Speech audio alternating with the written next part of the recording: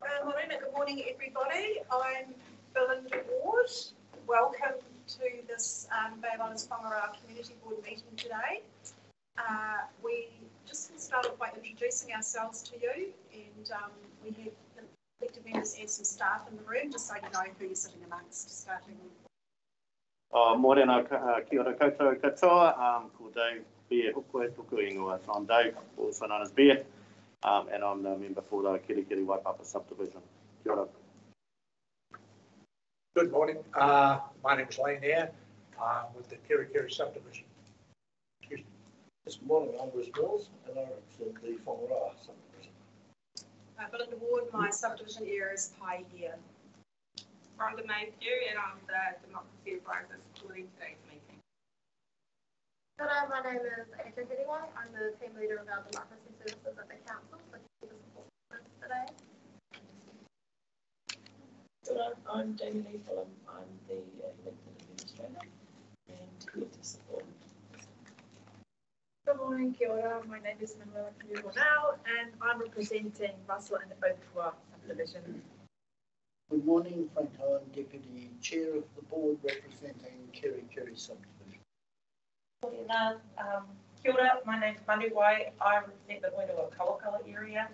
Welcome to this part of me, whānau. I'm going to try and convey everything I'm feeling. So, if you see my eyebrows working overtime, that's why. Ngā mihi. Everyone, my name is Catherine. I'm the funding advisor Thanks, Catherine. Thank you, everybody. And welcome to those uh, who are watching us online, the members of the public, and to our wonderful large um, public forum here today. I'm going to start off by reading uh, Karakia.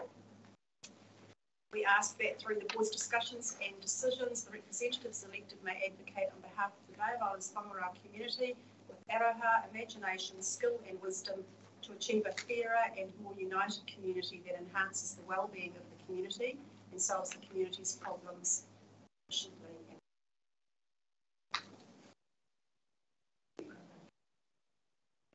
Uh, we have apologies today from um, Councillor Smith, who sits on our board, and we also include Councillor Clendon, uh, who sits with speaking but non-voting rights on our board. Uh, I'll read those apologies. Do I have a second? Yep. Thanks, Dave. So we'll move straight into our um, public forum session. I do have apologies for uh, Hilary Sumter was coming to speak on item 8.5, the redwood trees. Uh, we'll address that later on when we deal with the report. Uh, so first up, I have uh, um, uh, Hedi is it? Uh, Speaking my- for Mount Hi, Madam Chair. I was just messaging Henny, she's having trouble joining in on the link. I did let her know that, No problem. If you Do we have anybody else here in the public forum section who would like to speak this morning? Thanks, Raywin. Are you speaking to your funding application? That will come after the public forum. Leslie, welcome. Thank you. Would you like to get up and introduce yourself? You've got five minutes to speak to us um, anything that you should choose to. Thank you. Thank you. Okay, so I'm Leslie Lucas. Um, unfortunately, Charles Parker wasn't able to be here today. He's the chair of business idea. So I'm standing in for him and I'm speaking on behalf of our application for the speaking funding. Um, we're here today to resubmit our application and I'd just like to go through our reasons why. Um, the overarching purpose of the Matariki Bay of Islands has been to create a multidiscipline festival that celebrates Wanga Matariki in the far north. To bring this festival together, there has been significant consultation and collaboration with iwi and cultural advisor. So hence we've got Kawi with us here today, and we had hoped to have a Zoom link, uh, as well as community groups and businesses. There are multiple iwi and community-led events over a six-week period um, that the festival is supporting. Our application that we put in was very detailed and we believe clearly stated our intentions of how we wanted the festival to come together. Um, and there was points that were raised as part of the decision-making process. The funding that we are requesting is to be able to hold the anchor event, which is on the 24th and 25th of June, which is the new public bank holiday, which we believe benefits all. And we believe will support sharing the Matariki story and bringing our cultures together, an avenue to engage local youth in community and arts, bring our community together, significant social and economic benefits, as well as supporting a major event that's going to take place in Northland. The Matariki Festival as a whole pulls together many strands, and we have secured other funding, which has been from the Northland Regional Events Fund and also Te Arawhiti, but that has already been allocated and secured to other parts of the festival. Business Paihia has been asked to support these main events and approach Community Board for funding to support it. Unfortunately, the 5,000 that was granted last time wasn't sufficient enough for us to deliver the event that we have proposed. Hence, we have resubmitted to ask for further funding. There is part of this event that was discussed around fireworks. Um, so we have had discussions with Ngāti with the iwi, and we're in discussions as whether we continue with the firework or whether an alternative of a light show. So we are aware of what's happening in the media, so we just wanted to put. That has been part of our discussions in the last four to six weeks. So we do hope you will reconsider our application. If there's anything that anyone would like to add and also have any questions.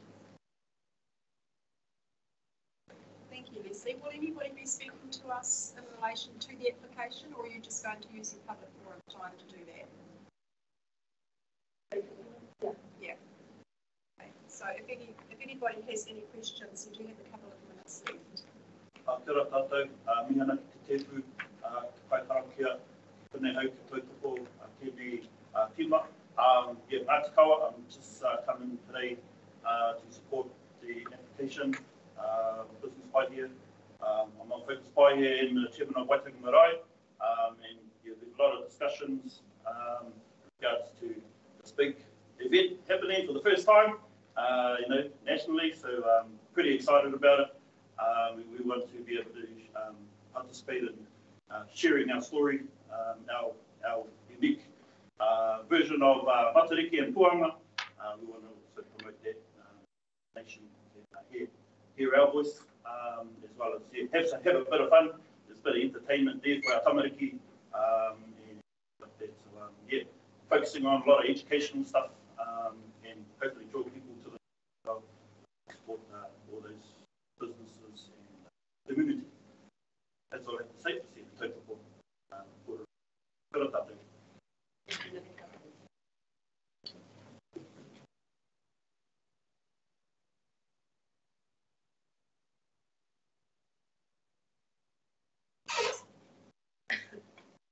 Do we have anybody else in our public forum before we move on to our funding application speakers? Anybody want to speak in general?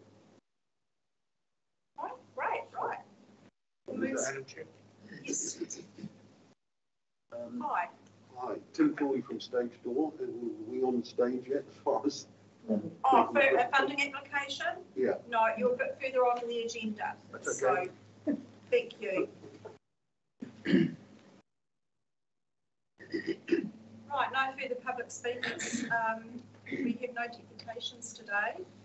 So we'll move straight into our, um, funding application speakers.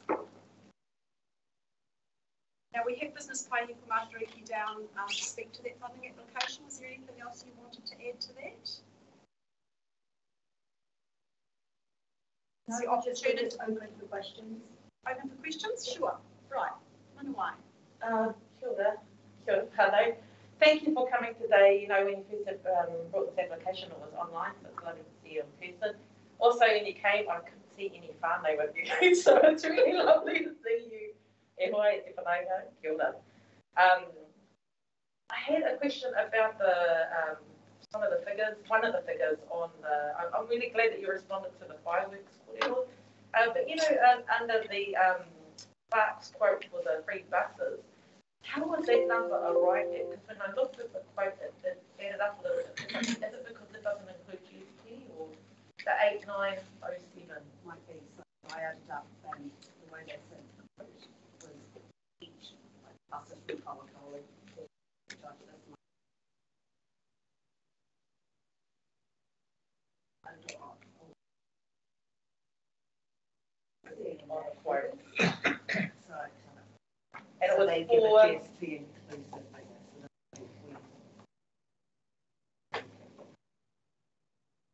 we- and it was four buses from each of the area. That was all, all of the questions that I had.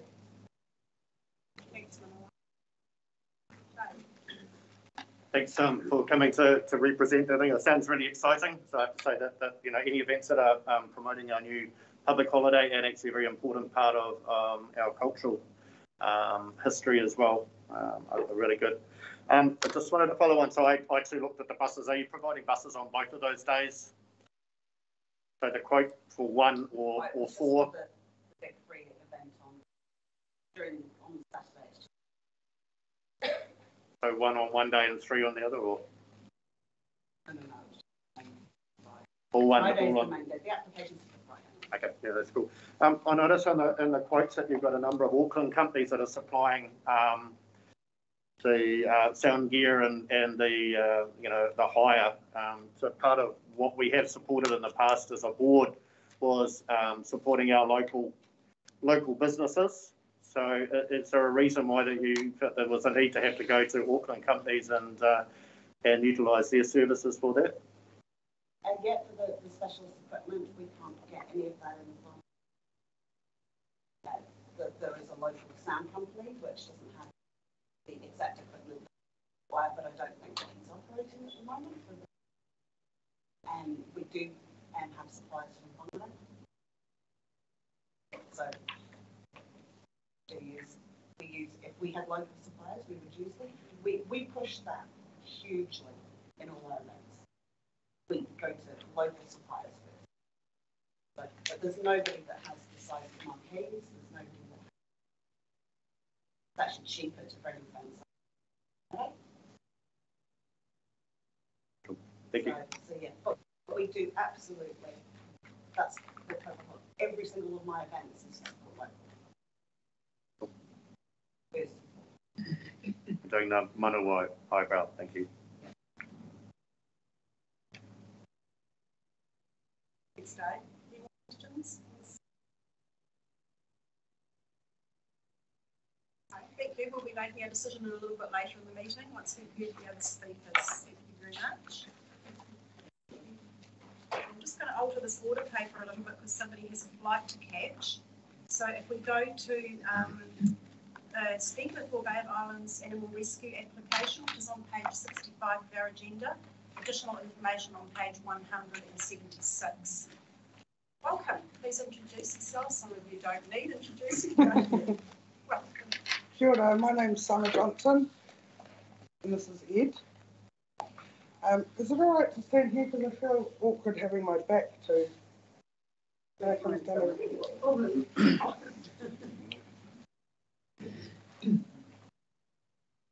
you for having us along again.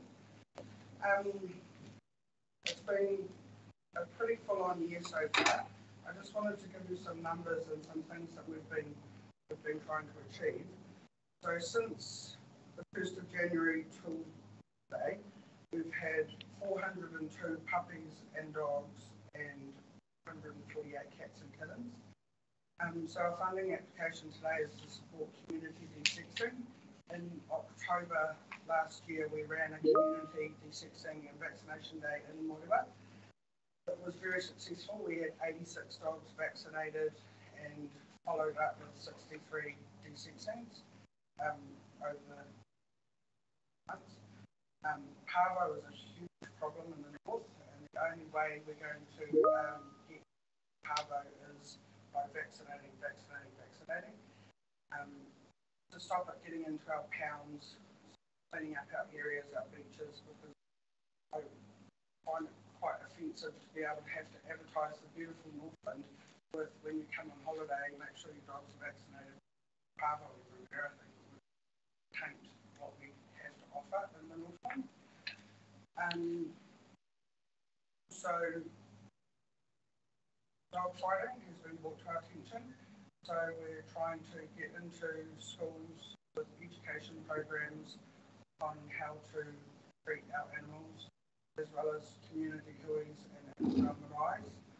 Um, I met with Twin Coast Cycles uh, on Monday um, to identify problems that they're having in particular areas of Northland um, and just trying to get into the communities to educate people about making it safer cyclists.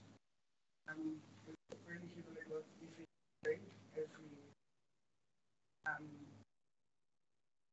relationship identifying Australian dogs, about finding where they come from, trying to of um, Very.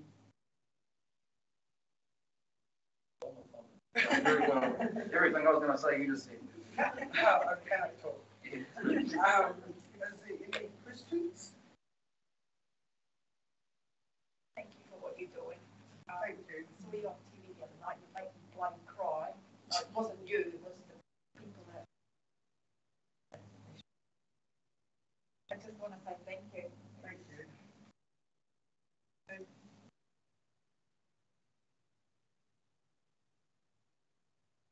Questions for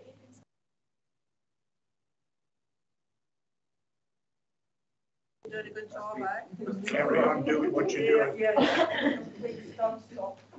No, we can't stop. The, the biggest problem we've got is, is the, like our monthly vet bills are close to thirty grand. Um, Fuel bill is. Um, you know, because of the job that someone's done, it's just growing. Starting to get out of control, um, and the de-sexing of, uh, probably at the forefront of what these is. De-sex and get the numbers down. educate Last financial year, um, we spent eighty-six thousand dollars on community desexing, and that was with the help of funding that you gave us as well. So I think together we're achieving good things.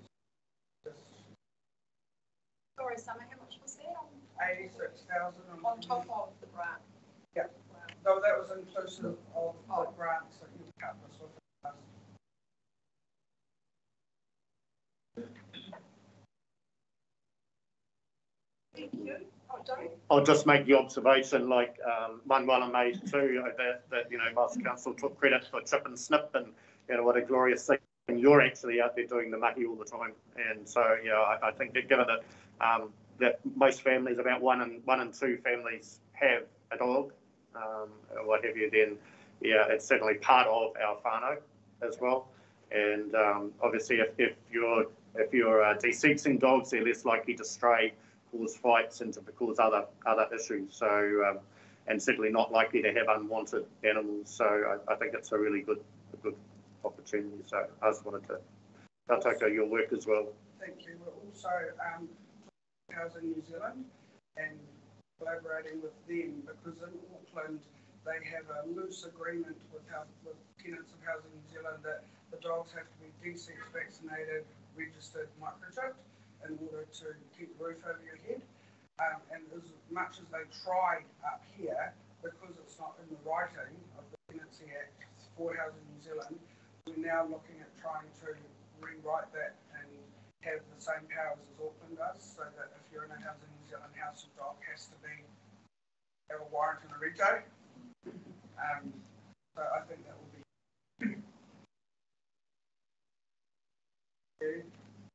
And um, I'm sorry to have to turn my back and duck away, but I need to go and do my job, and this gentleman needs to get the press out. So thanks very much for your time, and thank you. Thank you. Thanks, Ed. Thanks, Bye. guys. Yeah, thank See you. you. Thank you. Thank you. Right, next we have a speaker for um, Aroha Island Music, page 51 on your agenda. Additional information on page 69. Hello, that's me. Um, it's actually Arrowhead Music Society. but we do focus on the Bay of Islands, of course. And we are in partnership providing uh, classical music at the chamber level, which is one to six people maximum, at the Turner Centre in the auditorium, which is wonderful. And they, we are the only people bringing this kind of music to the area. And it ranges from Haydn to Gareth the New Zealand composer. So um, we feel it's something that we want to keep alive. It's, we have a program with free admission to anyone under 18 at concerts. And we have one particularly wonderful violin student, a little girl who brings her violin and we take her backstage and the musicians sign her violin. She's getting quite a collection now. So there is some interest in the youth. There's not a lot of kids studying classical piano or violin, but there are some. And we have also probably more of a focus on the elderly um, who come from that culture. We have a lot of Western Europeans who retired here or live here. This is music that they grew up with, the Beethovens and French, the Debussy. So it's for them, a lot of them can't travel to Auckland to hear this kind of music live. So we've had generally about five concerts a year in partnership with the Chamber of Music New Zealand. So we're their regional partner and they select a group of musicians. We choose who we want to have come up and uh, we do a couple of independent um, hosting, which often are people who've already come up with Chamber Music New Zealand but aren't on the current year. So it's a variety of things. The last concert was a quartet plus the clarinet player from the New Zealand Symphony Orchestra. And uh, we had 80 people attend that. It's a lot of interest. However, the musicians' fees have gone up. The uh, venue fees have gone up and our audience, we've kept the ticket price at $40 and it just doesn't cover those fees and venue hire.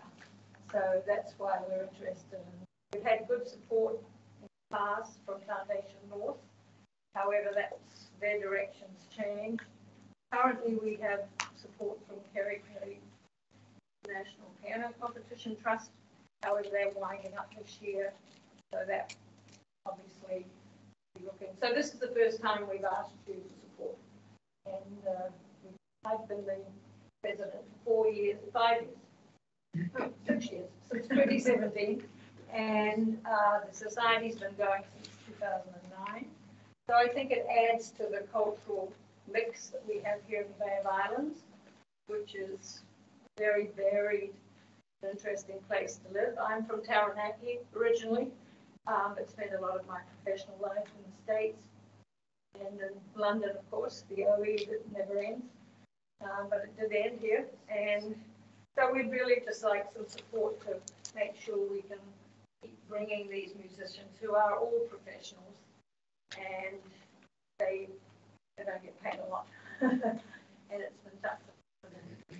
Uh, so we just like some support. So we've, we've got a fairly healthy budget, but again, uh, costs keep going up and uh, revenue from ticket sales is fairly consistent and we don't feel like we can bump our ticket sales anymore forty dollars for a concert, which. Um, so, any questions? That's, Thank you. All right, I'll lead off, although they, they're going to relate to some of the other presentations that we're going to have. So a, a common issue that we get for our president, thank you for coming to us and, and, and um, I've been, I'm a, been a brass player and I was a conductor and what have you, so uh, in my earlier life, so I do uh, have a, a, strong appreciation for music and the arts. Um, part of what we we, we, we discuss here, as, as I guess, is, is where our money goes to and how much benefit it gains the community. And, and a common theme, a lot of the funding applications today is the cost of hireage of the Turner Centre.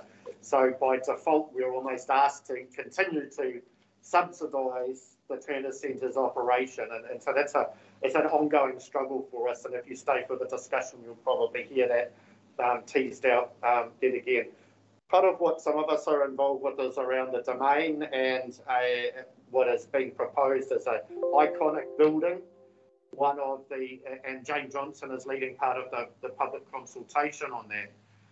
One of the options that's been suggested is some sort of, uh, what would like, amphitheatre or something like that, a performance, a covered performance stage. I wondered whether you you considered in terms of bringing arts to the outside for concerts where more people could attend, or perhaps on a, on a free basis, given that your costs are largely based either on professional fees or on venue hireage. A couple of issues there. Uh, I've been to a lot of outdoor classical concerts, and uh, the acoustics are difficult for uh, a group of a violin, a viola, and a bass. It's not exactly a, a booming type of music. The other issue is that the musicians hate playing in humidity, their instruments go berserk. So it's really hard to ask some guy with a $60,000 cello to sit out in a wet, day, um, even if he's undercover. So probably the combination of the instruments being at risk, um, we can't afford to compensate for coping with that. And the fact that it's the acoustics, it's not a, they don't play with microphones. You know, it's not, it doesn't have a lot of impact like that. It's usually much more, they call it chamber music, so this usually in a fairly small space. Um, and this is considered a small space. I mean, it's quite a large space, but it's 300 people. I would just like to say that the Turner Centre has been, well, it was one of the reasons I moved back to the Bad Islands um, after living overseas for a long time because I felt it was a cultural centre, a bit like Kiri Te Kanawa, I wouldn't come back till they built the ATS Centre. I'm not quite in her league, but it was a deciding factor for me to have access to a professionally run community centre. And I guess one of my concerns is it seems like it's not really a community centre anymore. Um, and I'm a little disappointed personally. I felt there was support in the community to keep this going and running. And uh, it's a fabulous space. All of our professional musicians are impressed by the space. Um, the first place I ever went to a concert up here was the Woolshed, where Michael Houstoun was playing down the road. Uh, and, you know, it was, it's just such a leap forward for the Bay of Islands to have a centre like this. And I'm very passionate about keeping this centre, you know, and I support everything I can. I, I, I really feel a little saddened that it's not being supported I thought it was going to be supported by the council and um, the region far more than it seems to be. So, um, so I guess I'm coming in the back door to ask you to support it as you say. Um, and I, I just hope it's a priority. Um, anyway, I'm, I'm a little, I didn't know anything about it. Thanks for that. comment. We're here supporting it today by using it. So. Yeah, no, I Any other questions? I just want you, what you mentioned about 80 people. I'm just wondering what you might be reasonably expecting um, for an attendance for the concerts or what you budgeted on. Uh, we usually budget for a bit less than that. Um, 80 is 80. I think the most we ever had was 100. It's not, again, it's not a huge 60 on average. So but pandemic, you know, you know, it was unpredictable. Uh, we had, uh, it's, it's just unpredictable. Uh, we have changed the time of the concerts to 4 p.m. on Sunday because of people in the winter not wanting to come out at night. So we're hoping, you know, we're trying to do everything we can to get people. Like we had a people would go out, it's wet, windy night, you don't want to go out. So we've gone through a four o'clock on Sunday afternoon format for most, well, for the rest of the year. We're hoping, we're trying to do everything we can to get people to come and uh, pay the ticket fee. Colin, I have another question. Sorry. Thanks, Colin. Um, I, I was just thinking the other day because I grew up with classical music and playing it. Well, bloody hell, a long time ago. but I was never aware that there were concerts like that until I received the uh, funding application. You don't get the. So that's something just food for thought that. Um, you don't get the Turner Centre marketing email. No, I never subscribed to it. So, you know, for me, it's the first time, what a shame, first time that I'm actually in the Centre today. Um, Where, where do you live? in Russell. Oh, we have a few people in Russell. Yeah, I'm just saying, I'm just Yeah. saying it, it's great. I'm really happy to see classical music is still around and want to listen to it because it, for me it is a big cultural thing and it'd be great if more young ones. would There's enjoy but I wasn't ever aware of it, so it's just some. There are ads in the paper. I don't, I don't Who reads the paper nowadays? Well, Well, it's just, I'm not Yeah. having a go. no, no, I'm just saying, I don't know how to reach you otherwise. Yeah, that's the thing, isn't it? It's, yeah, I, I don't know either. It's just a tricky thing, isn't it? It's, you can't sell a secret, so I wasn't aware of it until. Yeah, well, I'm sorry to hear that. Yeah, Um. That's always, you know, a battle. Tricky, yeah. Um, But, uh, if people aren't really, so you never come to anything at the Centre?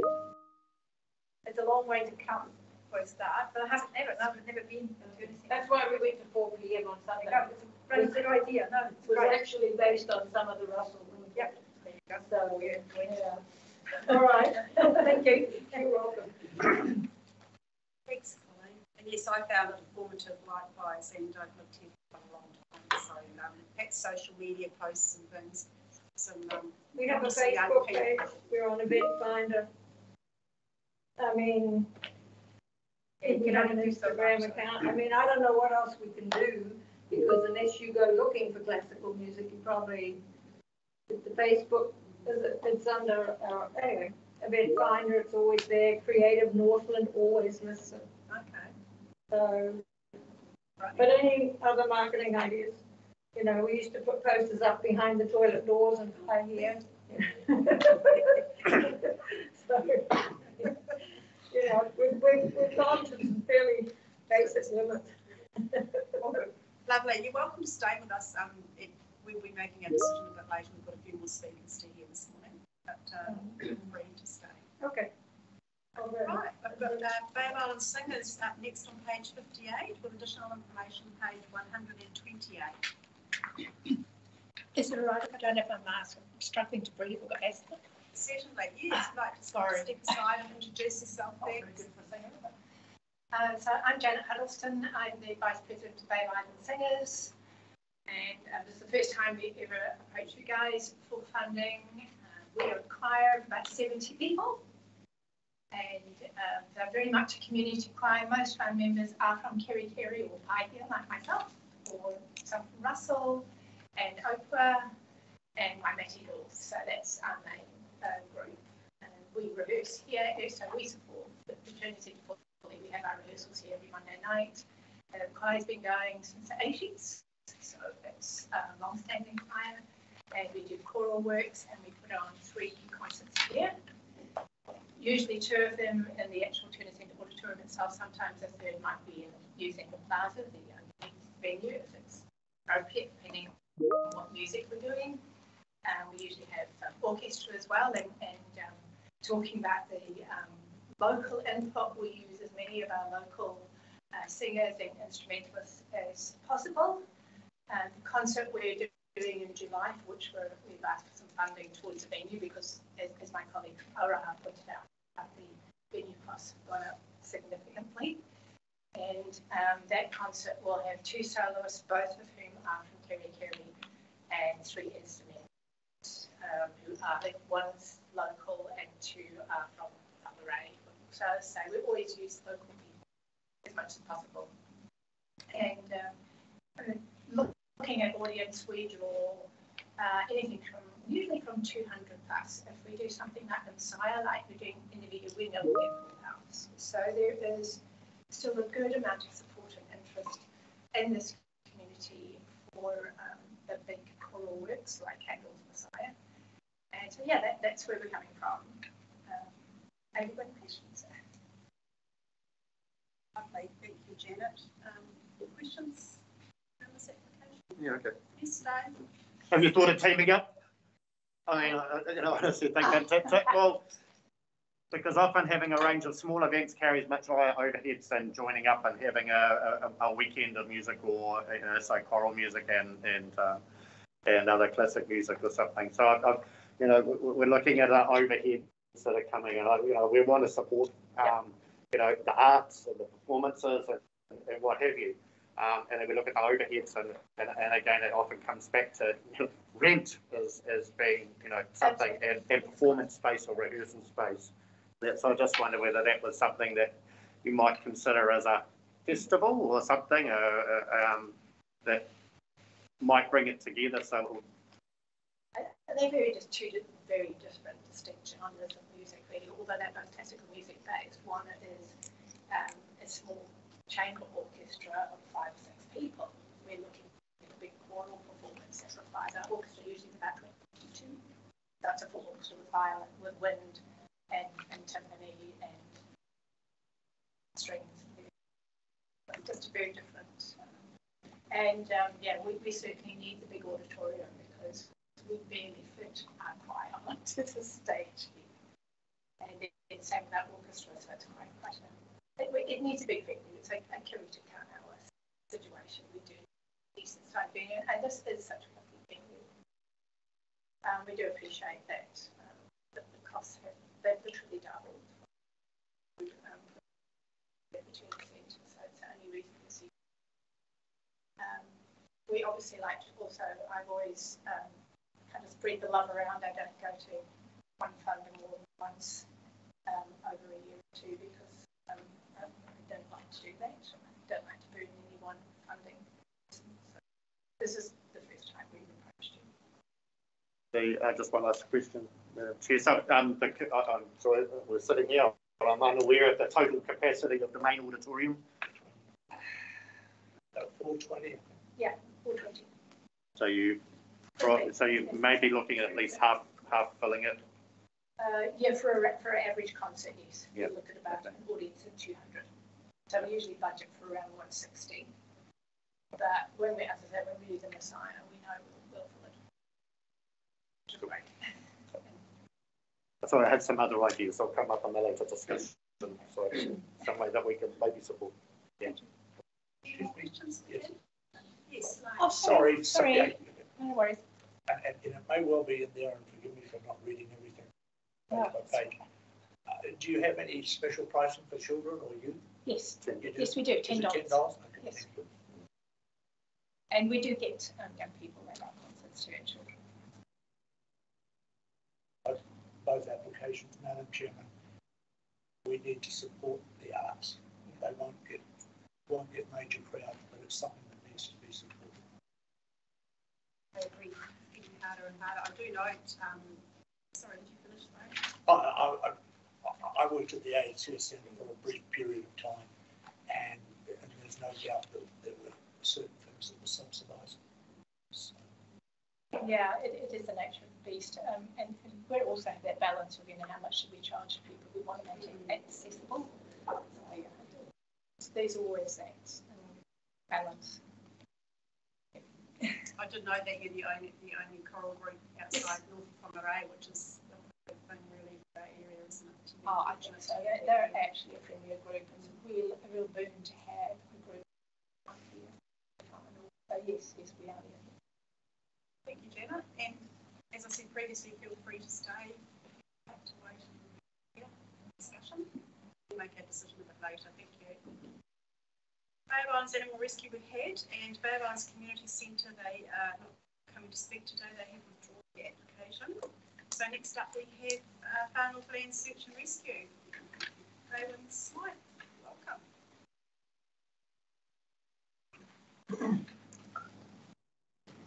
Good morning, everybody. This um, is our President, Don McCarthy, and I'm the Vice. Page Um, 79 of your We're here today to ask for funding to assist us with um, rent. Currently, we are um, at the Mid-North Rescue Centre, just next to the airport. Coast Guard rent the building and they sublease to us at a nominal fee. Coast Guard are relocating and um, knowing too much about their business, it is taking them longer to find um, a property or sign up to a property uh, in by year or suspect they're now looking at. That's unofficial information that I've received, but they can't give us a kicking out date because when they stop their lease, they only have to give a month's notice, and they haven't done that yet. So when they give a month's notice, they'll give us that month's notice. So we are trying to get ahead of the game and ask the Board to, to support us now. Um, Holdings own the building and their, um, our initial discussion with them was it was fourteen thousand two hundred and fifty plus GST plus rates plus insurance. But they will talk to us about negotiating, but not until Coast Guard have given their notice. So we're kind of stuck. Um, of course, we're going to try and negotiate down for because we want to stay there, and um, we'll just gives us a bit of time to think about where we can go, else we can go when we've got a year to lead into it rather than maybe a month. So that's why we're here initially. Um, since I wrote the report, I think we've, we've had six call outs. So um, we've one in April and a young lad didn't go home from Kerikeri Domain. He was eight years old. So it was a night search. And um, Donna was lucky, uh, lucky enough to find a CCTV camera and we located the lad. So good outcome. About, about 11 o'clock or something, wasn't it? Was it later than that? Yeah. Um, and then we've, in May, we've had four call outs. Two day one at Waimea Forest, two day one at uh, Waipoua at Waimamaku. Um, we had one to Hihi, uh, trapper, uh, hadn't come home. And um, we assisted by getting our gear to the police. The police borrowed our gear. Um, a recent one at Cherry Park. We didn't actually, they didn't want us there, but used our gear. Of course, we have a relationship with our, our police search and rescue team, so, you know. Um, we also do Wander Search, and I don't know if anyone knows what Wander Search is. It's people with cognitive um, deficits or problems, uh, and they might wander off. And we provide a little pendant which has got a radio frequency it. And if they wander off, they ring the police, the police ring us, and we race out with our aerials, tune into their frequency, and we can track, we can hear their frequency up to eight kilometres. Once we get a bead on it, then we move in with our Kiwi, I call it the Kiwi tracker because it's like one of those little areas that you track, track Kiwis at um, and yeah, time is, is of the essence. Those people, they, we, um, older ones often just walk until they get time and then lie down in the long grass. Just have a rest. And so really, really good thing we do, and we have lots of children, and lots of children with um, yeah, problems that North, seems to have a lot. Um, a lot of our searches, um, unfortunately, been responded to people now. So time is of the essence. Currently, we have gear because we've simply moved out thinking, gosh, we've only got three weeks, what do we do with all our stuff? So currently, we've got gear at my place, um, at two other members' places, and one of our ladies has got all our clothing. So if we get a call out and we need ropes, if Chris comes, that's good, but if he doesn't come, then someone's got to go to Chris' place and pick them up. So we really need a place for home. Yeah, that's us. Thanks, Rowan. Um, questions from Wayne? From that conversation, what you need is a storage place as opposed to office space or meeting space? Or... We have a lot of training there, um, like first aid, we had first aid last week. We, we're, um, we have to train, we have competencies. So if I did my first aid last week, we just did a portion of it, but it's lifting my competencies and my competencies have to be upgraded every three months. We train at least twice a month. And on that, we've got about twenty-six people in our team. So Sorry. when- Sorry, we've got about twenty-six people in our team, so when we do do training, if we get the full twenty-six, we need a base where that supports that. A lot of our training is outdoors, but it's also indoors with in-services, um, physical trainings, mental health trainings, first aids, river, river trainings, just everything we do, navigation, GPS stuff. Carrying a stretcher, we carry a stretcher around the perimeter of the airport sometimes just because there's a technique and you don't just pick it up and carry it. Sometimes we can carry it ten kilometres, so you, there's a, a way to do all of that, yeah. It-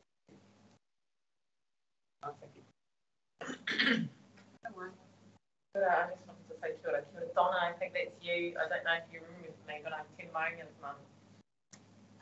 and for, um, think, I just wanted to kia ora to you both. of you. It was good to hear some of the things that you do. For those, uh, my colleagues in the room who don't know, my son has a condition called paroxysmal hemicrania.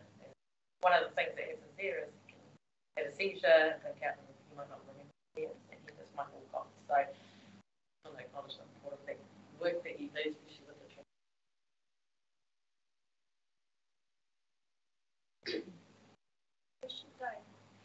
Thank you for your presentation and, uh, and the work that you do. Um, I wonder whether, uh, uh, part of what we've often discussed is that we don't fund rent and things like that, or we haven't typically funded rent, but you've got a number of other parts of your funding application show that other parts of your work that we're submitting an application to us that I feel very supportive of funding. I wonder whether, if, depending on the outcome of today's discussion, that if you weren't successful, whether you would come back with another application for the other bits of funding that you are operate, you know, the, the, the, the things that you're doing. Mm. So We, then, yeah, we, um, have been given the next three years, well, we're already up, June is our first year, uh, fifteen thousand from Northland Regional Council, but it's targeted. It's for equipment only, so we can't use that for rent. So we haven't, and we don't really get any other funding. Unless we do a major, we did a major fundraising two years ago and we put ourselves into a pretty good position, but we buy all our own equipment. We, we don't get funding. We supply our boots, our waders, our bush clothes, our whistles, our compasses. We supply that as a volunteer. Because we're out, we're on twenty-four seven and we're out all weather conditions. Just put it out there, we always need volunteers, but at two o'clock in the morning in the Mangamukas, when it's mud up to your knees, you need good weather. Weather uh, protected, no normal PPE, so our jackets alone are eight hundred dollars. Then we've got the GPS, there's there probably another, you know, eight hundred. Got the waterproof pants, our boots, so good biking boots, they're self-purchased equipment alone, I would be probably would be geared up with a couple of thousand dollars worth of vests that we wear carry radios, so got comms, GPSs, your your radios, personal first aid, um, team member for kit, first aid for our lost party, clothing for lost party. It's easily, yeah, a couple of thousand worth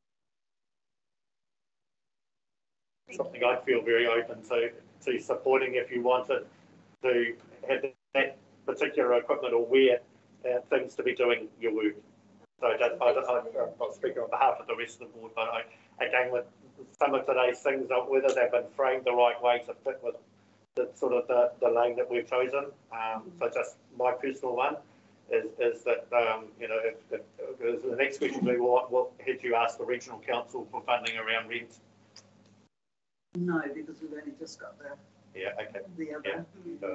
So Ray, when you have applied to all three communities, Yes, because you yes, we were in Kaiko do the North District, Far and Whitehead, um, Catherine probably knows the outcome of that, but were you successful with the, Yes, um. Cocoa yesterday? Yes, yes, we were. Okay, great. And, and if we negotiate the rent down, then we'll, we won't need that amount. And- And he said, he has indicated he will, but, I understand. It's a bit of a tricky situation to be in, when you know, you're teetering on short notice Yeah. and, um, else to go. Questions? I just had a question, why do you to do, sorry, me. ask after the, the forum, forum, thank you. Okay, Raymond, you're welcome to stay. Yeah, I know that's right. John's got to get to work and Yes. yeah, just finish with our mission statement is respect, resilience and response. Thank you. Thank you for that presentation and you're more than welcome to ask. questions later. Right, uh, next we have the Kitty Business Association. Do you have a representative? Yeah.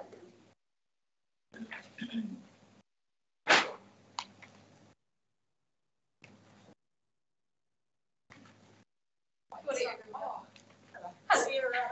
Sarah Curtis. Sarah Curtis. And then this is Tegan, who's on our committee as well, Tegan Weaver. So we are uh, coming to you as a new and reinvigorated business association today. We are pretty excited about some of the things that we'll be doing for Kitty. Um, and today we're kind of lucky to a little bit to be working with our Kerikeri around this proposal that Nola, I'm sure you, a lot of you will know Nola, um, has been working to bring hanging baskets to the centre of town. So if I can take you back a few years uh, to the early 2000s, when some of you may remember that there was an irrigation system that was funded through town, um, and baskets were installed. Probably not with a lot of forethought, to be fair. Um, the baskets were filled of nice, pretty pink flowers, which of course I don't object to, but they didn't last very long. They weren't very well maintained. There was issues with some of the watering. Um, so all things that have been very much taken into account in this proposition that we've put forward. Um, we are looking for the support for the funding of the replacement of the irrigation system. It's very damaged. Um, it's been nearly 20 years since those early 2000 days. Um, if I can just get Tegan to talk a little bit to the reasons why we're looking to do it, that would be wonderful.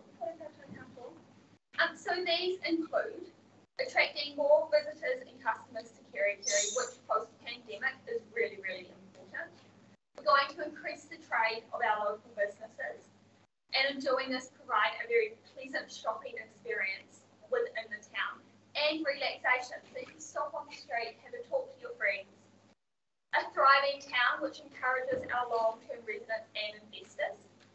These baskets will bring a sense of serenity and beauty to our environment. It will provide reasons for people to slow down and linger within the town. To improve the overall air quality by filtering out pollutants, which is incredibly important at the moment, and have a positive impact on community health, reduction of smoke, dust, and CO2. Hopefully it will release some stress. In improving mental health and aiding in the cognitive development in our children. It's a well-known fact that crime rates drop considerably in a plant-lined street, and hopefully it reduces the noise, the noise pollution levels caused by the increased traffic in the main street. You just have to be there at 12 o'clock in the lunchtime to see that. To counter the warming effects of paid, paid services, and these baskets will provide positive energy and are of intrinsic value Kerry community. So um, we've done a lot of the work to make sure that these baskets won't fall into the same category that they did last time. The plants that will be planted within the baskets are subtropicals, so they won't need the maintenance that the previous baskets did. Um, there has also been a very recent conversation up to last night uh, where the council has agreed to uh, hang the baskets, to maintain the baskets, and to fertilise those uh, twice a year. So that's a formal agreement that's just being established at the moment. But like I said, the conversation was only held last night, so we haven't got anything included in that submission around that. Um, the baskets themselves, we, uh, Nola has been really through business in town um, and spoken to the individual businesses, and they're all very um, encouraging um, of bringing the baskets back to town, and the individual baskets, which will be about yay big, uh, will be sponsored by businesses and whānau who want to support uh, beautification and the efforts that we're doing in bringing the baskets to the main street. Think Thank you. Questions from Manuela? Um, the businesses that will profit from this, you know, I is the more important, what do they contribute? So what we've done is we've gone and we've spoken to the uh, businesses with the taps that have the individual taps, and they're all happy to support the payment of water because that's something that will come from rates. Um, and then we will be approaching a lot of those individual businesses are the ones that will be sponsoring the actual payment of the baskets. So if, uh, for example, um, at the front of Bailey's, uh, there's four or five spots, and Bailey's are happy to contribute to uh, funding the baskets themselves. See, It's just a pipe locally that you look. it's the irrigation, yeah, the irrigation system that we're looking to replace, and we have been to all local businesses to ask for the quotes to do it, so we are local businesses that will, that will complete. Thank you. Okay. Okay. Thank you for coming along. We've been here for 25, 26 years, so um, yeah, the town's certainly changed quite a bit in that time. Looks a lot prettier than it used to, um, and some other challenges. Um, do you want the bouquet or the brickbat? You just had us with whatever you want. Uh, well, well, okay, I'll give you the brickbat first. So part, so you spoke to how it's going to make town more amenable, that people are going to slow down and what have you. But I mean, a real bugbear from a, a, a, a resident point of view and somebody who works on the disability action group as well is a number of signs that are in the road and have to be navigated by people on mobility scooters, on prams, and with visual impairments.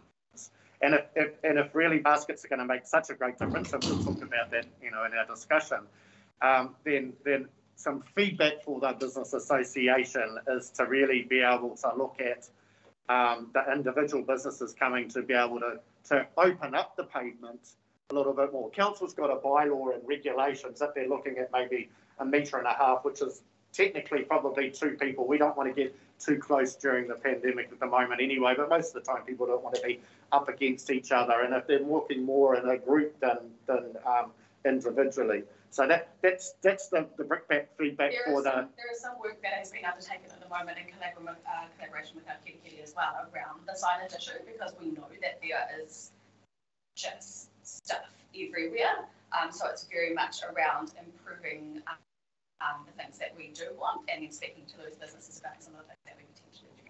Sure. So yeah, it is, it is body of work, obviously, that's not included in this, Yeah. but it is something that's happening alongside it. on the, on, on the positive side, so I had business at Waipapa, I used to own the, the, the takeaways out there for thirteen years and, and, and or operated for thirteen years.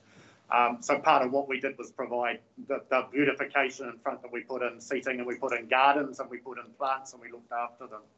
And so part of that working together, whether that's a vision for, um, for our Kerikeri or Vision Kerikeri or the Business Association, is looking at how individual businesses, so some of them at the moment have provided some really awesome um, seating and gardens and things. We think about up near the Butler Centre with the um, sushi place is, is, is one. Um, and that so so it's also to look at how businesses want to be able to um, commit to the the vibrancy of the town themselves and and so I just you, you mentioned one other thing about maintenance. Sorry, what was that about last So, night? um, Nola has had a conversation with the Nina, who has let her know that the council will be funding, uh, the hanging of the baskets, the maintenance of the baskets, so you know, when they do the garden work, they'll be snipping any dangly bits or anything like that that needs to be done at the same time, and twice yearly fertilisation of the baskets. That's great. I'm really happy for that. Can I just ask what the two hundred and um, fifty hours of volunteer value? Yeah, so Uh, Nola's already actually done five hundred hours worth of volunteer work. So she has gone into each of the businesses, and I can say just from the work that we did three weeks ago when we went to each of the businesses where the taps were, that took the day going into those businesses, explaining about what we're looking to do with the collaboration between our Kerikeri and the Business Association, and then the, the like I said, the optics of how we want the main street to look and working together in the effort. So there's been a lot of time into um, speaking with the individual businesses in town. And then Noel has been doing the liaison with Plant Zone, who are helping with the baskets. Um, yeah, just just the general background work for it. It's been happening for two years. Yeah. Yeah, it's been a long, a long, long time. that it's. Thank you. Thank you. Any other questions? Sorry. Sorry. One, one small observation. Great presentation. I've known Nola for a period of time. I wouldn't dare criticise any part of the presentation.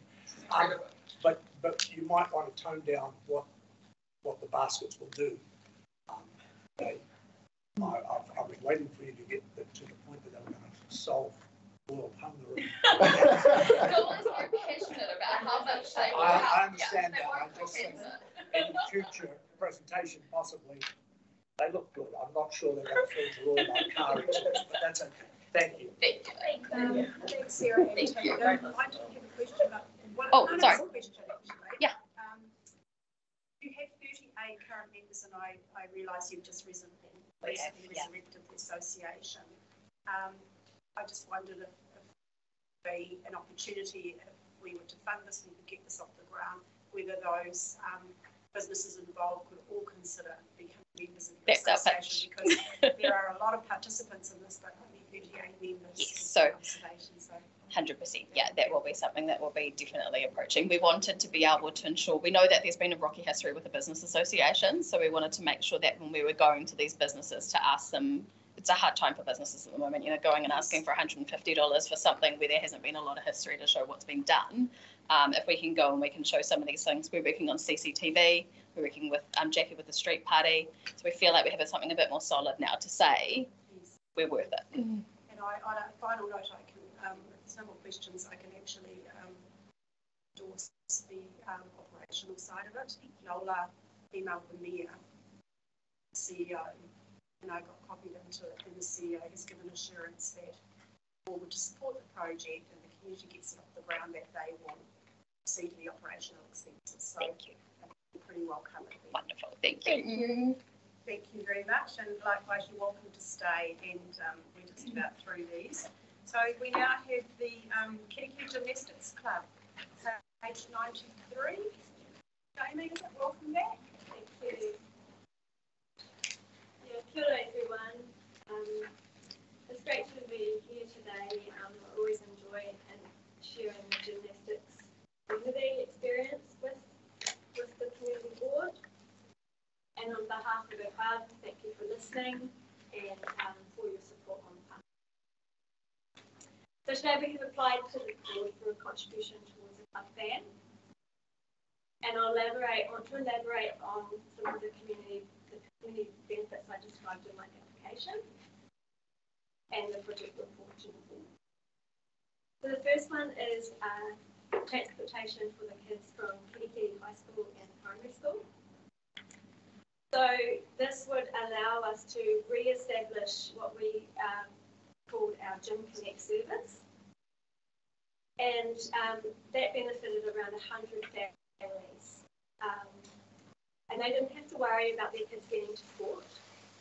And given there are no public buses in Kerikeri, um, one of the barriers to sport is transportation. So we wanted to get that covered for these kids. And, um, you know, obviously for parents and caregivers, it wasn't, uh, didn't break up their working day.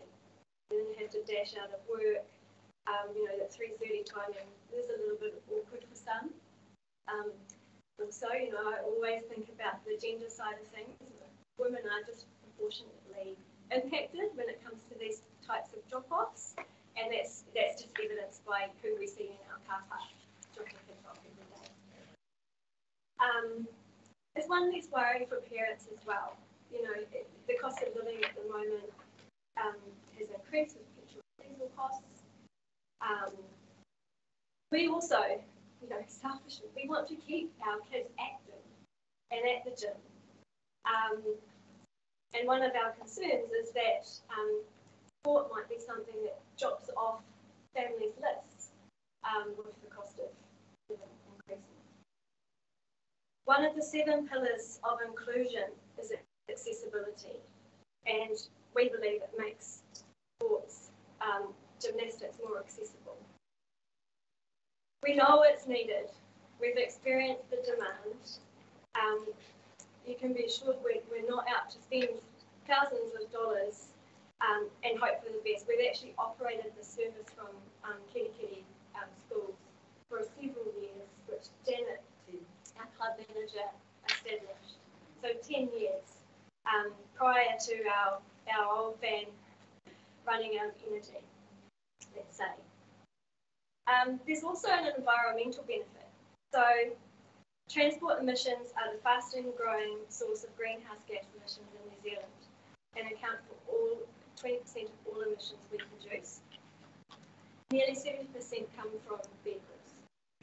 So, using a carbon footprint calculator, I, I did some research because I wanted to test my assumption that the, our Gym Connect van would be better for our environment.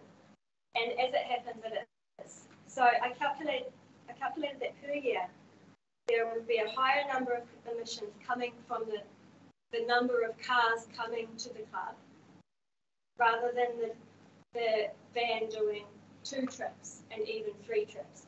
So cars were 6.6 tonnes of carbon dioxide compared to 1.3 tonnes for the van or 1.7 1.3 for two trips and 1.7 for three trips. So that has got to be a significant reduction year on year. Um, and actually, we've probably already contributed to the reductions. Pretty cool. There are also program benefits. One of the heartbreaking things of the pandemic is that early childhood centres had really struggled now to get their kids to the um, club for their session. That is down to um, mainly resourcing on their side. They can't spare the teachers now to come to the class. So what we want to do, and we've talked to them about our five five early childhood centres, we've actually still got one coming forward, um, that we would come to them. And they are totally on board with that. Um, and finally, um, something that I'm incredibly passionate about, and I feel this funding will unlock, is a sense of belonging. So, Sport England recently have released a piece of learning research um, that Sport New Zealand are taking on board. 80% of girls feel that they, they don't belong in sport. And so when I considered this, I was thinking, hmm, actually, you know, gymnastics, we've got to be on to a, a winner here. You know, surely we create a sense of belonging for our girls. But then I realised I was mistaken because I was looking inwardly at club operations and culture, not outwardly at the system culture. And I this really hit home when I we had our AGM on the weekend, and Janet mentioned um, the Kerikeri High School honours and the badges, the, badges that the kids wear on their faces.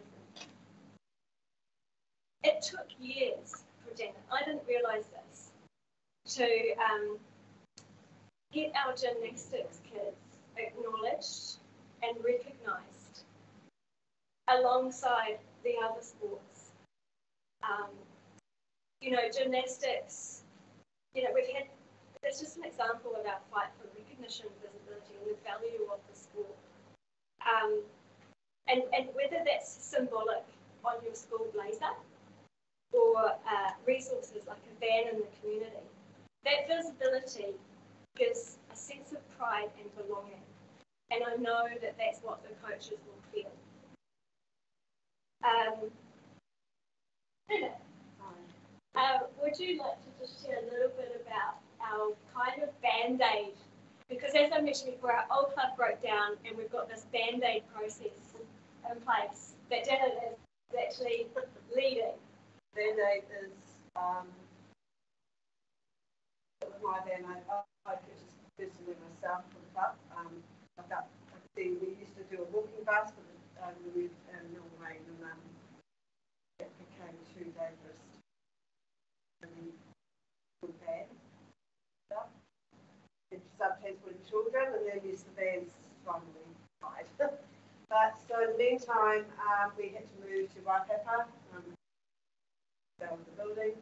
And the only way for us to transport children was to pick up children. Um, I have to borrow a member's car, there's six seats.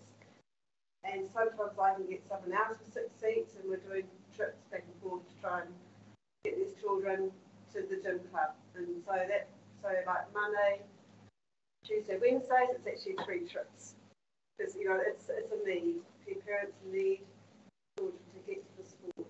Um, also where we are, it's also, also about management of road movements on the highway where we are, so it reduces those road movements of having van, um, you know, all, all the cars have more kids in the cars. Did try a bus, but that sort of, um, that didn't last too long. It's, We, we have exhausted other options. that We, yeah, so we, um, Janet has also tried working in with high school Yeah. to um, see if we could um, tag along on their existing bus services, after school services, and that was a no go. We were told that wasn't um, feasible. Um, we, we, we did actually have a bus for one term. Um, a community member had a bus, and so we, he worked in with us. Um, unfortunately, that fell through due to maintenance of that bus. So we have really tried to try and, and improve this accessibility. Um, and just just one further point I, I did miss, um, this would also be used for competitions. So some of the kids have to travel to Auckland. Um, sometimes that's a bit hard on the parents as well. And um, also coach trainings. Um, teams primarily for the youth that um, you know find it difficult to travel. Stay, Thank you. Yeah. Any questions? Bruce? Just noticed that, um, other sources of funding, Yes. like, um, are you intending to go out and? I, yes, definitely. Um, my, my thoughts, and this is where you probably see with the ATJ with the two thousand dollars, um, I spoke to him regarding getting a van and that we'd like to be able to put businesses, um, magnetic signs or something on the van, so I was hoping, once we get the van, it's more of a tangible, um, thing to have, to go to businesses, hey, that we're needing, um, you know, support for the van, um, because I think obviously the, uh, um, we get towards the van, then, you know, if that's a shortfall, then the, we're hoping the businesses will come forward with sponsorship. So definitely we are, we have got a sponsorship, um, program in place, which we have, uh, out there. Yeah, I think um, it's it's definitely a good point, and I, and I talking what Janet is saying around um, it's kind of like a mobile marketing. So even if like it was just like part contribution, because obviously we've asked for quite a lot. Um, if it was a part contribution, then, you know, we could go to some business and say, look, here's some mobile marketing for you. Can you please give us two grand towards the van? We would just get I don't know five businesses on board. I don't know. We definitely do need to put the feelers out. Um, pub charity is another good one. we're looking at. And the slogan would be, you know, these businesses are helping children be involved in sport, you know, that would be. We just want to run our van up alongside rugby and football.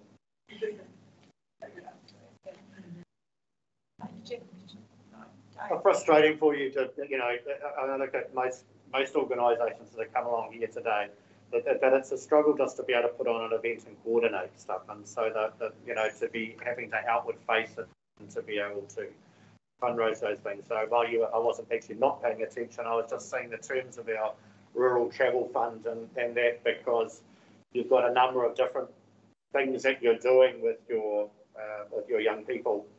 And so that still comes back to alternative sources of funding that, you know, I don't know how much is regional and how much then you might be able to apply through, through that, through those funds. Um, and then also looking at Sport Northland, if they're going to, they to acknowledge the benefit, and I, you know, I'm a, I'm a community wellbeing advisor, so I understand those, those studies and, and what have you, as to what degree that they can come in to support, um, in an equitable way, those codes like yourselves that need a hand up um, that don't, you know, that aren't the larger codes that have more funding from the number, from the membership in it as well. So, yeah, I, I, I hear your pain. I, I, I see lots of opportunities for you. Um, and it would be really great to be able to get those communities to come in behind you to, to sponsor something or, or what have you, um, to be able to, to, to fund that. And it's, it's a frustration if you can't share existing facilities. So if it was the school, but instantly I was thinking, well, Kerikeri High School has a van, um, the, um, the RSA has a van, you know, so if things are sitting there not being used, to me, it's about community and, and community sharing and coming together. So, you know, it, it's, those are the, the things that I, you know, I'd like to see that they came in to support you. Maybe it's you needing to communicate that out further as well. Um, Um, I, I, just think, um, we're not just gonna have it for after school, it would be, wanting to like take it to the, the, um, centres, you know, like some equipment going in, it's, it's, not just gonna sit there parked up at the end of the. In the interest of time, I'm going to stop there because we have another speaker. Um, Thank so you. Thank you. Thank you. Thanks. Right, so finally we have um, Tim, isn't it? Tim calling the stage door, page 107. Thank you. Good morning. Um, my name is Tim Crawley. I'm president of um, Stage Door. This is Miriam Collins, who is, is directing Beauty and the Beast, and at the moment very, very busy, as you can imagine, because we've started rehearsing and planning and so on. So, the 4th of December 2020 is the last show that we produced. Um, in between time, as we all know, there's been levels of lockdown, uh, traffic lights, um, and so it's been very frustrating for us as a, a production group to put on the play and um, excite the members of our group. We have quite a large uh, group that we, we represent. Um, so when Miriam had this idea, a dream that she'd had for a while, to produce and direct Beauty and the Beast, which is a, a very technical, fast-moving um, musical with lots of singing, dancing, and acting in it. Um, we all went right. it's going to take a lot of work and a lot of funding to get this show going. Um, can we do it? Bearing in mind, we were actually doing this initial decision making in the red traffic light. So the maximum audience that we could have here um, would be 100 people in the auditorium. And just working on the figures that we, we had produced, we could just about squeeze it out, provided we got enough funding to, to get us on the road. Part of that funding, and as I said, it's quite a technical show, is the um, sound uh, technical gear that we will need and the person or people that are involved in operating that equipment and producing the sounds that we need to music, singing, and all those sorts of things. And so that's the reason for our application to get some funding to help us get the right people to do that.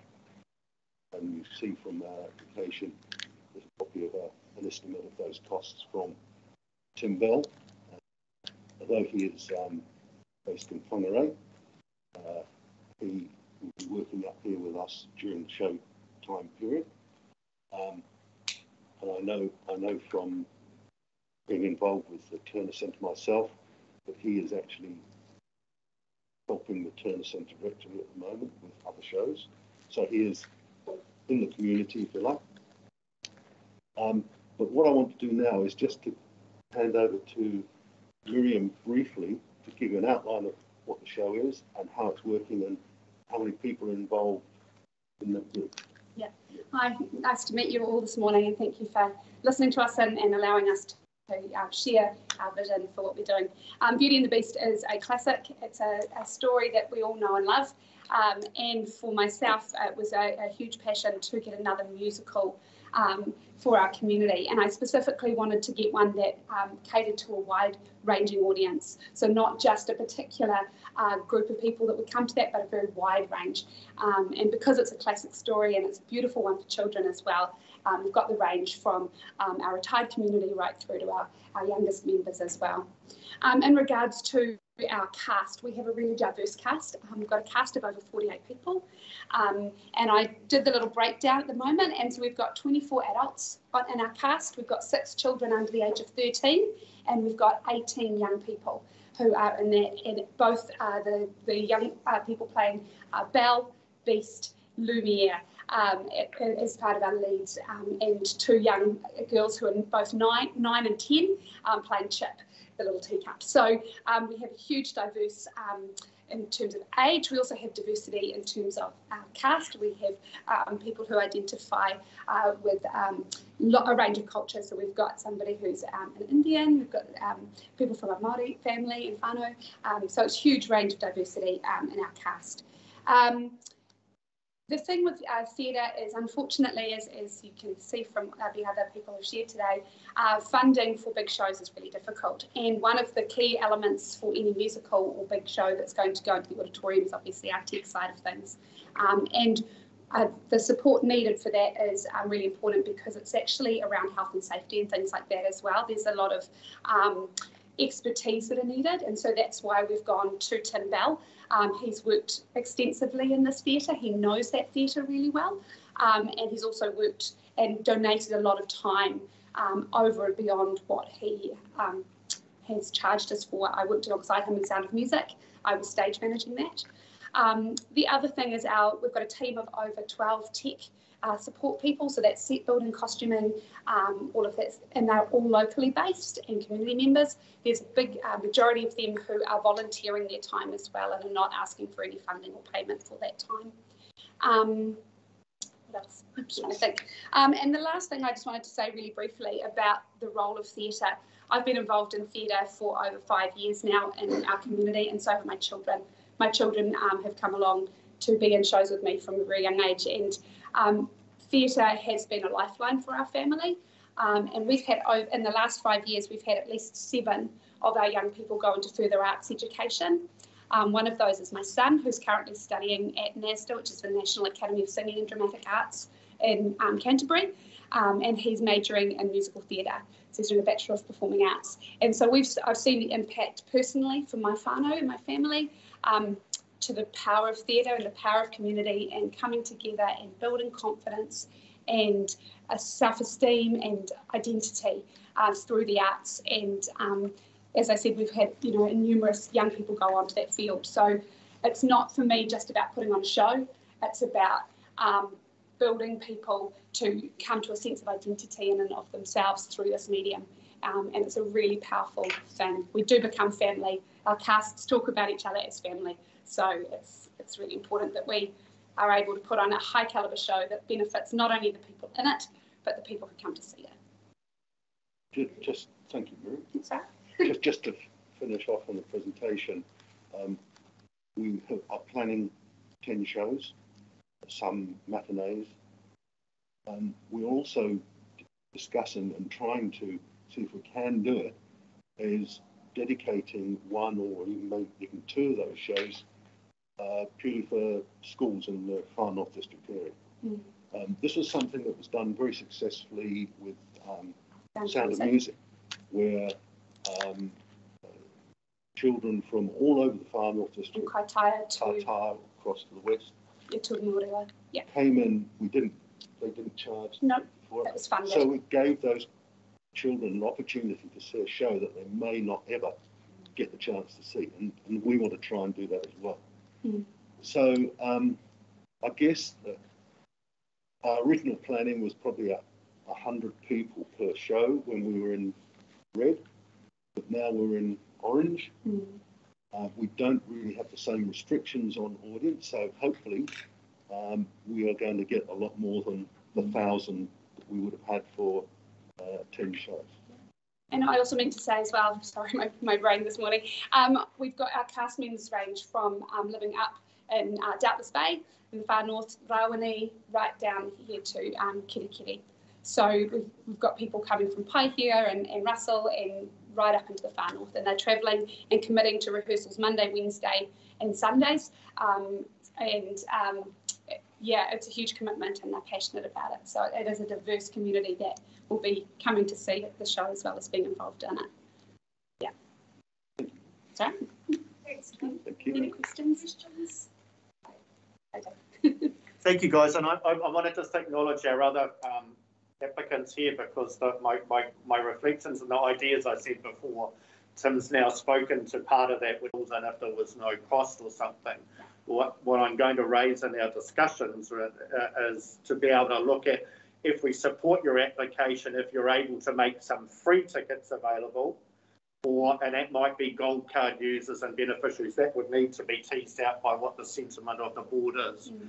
But that's a, so what we, we, we've talked about and flirted with here is around equity of being able to give people opportunities where they normally wouldn't get it. Mm. So whilst maybe $30 a ticket or $40 a ticket or $50 a ticket is okay for a certain part of our communities, others are starving and, and not able to be able to put all of the kai on their tables, pay their power bills and what have you, mm. and COVID has exacerbated that. So if we're looking at the well-beings which which local government is required to, then we'd also look at the social well-beings that we are able to enable in that as well. Mm. So thank you for um, raising the prospect of, of that. I don't know what that will look like. And um, if you could stay for our discussions, I'd, I'd, hope that we can actually come back to you and, and, and tease out that opportunity if there is a, an appetite for that with the board. So um, thank you. Thank you. And just to let you know as well, um, uh, regarding our ticketing as well, because for me as a mum, um, and I'm, I'm, also have been a teacher at the high school and, and now teach at Harvest Christian School Primary School, I understand the need in our community. So when we set our ticketing prices, we um, based on what we needed in terms of um, covering costs, we could have raised our tickets quite high. We chose not to. So we've actually created um, a ticket price for seniors and students. We've um, done the same for children, and we've also created a family pass for two adults, two children at a reduced cost so that um, we can get as uh, many people to come and enjoy the experience of theatre. For me, it's not about um, making profit. We want to have enough to cover our costs um, and be able to potentially invest a small amount back into the next show, but it's certainly not about, um, yeah, anything other than reinvesting into our young people and family that come along to our theatre group. I see the four tiered structure in the charges. Yes. Thank you. Thank you. Thank you. Right, Thank you. On. Item six point one. Page ten, confirmation of the previous minutes. I'll move the Avon's Whangaroa Community Board, confirm minutes of Community meeting held on 2022, yeah, true, correct. I'll see you. Wait, see you. Oh. Excuse me, I'm. I have a question on Lace, page, page fourteen. What? Page fourteen at the top, um, point three road naming, did you actually abstain? That, that, just, I just, that jumped at me I didn't think you would. Sorry. That doesn't mean it's right. No, I'm just saying, just that. I'm sure you can make a hazardous guess. Anyway, the squeak lane. Huh? Are you referring to squeak lane? Yes, squeak lane, exactly. You can't remember. So oh, I, can, I can remember. I just you I, if, I, if I think we're going round in circles, I, I, I elect to abstain. We can actually go back and check on the That's right. which is it was a road naming. Yeah. I'm pretty sure that we did deal with that. Cool, all good. Any other queries on those amendments? Right, put to the vote. All those in favour raise their hand. Against? Carried. Right, moving on to item seven point one, page twenty-four.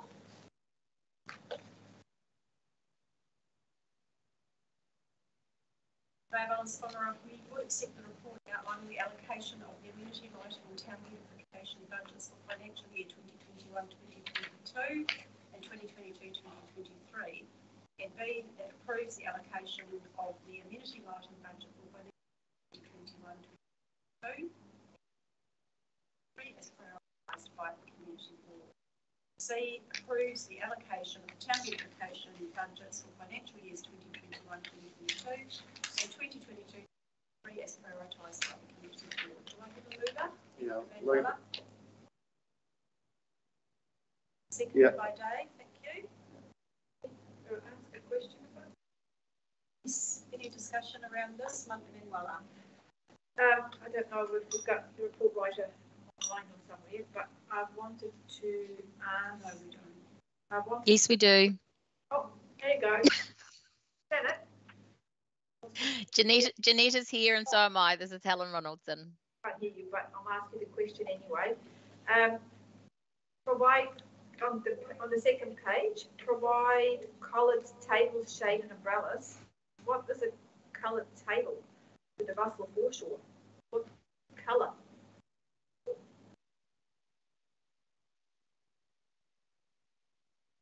Jeanette, how's your connection?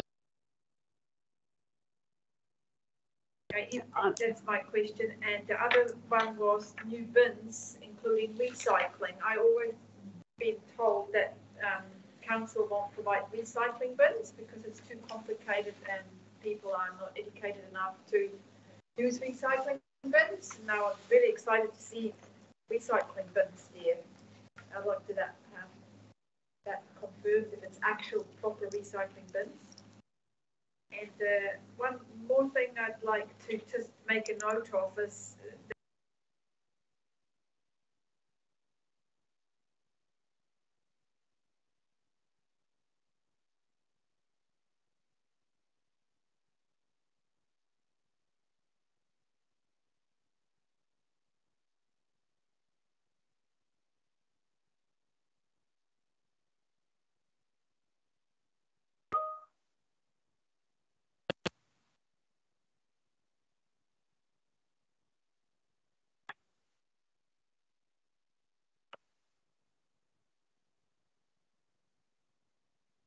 Are you, are you there? My um connection's a bit scratchy. Jeanette England here, sorry, the report writer. Um, the meeting room has gone on mute. Aisha, um, Okay, so um, going back to the first question, the colour for Russell, that's to be confirmed with the community board and um, also with the community in Russell. So if we don't want, if you don't want coloured tables, we don't need to have them. As an introduction to the report, I'd just like to um, say that the like, items that I've listed um, are only there um, because they're things that have been identified in the past. And with these budgets, we haven't spent all of that money in the past. So I've just put this together as a um, an idea of what we could be spending the money on. Um, with regards to the to the recycling bins, that's a discussion that we would need to have with the um, operators for the collection of the rubbish. So uh, that would be a further discussion to have. But just as, an, as a um, precursor, this report is just to give you some information and we're not asking you to spend the money this financial year. Um, it's just as a, an example of what we could be spending the money on and some ideas of, of where we could go. It's Helen here. We're actually also just trying to plan ahead to make sure that you do get to spend the money rather than us rushing at the last minute when we get towards the end of the year um, and we, we don't have a plan in place. So, yeah, we're actually just trying to plan ahead. Thank you.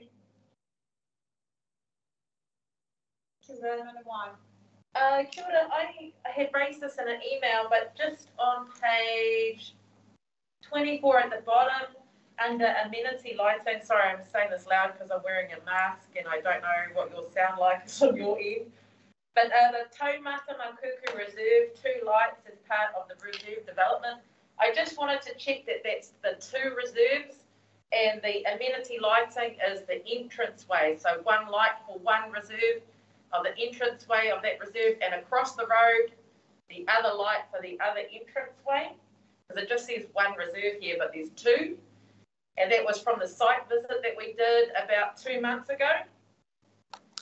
And I also wanted to add the town beautification, that same site visit, um, it was discussed that the town beautification uh, look to install a fence at the Taumata Reserve around the playground. At the moment, there's a temporary orange netting. So that was the other thing that was raised by Anna and Co. And I also wanted to follow up on the Moerewa Nisbet Park playground. Still does not have a shade sail. Is this where we mentioned that? Or is it somewhere else? Uh, thanks, Manuela. Um, with regards to the uh, Taumata development, we have a site meeting next week, I believe, um, where we will be meeting with the consultants who've been brought in by um, uh, SPMP to do a full develop, redevelopment of that area so that we, we're not just doing piecemeal um, bits and pieces, it's so that we can have a proper plan going forward. And we will be looking at the whole area, so both reserves. Um, and if it's one light for each reserve, that's what um, we, what we'll look at.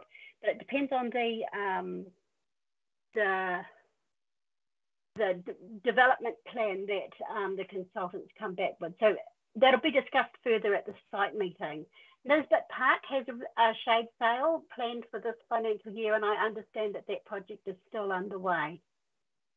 Oh, so are you saying that that will be done this year?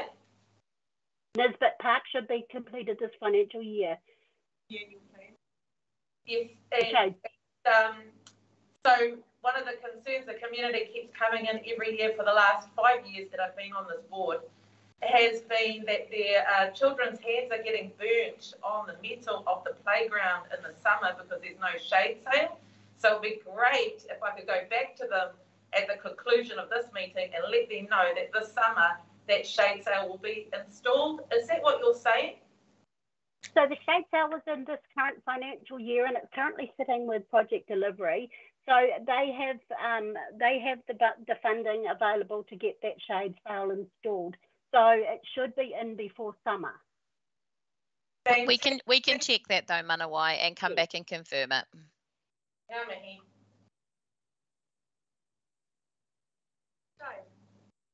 Thank you, Madam Chair. Um, I just wanted to follow up on um, the amenity lighting. Um, so, uh, bottom of page 24. So, um, Jeanette, you'll be aware that in our discussions for the Kerikeri domain, that we um, flirted, requested, begged for lighting um, for the car park in front of the bowling club and uh, next to the, the domain there. Yes, that, yep, I'm aware of that.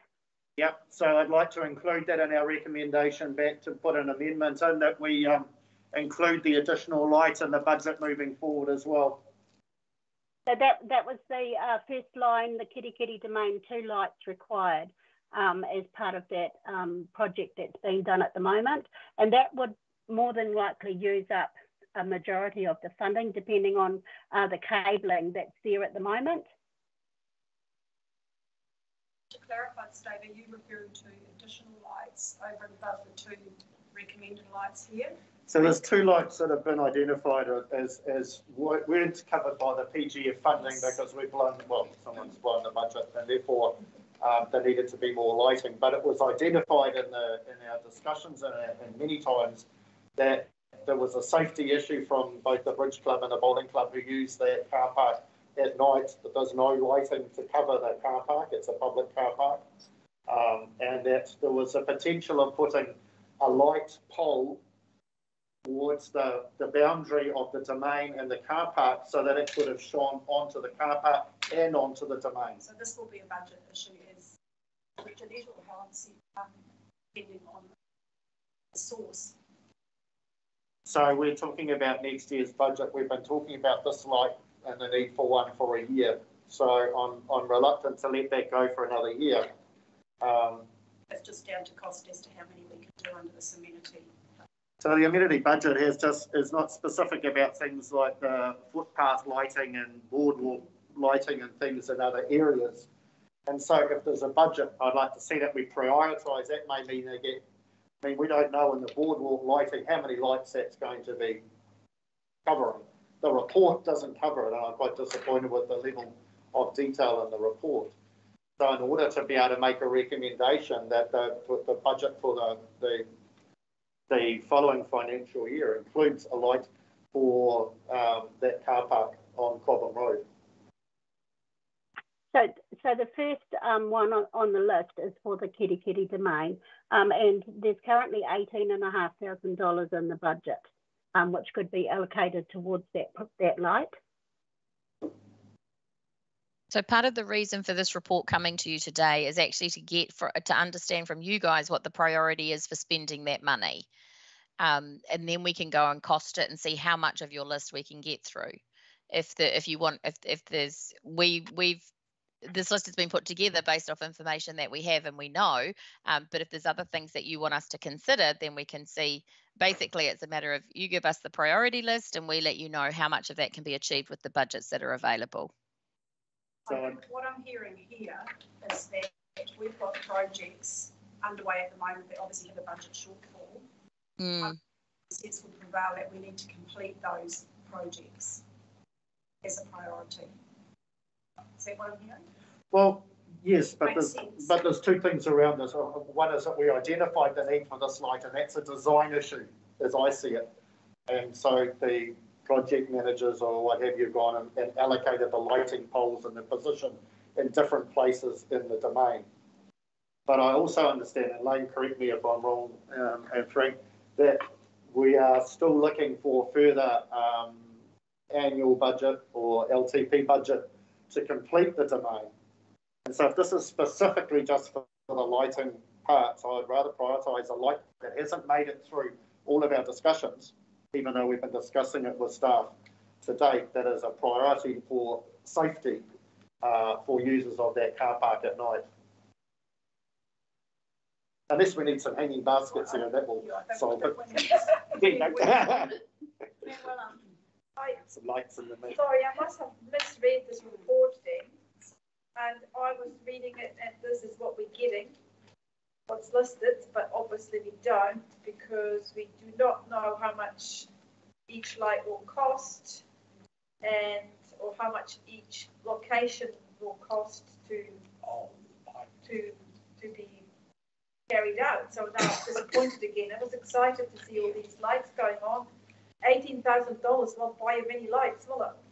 It's not the lights that cost the money, it's the cabling that costs the money. Yeah, money. well, that's part of the lights, but so we get nothing. But in some cases, the cabling is already there as part of another project, and that's why the lights are therefore more lights will be available if that's the case. So, and again, that's why we're asking for what your priority areas are, so that we can then assess the actual need and the, and determine the value. Well, you never asked us priority. If we wouldn't ask the question, we would have never come to this point saying that we need to make a priority. And we do that with footpath, and we know how much they cost and how long it will take them to put in. Maybe you could go through the same exercise with the lights, so we actually do know how we can prioritize them because you can't really prioritize something if you haven't got the money. Mm-hmm. So a number of these have come out of our strategic plan. Um, I recognise some of them. Yeah. Um, what does concern me though is um, the fact that we have items in here that um, obviously you know about that we don't know about that the board hasn't um, been informed about, which uh, is particularly referring to the Taumata Makuku Reserve Development. Nothing's come to the board. The only thing we have discussed in relation to Taumata Makuku was putting our total footpath budget towards that settlement area and request for lighting to accompany the um, pedestrian safety along that footpath, um, which I don't see in here at all. So is the reserve development something different again? There's two or three mentions to a reserve development that hasn't come to the board. So the Taumata Makuku Reserve Development is is one and the same, um, which um, Manuela was at the meeting and we've got another one next week. So we haven't finalised anything in that reserve as yet but we're, we're, we're looking at providing the lights, those two street lights.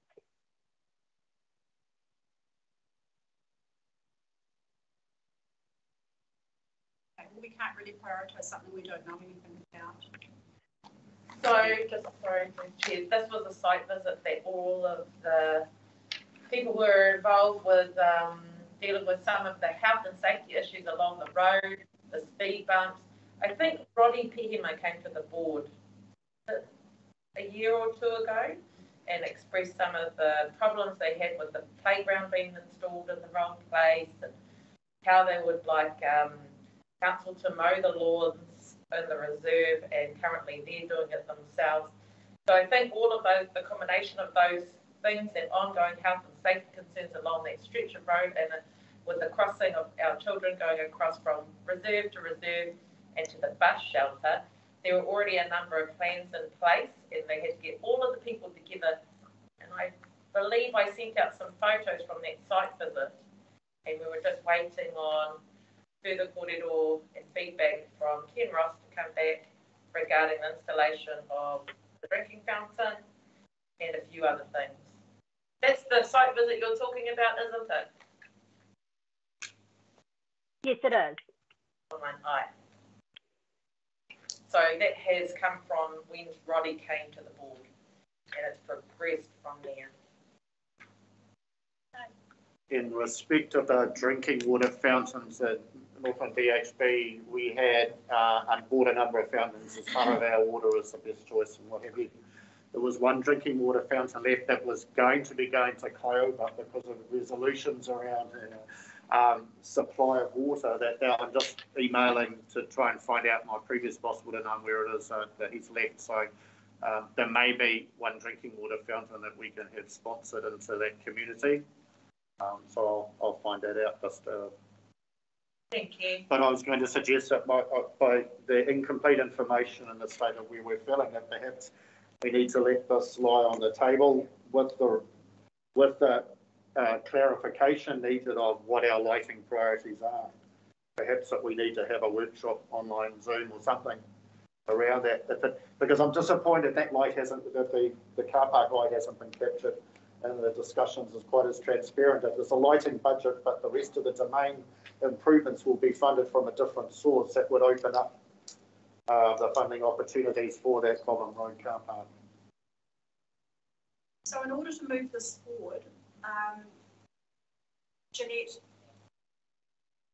can we accept this report without um, the specified allocations?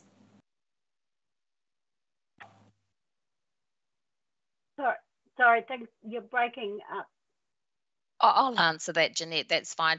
Um, Belinda, yes, you can accept the report and we can have an action item that we will confirm the priority listings um, with input from yourselves. And what we can do is also do some assessment at, at a high level of what those light costs are. And I, we will all we can also have a look for the Kerikeri domain because I think um, uh, member Hookway is right in terms of the fact that additional funding was requested. I need to confirm if that included these lights or not, um, because it was originally on some design. And then the Taumata Makuku Reserve does have some budget for reserve development. And we just need to see if it can be stretched to encompass these lights as well. But that will be after a meeting from next week. So we can put a couple of actions that we can have a look at the costing and funding options for some of what is in this list now. And if the if the um, community board want to consider what their priorities actually are, and then we can we can merge the information from those actions and come up with a plan. Thanks, Helen, for that clarification. Sorry. Yeah, I just want to hear all of that. Sorry. Jeanette. Okay. I just want to thank uh, our staff for coming out to that site meeting and for hearing the Taumata Makuku community express their fatigue and their long, long wait, all these delays every year for decades on getting things done and some of the health and safety issues addressed. So thank you for coming out and we look forward to an invitation to that site visit, everyone. Uh, you got my email, I'm sure. Kia ora.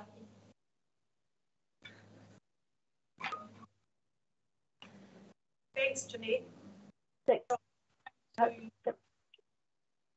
Manawai, you moved that and Dave seconded it.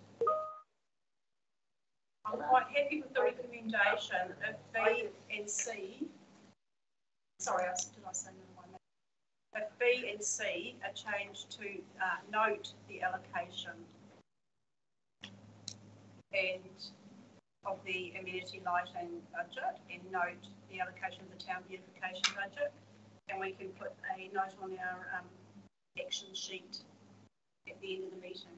Happy with that? Yes, I am, Dave. Are you happy with that? I guess if it means that, that what is recommended is not set in stone. Yes, because we'll take um, action confirming that we prioritise the listings and that staff obtain costings, and we can discuss that right at the end meeting. Right, so moved Manuela, seconded Dave. So we are accepting the report, noting the allocation of the amenity lighting budget and noting the allocations of town beautification budgets. All those in favour, raise your hand. Against? Carried. Thank you. All right, page 28, item 6.2 case-to-case ratings report uh, that the Bay of Islands-Whangaroa Community Board note the reports from Chairperson Belinda Ward, members from, uh, Manuela Gmuer-Hornell, Bruce Mills and Frank Owen. Do I have a second? Second.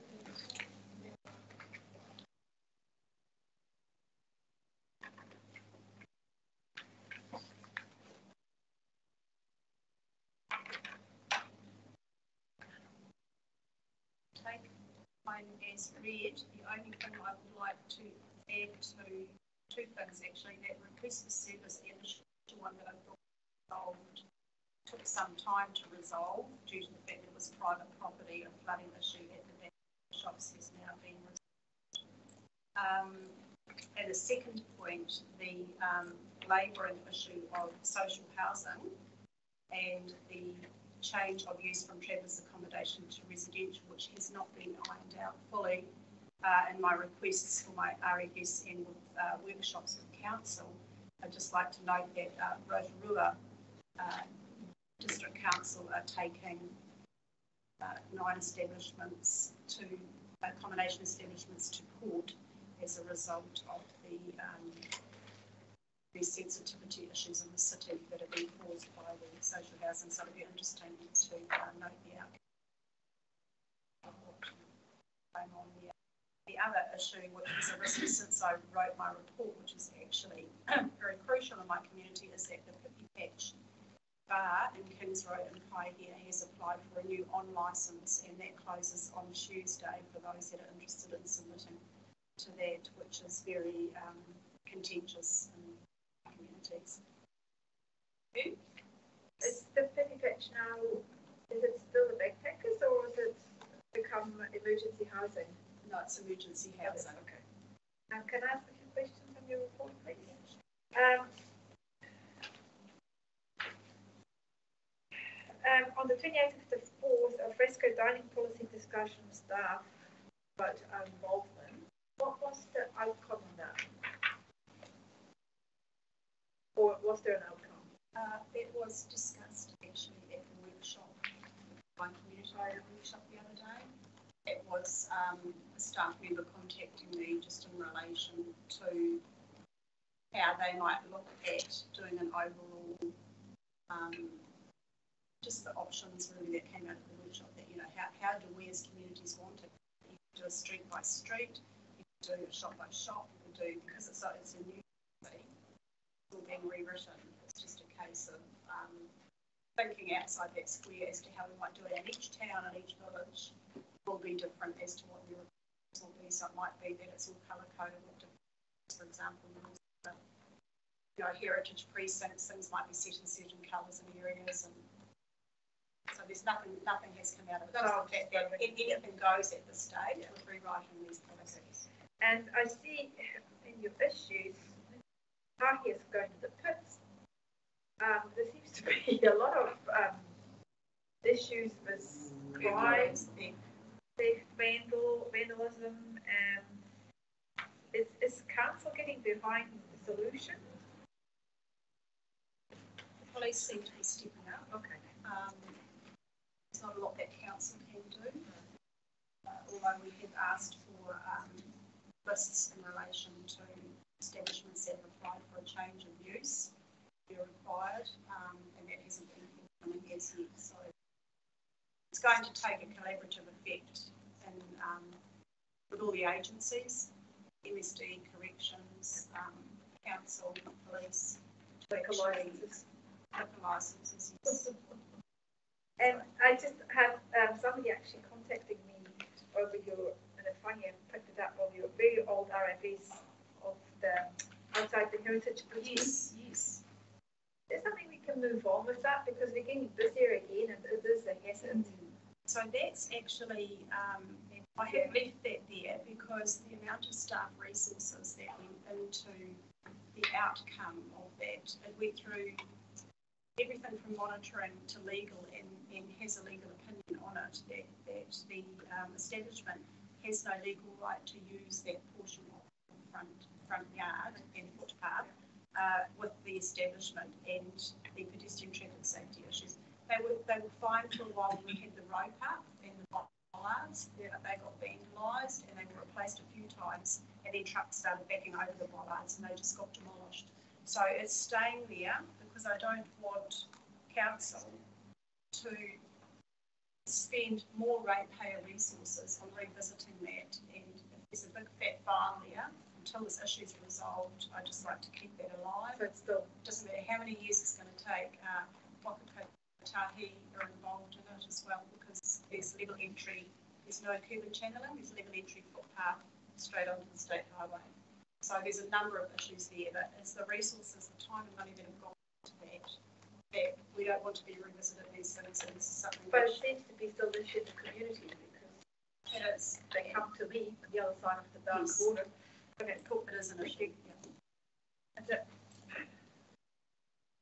Right, anything else? Moving on to Manuela's. Questions there for you? Thank you for posting your coloured pics because I forgot to put mine under the of um, smart things.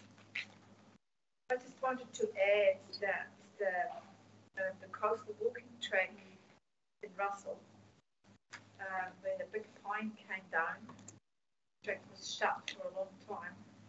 Um, council now built, um, stairs over the pine that fell down. And it's open again, which is great, so people don't walk on the road anymore. And then we had the still ongoing drama with the Department of Conservation uh, removing all the bridges out of the Harrison Reserves walking track because they just decided that track is not needed anymore. Um, big, big uproar in the community and they said they're going to meet with the community. If you're interested, if you want to meet, they're never going to reply. They met with a few people and came to the they came together and said, oh, well, they're going to keep the track open beside the bridges and it'll be just a trapping line, which is nothing. So I'm disappointed with that. And I know council got approached over it, but um, and I see the tenders have gone out for the repiling of the walking, the bridges down at um, Smith Motor Camp. And you've got a date and promise for that um, pioneer end of the Opal Way to be, for the motor camp end to be done by September. is it? Yeah, so that, that's the tenders that's gone out, so obviously Right. it is happening. I'm still getting um, complaints over that. Yeah. That's, a- any other questions, Lane? But for school, is that a uh, typo there where you say scheduled for January twenty twenty-one? No.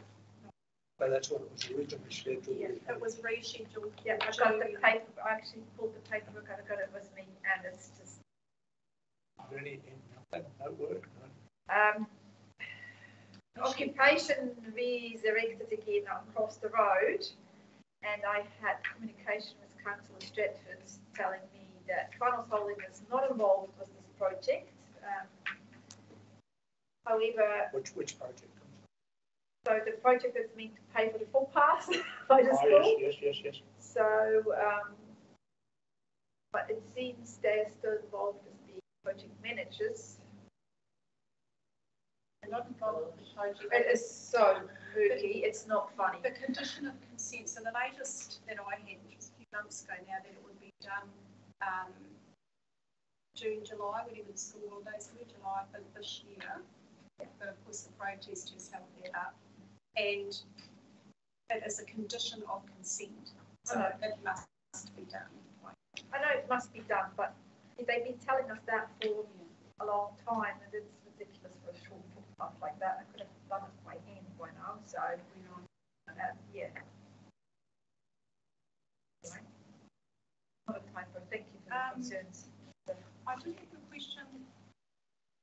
Jeanette and Helen, are you still there?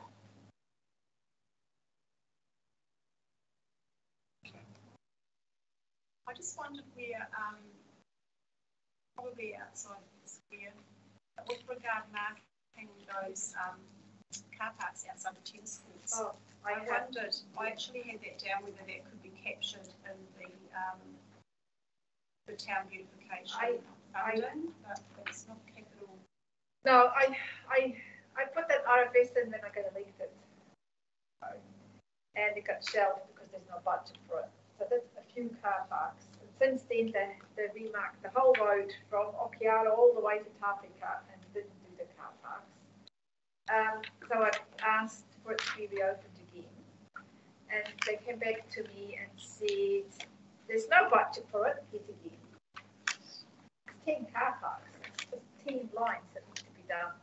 Um, but the tennis club is getting their new um, clubhouse, and they're going to make that a condition of their resource course, which I find. Yeah. Deep breath, thank you. Yeah. Wrong. So wrong. The road marking was, um, um, we'd have to look at the schedule, but they designated car park schedule. That's what I don't know. Nobody can tell me. They're it's yeah, they're perfect car parks, and we've got shortage of car parks everywhere. But if you mark them, you get the people to park in the right spot. Yes. And, you know, it's so so simple. Really, it now's the time because it's not busy. We'll look into that and see if they are uh, designated car parks on the schedule and so why they're not maintained, it may be that they can add to the contract. Oh, they're not. I think they probably haven't asked us the um, bylaws, the parking bylaws, existing. I think that's. I just just think. Yeah, anyway. To hear a little bit earlier, but it's gone, so it's coming back. Oh, okay, we'll just come back to the Okay, any other questions? Moving on, Bruce? I have to commend you, Bruce. You? I have to commend you. No update on the RFS is going to be lodged in anyway. I sent a swag in earlier this week, again, just revitalising another one. Actually, that's not fine. And did you check out the, uh, the LTP line item for the renewal on your Coyote playground toilet? Find it? Found it, something Yeah. out there. but- What year? Twenty twenty-seven? Um, actually, that was a bit frustrating. Yeah, project, um, one out is that we put the remote got along in the street, so we're trying to sort it out. a bit. It's But that's free- great. I mean, if it's though, I could explain quite easily once It's been listened to. Listened to it. See, over there, the, um, fire pool. Yeah, I mean, we've had actually a really successful season this year. Amazing considering COVID, managed to stay open the whole way, um, and had really. Really went really well, but, um, I haven't heard whether the money that, uh, council is across, I presume it's been paid over now, got down to fifteen hundred dollars. Activity from the pool to. Considering it's well. Um, and you'll see this thing about the Kyle Walk Bridge. It's totally petitioning out this week. starting, so you have that, of you guys.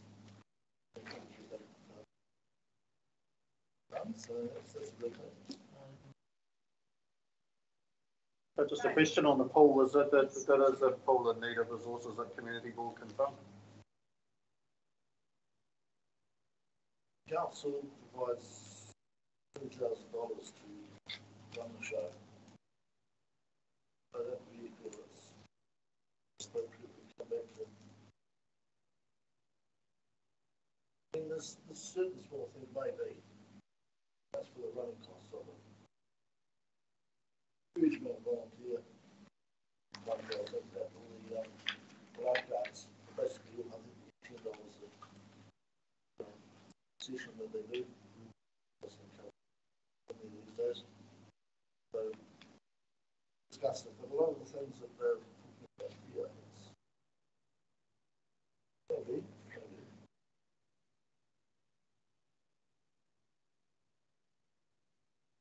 That's up to the the trustees to. I said, Department of Education land. Of Education Land, has actually worked amazingly well considering. And, uh, That's when you go back to this proposed contract. Also, we're trying to get it on that land. Each of them, come up, how they come out tomorrow to, uh, for, uh, two months, you guys, they'll be down there. Some are very justified. Hopefully this, uh, appease them to a certain degree, I hope, I'm hoping. Okay, any more questions for Brent? On to Frank.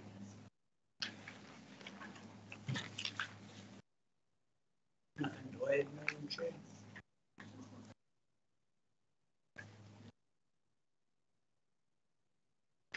Could I ask um, a question to Manawai? Because um, I just heard things and I wanted to get.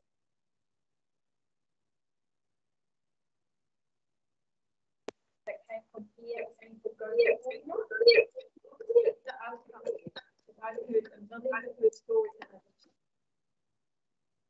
Yeah, the update is it became a council Last site visit I was. But. Some of the rate. So we were completely ready. And from there. ESCO came in and well, for reserve committee members engaged ESCO and um. That we um, said that it would be a.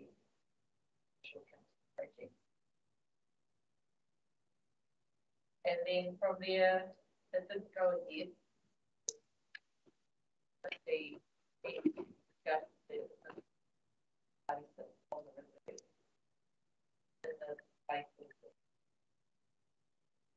taking into consideration other improvement uses.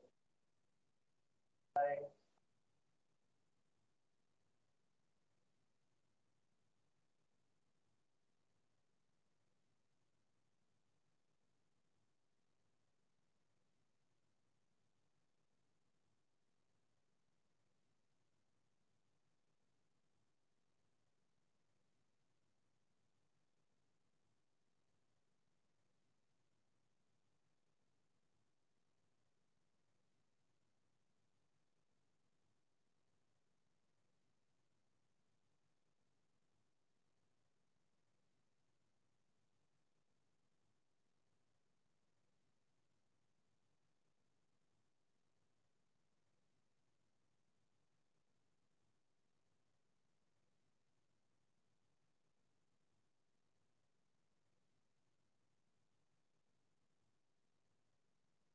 So what our understanding was that it was Simpson Park for reserve, reserve, that's where the skateboard ramps would be received and installed or not. So at the moment, the project is not going ahead. So EFCO was gonna come along with paying for it. A significant partnership. This is mind blowing. Okay, thank you. It's a shame, that, I guess, having the discussion before we make the decisions. Yeah, it, is a shame. There was huge support for the project and a lot of gratitude to receive the skateboard from the, the working group. Um, I think it was about having the time to consult with the full community adequately and um, perhaps in, retro, in hindsight looking at somewhere dry to store the ramps so that they wouldn't suffer aging or weather damage in the time that it took to have that full consultation and look for a good site. Every time we looked at a site on the reserve itself, Nisbet Park was mentioned, so that people could see it, so that some of people were using the skateboard ramps that might be installed there would be visible, so there'd be lighting, a whole lot of things. I think there were some concerns in the community that damage would occur to the other parts of the reserve as a result of having the skateboard ramps installed. So it was a timing issue than anything else. But we did have the partners come to the table and ultimately the community made the choice that Simpson Park Reserve wasn't suitable. And when they looked at um, Lisbon Park and put Taumata Makuku, the costs while they're doing that, the response from council was that go ahead without other. So wasn't seen as suitable to relocate them to another. So at this point, it's not happening. At this point, it's not happening. The committee has said the community are not happy for it to be placed on the reserve. There are, there's a huge support for it to be, but the, there's a strong voice out there that doesn't want it placed on the reserve. Okay, thank you. That's a shame because that would have incurred a cost too, to actually transport that. Yeah, and that was a timing, that was a timing issue. That was something that we put our hands up for, and I don't think anyone really took into account what, how that was gonna be done. COVID was happening, the speed at which it had happened. I don't believe either the Domain Working Group or the Simpson Park Reserve Committee understood what it meant to work in those COVID conditions and how that would ramps would be received or transported. I think the assumption was that council would pay for that and also maybe look at how um, the timing would work for consultation as well. So there were a lot of learning for everyone.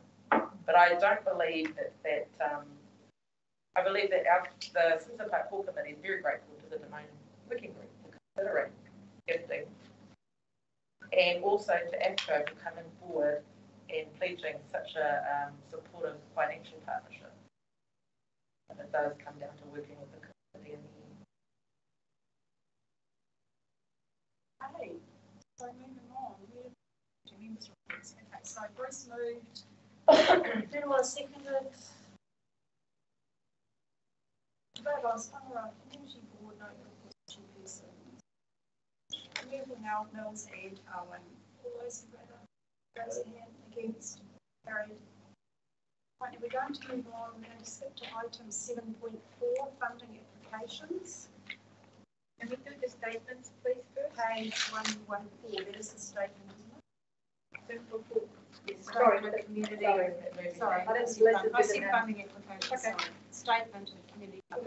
Right, the the Bay Islands Whangaroa Community Board received the report entitled Statement of Bay Islands Whangaroa Community Board Fund Account as at thirty first March twenty twenty-two. Do I have a mover? Happy to move. Thank you. Second Elaine.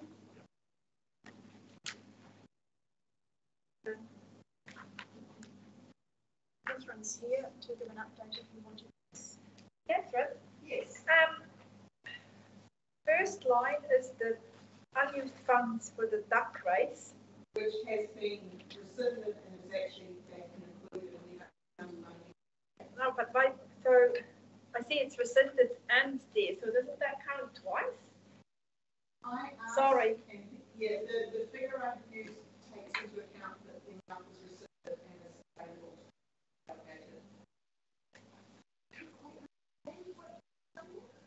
Okay, nor do I, because it's twice a line item, so yes. it's added up twice. That's why I was getting very confused. Okay, all right. Some report writer available? Um, I think it's just a mistake. to. Does it affect our balance? It does, and you, I added it up, but there's actually, there is a discrepancy of nineteen hundred and seventy-four dollars less. So, and, and, and, I mean, that was one of the, the number of questions that I had around the, the lack of clarity and the fact that we haven't got the report writers resourcing our meetings is really frustrating. So, you know, if we, if we've got questions they're not answered today, it's another month before we can get some clarity on these things. So recognising that this is the end of the, coming up to the end of the financial year, um, that we have people waiting for money, um, that we have money here, and we have implications for if we use the money or not. Um, I'm pretty disappointed around that, but can we have some clarity as to what will happen with our budget? Well, if something is rescinded after this meeting today, it will go into the next financial year. For the next financial year? The current balance on the table, if not spent, will be lost.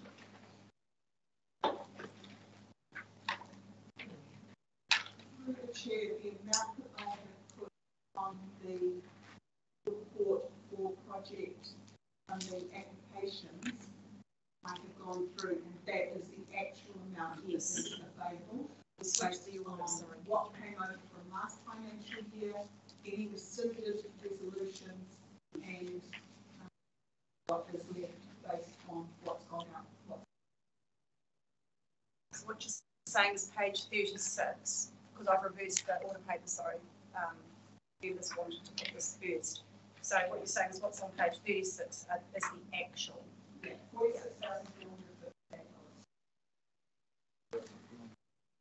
So, so essentially, Madam Chair, if we um, agree to everything recommended today, we have used all our money. Yes. Awesome.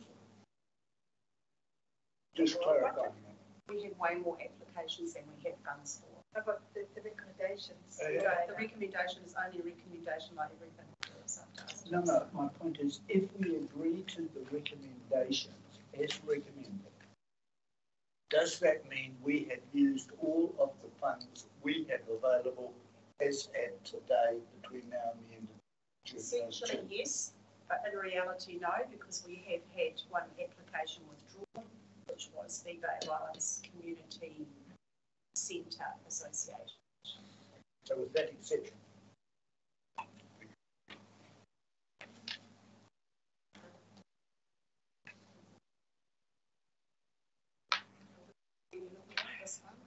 Actually, this doesn't add up? The statement of account. Yeah. Yeah.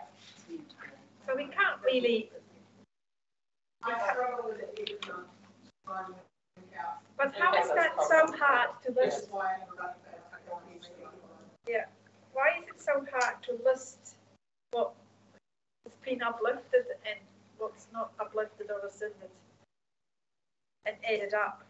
I don't quite. I Three think, years to get it in size twelve fonts. yeah, I know. And It's just basic adding up, isn't it? And if I add it up, I, I get a lot less that we can spend than what's it on that report. Yeah. I, I, I can't accept that report, I'm sorry to say. Uh, add it up So, properly. so there is, there is actually an error in the recommendation. It should be as at thirtieth of April, twenty twenty-two, if you're happy to amend that date, Manuela, and Lane secretary. The report top of the Ah, is thirtieth of April. Yeah. The recommendation should read thirtieth of April. That's not- No, that's not the issue. That's, that's that good, was putting it on the table.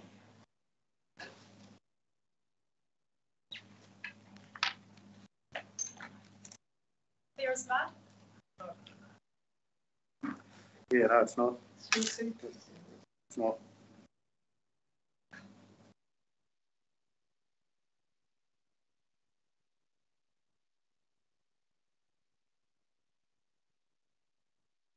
What, so I'm, I'm trying to also understand where there's two hundred twenty-nine thousand dollars uncommitted, but there's only forty-six thousand available Does the two hundred and twenty-nine thousand include the eighty-five thousand for placemaking? The placemaking is. That's different, it's in here, but it's different. It's fifteen there. And there's a report for the balance in the agenda.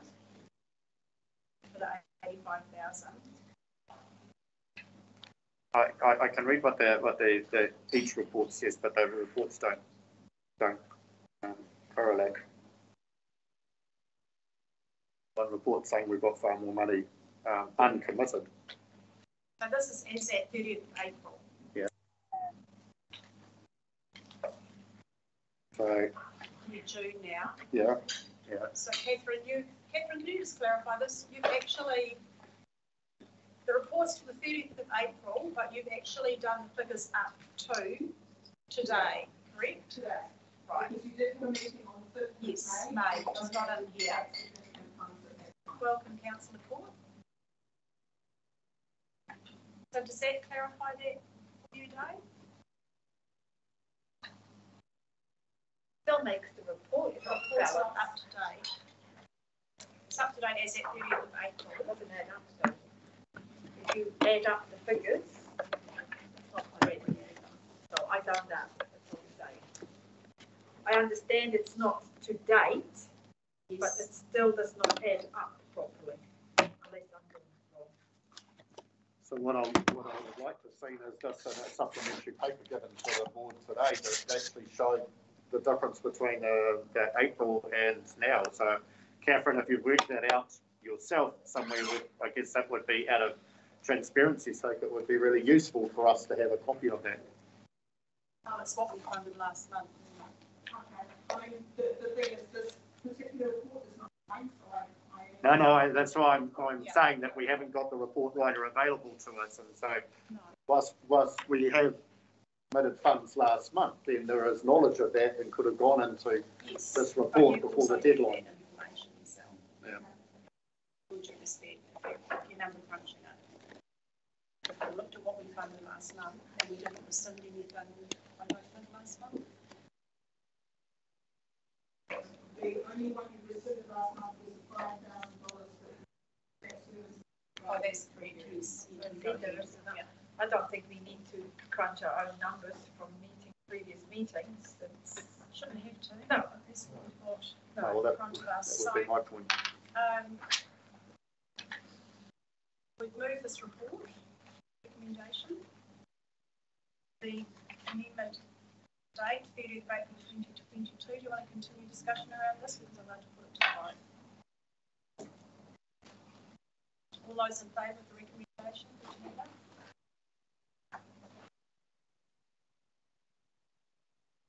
Against?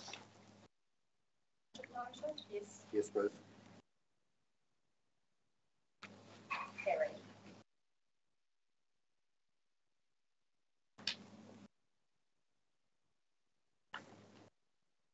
funding applications. Item seven point three on page thirty-six.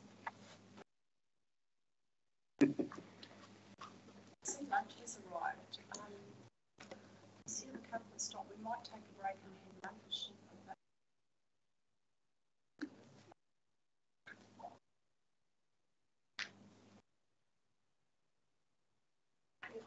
Because we're gonna.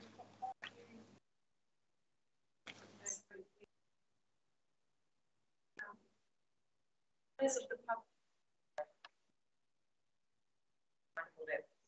Sorry, Madam White? I'm mindful that lunch is here and I'm also mindful that our monetary probably won't take it here, but corridor around their, their location. I appreciate that, but we have been sitting for two and a half hours. I'm just mentioning it. Would you be happy to wait twenty minutes to half an hour for our discussions around the funding application? So done it for time, no problem. We are also streaming on YouTube if you, wanted to go home and watch it. Welcome to stay. Okay, with that, I'm going to adjourn. But, uh, at one o'clock.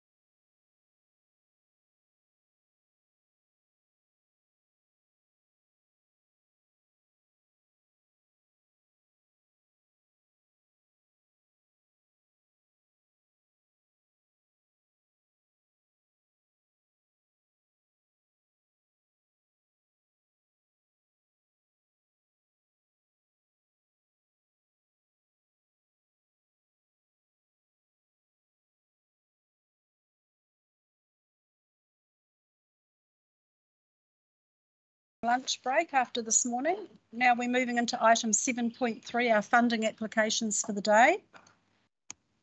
I'm going to change the order paper just slightly for the benefit of those of you that have been very patient and waiting um, for our speakers here. Thank you. We'll deal with um, firstly um, Aroha music.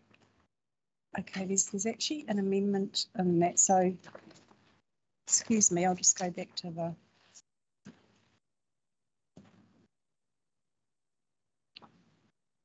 So you, So which one was that? your name, so we're on the second recommendation, uh, but before I put that, I just want to amend it. Um, you're not Aroha Island Music, you Music Society. Thank you very much for that clarification. I was a little confused this morning. My apologies. My apologies. Going to put these individually. So the first one is um, that the Bay of Islands Whangaroa Community Board approves a sum of $5,000 plus GST applicable be paid from the board's Community Grant Fund account to Aroha Music Society for costs towards the 2022 concert series to meet the following community outcomes. Communities that are healthy, safe, connected and sustainable and proud, vibrant communities.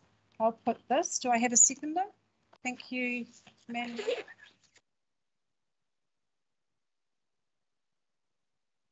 Discussion.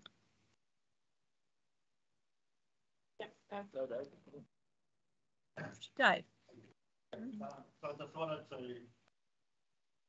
I'd like to make an amendment to this one and the other two applications that relate to the cultural event. We're just dealing with this one at the moment. Going to be the same criteria for each of the three events. We'll deal with them individually. Yeah, that's fine. So you want to put your amendment now? You're foreshadowing it. I'm going to tell you, Thank- I'm going to speak to what it's about. Thank you. So I talked with each of the three different applicants, so this one will deal with the um, music society and what we've, not, what, what we've discussed is the, is the concept of some equity tickets, some free ticketing. Okay, so I propose that was for people with a community services card. Um, we're acknowledging that throughout the COVID uh, pandemic so far, that the arts have um, hit in terms of um, able to just get on with, with doing what they, what they do. Um, we're also acknowledging the impact on our, on our the cost of tickets and things for some whānau is very high. So all three parties, have also acknowledged that um, there is fair capacity in the event to be able to make um, some free tickets. Now, if we speak to the Aroha ones, already has got three under 18s. For the second, I, uh, addition to each of these uh, applications would be that each application makes available a certain number of free tickets for people with community services cards and or people under 18. Uh, it's just that, it's not favouring any, any one of them. So um, what I invited each of them, and so that's why I can't speak to, this, to most of it today, how many that might be, how many tickets might be reasonable, given that one one applicant has 11 shows, one applicant has a, a, a few a few shows a month that's sort of looking at one of them. So that it wouldn't be fair to say everyone gets away 100 tickets or something like that. However, I think that as part of our, our, um, commitment under the local government act to meet the social well-being of our communities. And one way that we can do that in an equitable way is to be able to sponsor some tickets. And so to be able to put that as a condition of our supporting these, these events here at the Turner Centre. And I want to admit that in, in, in all past discussions, I still have a concern over the fact that overall, we're still subsidising the Turner Centre. But in terms of ratepayers, if you're like me, I pay eighty dollars a week in rates. I'd like to think that something is going to our, our whānau who, uh, wouldn't normally have these opportunities. And so that's, that's the nature of the amendment that I'd like to put um, on each of these three applications that we're going to consider in, in relation to the concerts. So just a question on that, Dave. Thank you for that clarification. Um, the first one that we're dealing with, Aroha Music Society, does have, I'm looking at the right one on page 51. Um, they actually already do offer free for under 18. So are you just talking community services card discount? Yeah, I, I'm proposing the same wide on each of them, so it's and or.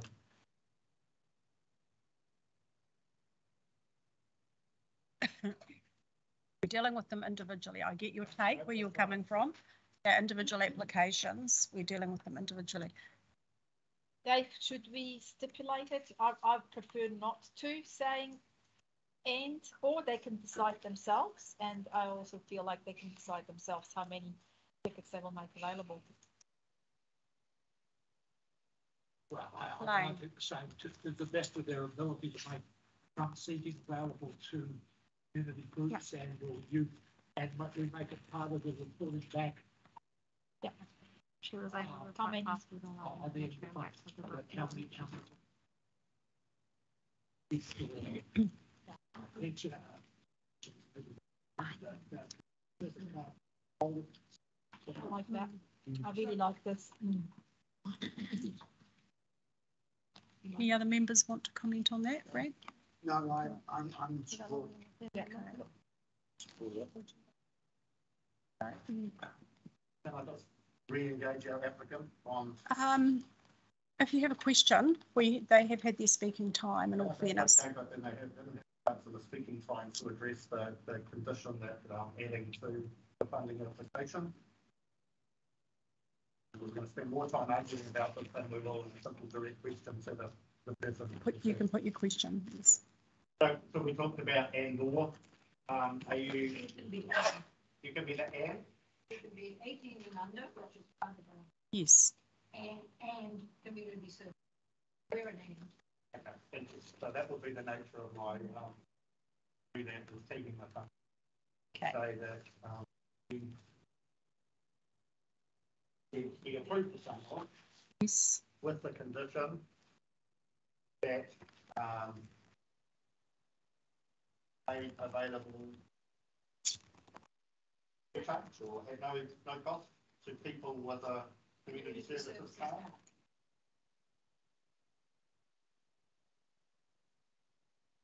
In terms of um, reporting back that we would need to see, as we should do with all of those, the items where we apply a, a, a criteria to it, that reported back in the, in the. Yeah. things like Two people attended, two hundred people attended, whatever it is, that would be, that would be great. Yeah. Get used to that. Yes, so that's good. The tickets are made available free of charge to community Right, card forget the holders. wording, it's nice reading. What they call community cards. Efficiency. Community services card. People with community community services services card. Community services And then, yeah. You understand that that's the people receiving one of the main work and income benefits or an accommodation supplement or a social housing. So that's as, they've also noted that the tickets are bought through the centre here, so that's able to be presented when buying the tickets. Okay, The, the mechanics are okay Yes. for the organisation. okay, so we now have that the Bay of Islands Whangaroa Community Board approves a sum of five thousand dollars plus GST if applicable with the condition tickets are made available at no cost to people with a community service card and Be paid from be the. paid from the community board's grant fund account to Aroha Music Society for cost towards twenty twenty-two concert. I'm happy to, to take that with the amendment. Is the seconder happy to, sorry, Manuela seconded, it. so I move, Manuela seconded it, I'm going to put that to the vote. There's no further discussion. All those in favour, put your hand up. Against, carried. Thank you, thanks for that, Dave. Now we will move on to the second application, which is um, that the Bay of Islands Whangaroa Community Board approve the sum of five thousand dollars plus GST if applicable be paid from the board's community grant fund to Bay of Islands singers for cost towards the twenty twenty-two concert series. Do I have a mover? Lane, second Bruce. It's on page 58.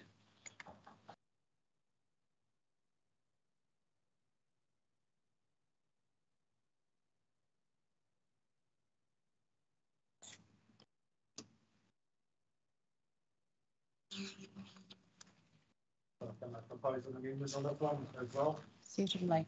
So I just want to clarify that with that. So in terms of what, what we... We charge 10 Mm-hmm. Slightly better. But yeah, we'd be quite happy to. Well, thank you. Like, could we add that same question that we got for the previous one? Yeah.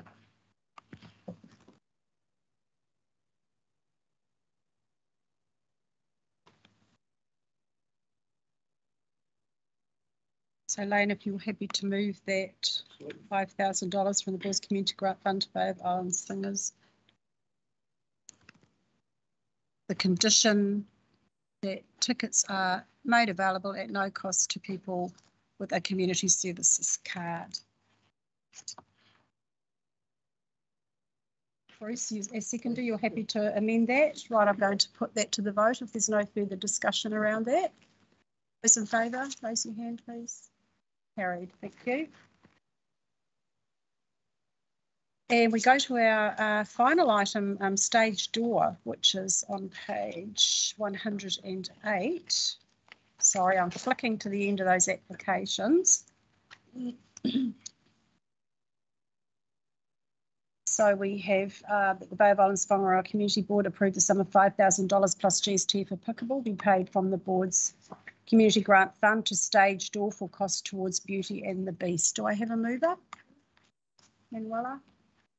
Seconder, Lane? The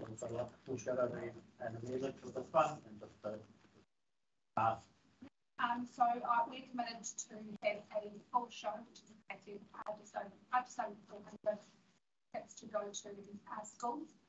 Primarily uh, targeted to low decile schools first within our region, um, and then offer that out to high decile schools. Um, so we will uh, liaise with school and make sure that there's one show, which is our um, Monday matinee available for them. And I'm also prepared to offer um, uh, for the students.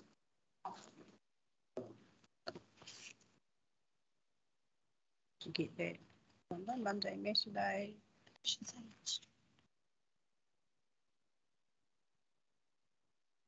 Yeah, we- we've got a, a costing for adults, students and, uh, uh, parents and then, uh, a child's cost.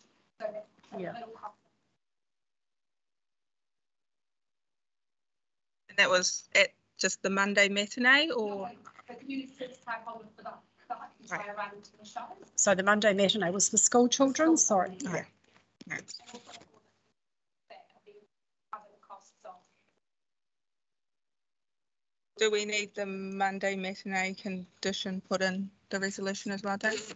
Um, you do, you have that in your application, you want to add that, okay. I think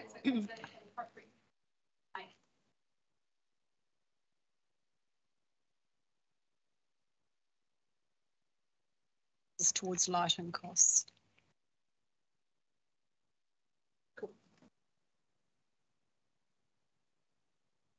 a, it's an appropriate. It's towards lighting costs. Spelling. Sean, matinee. M A T I N E double E. It's not good. So a Monday matinee, Um, can you sit in a Mon- Monday matinee? Um, You need the date for that, Ms. No, we've got that here, uh, Monday matinee, um, for school children, is it?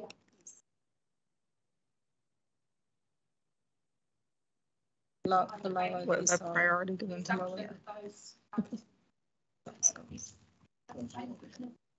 One hundred percent. Thank you. Right, so we have in this one that the Bay of Islands Whangaroa Community Board approved the sum of five thousand dollars plus GST if applicable, uh, with the conditions with the conditions tickets are made available at student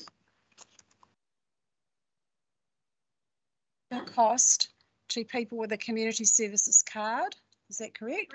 and a Monday matinee for school children with a priority given to lower decile schools and it be paid from the Community Grants Fund account to Stage Door for costs towards Beauty and the Beast. Okay. So Manuela, if you're happy with that amendment and Lane? Yep, I'm The happy. seconder? Yep. I'll put that to the vote. There's no more discussion. All those in favour? Right. Against? Carried. Thank you very much, everyone.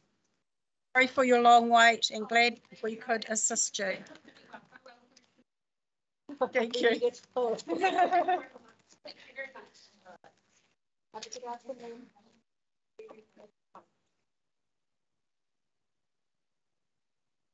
Yes. I think that's a really, you know, I'm really heartened that, that, you know, that each of those three months full support. And I, you know, I recognise that these are different times. And so for today, I think that was to be. Well done, Dave. Yeah, kia. We've all agreed unanimously, Dave. Thanks, you. Right, so I'm going to put this next recommendation. We're back to the first application that the Bay of Islands Whangaroa Community Board approve the sum of $15,000 plus GST if applicable be paid from the Board's Community Grant Fund account to Business Paihia Incorporated for costs towards the inaugural Matariki Festival 2022. Do I have a seconder? Aye. Aye.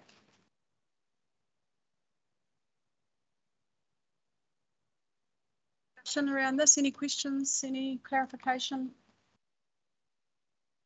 No? Bruce? Yeah, I've run it past quite a few of my community. I wouldn't say that basically all my people spoken to, they were not in favour of it. Um, being down by here and see us one big down there and like rather see small. I told them what the budget was, they just said, oh my God. That's ridiculous. Um, did the Um, bus include your area? I don't think No, it did. No. Is that the gripe, do you think, that the, the free bus service didn't come to the northern? Oh, I had a trip down as well, Mm. doesn't it? But, Um, I think they're Okay. quite, there's lots of activities going on. Yeah. Individually. I mean, I could be very facetious here and say, I think this is gonna be the new Christmas parades. Um, so we give them two thousand five hundred, um, I'm gonna throw them up cat amongst the pigeons. Um, yeah, I can see that Matariki is gonna be that type of thing. Brazil, um, hopefully Santa Claus will be closed out, but, um, but it looks like the parades are, and so maybe this is going to take over, although they're going to have the same issues with it, start talking about parades, don't they? As far as traffic management and everything else. they put So, said I'm not in favour of increasing the amount, we gave them five thousand last our meeting and discussed it extensively then, mm-hmm. so. Okay. Dave? feedback had, has come to us that maybe we hadn't been diligent enough at reading the, the, the previous application, but for me, that wasn't the case at all. I think that, that what I look is where the money has gone. And so I, what concerned me, and I raised the questions that um, Becky and, and, uh, earlier around the money going out of that area.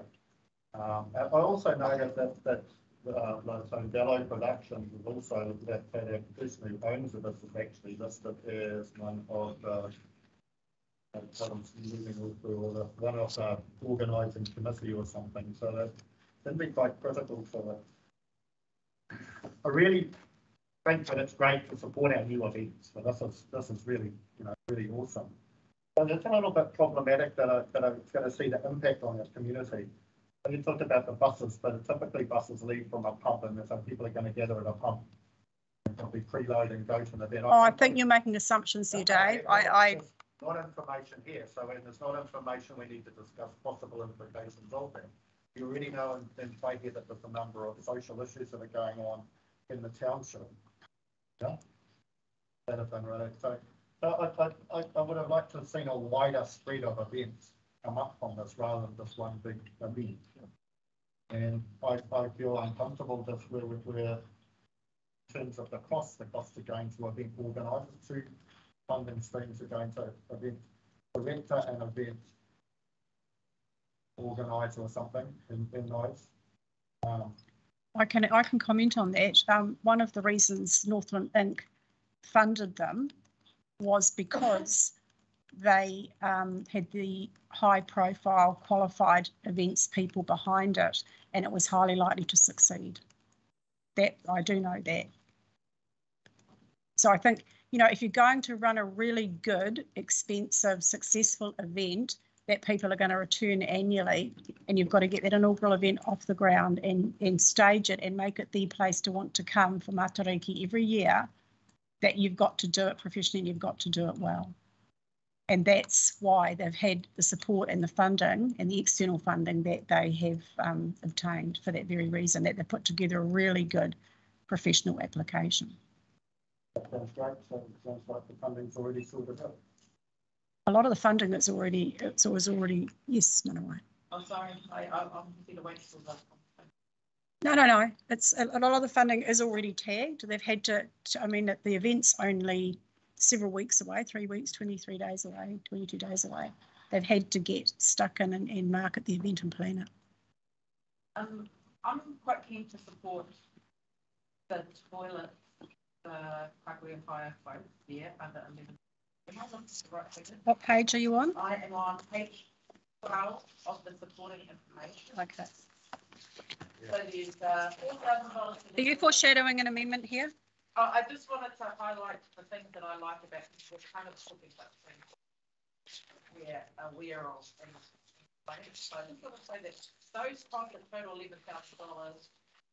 um, I'm affectionate towards the small and waste stroke and the travel. The other expenses are not. But the, those ones that I know are going to help with hosting people, Get quote. And to support, I think Bruce is eh, absolutely right. We need to look at something moving forward to front of applications in the same way that we do with festive events. Otherwise, we'll see a whole truckload of these things we won't be able to support. So I think we do need to do something like this next year, the two thousand five hundred. We apply to the Christmas events. And parades and things, I think we need to get ahead of that for next year. But for this year, I believe this was our only Matariki celebration event. from Monday. I don't know if it makes it what I've seen, it's the only one in our area that's come from. Catherine's nodding. And, um, and there's an opportunity here to support collaboration, which I haven't seen before with this group of people, Yeah. with the community. Yeah, there's a deeper level here, and I don't know why that's happening. Maybe that's post-COVID, maybe that's people are feeling like they want to get involved more with the celebration of Matariki, but you don't usually see that group of people together. I quite like that. And, you know, but I don't think Ngāti Kawa at meetings unless we had our meetings out in the community. So it was nice to see Whānau Tino today. I don't think, um, I thought it was good that they raised the concern around the fireworks, because the last thing we want to Uh, we want to see to something really great. Um, but I, there is a, it does seem to have been a little bit of a rush in things together. At least that's what I'm through. But in terms of supporting any of the financial expenses, those are the ones that I would be to. So have you put an amendment together? Well, as I fussed up, it actually comes to twenty-one thousand four hundred and seven, and they're already, and so asking for fifteen thousand, that's twenty-one. Yes, okay. Thank So you. I, I thought we'd just go with the fifteen thousand. Um, We can tag it. Yes. I Ma- we can tag it, that's where Manuela. No, that's. No? Yep. You're happy with that? What that um, So you want to tag, can we just finish with Manawai? So you'd like to tag that towards, um, Whatever we give The- towards those, towards the portaloos? the, that contribution to the toilet.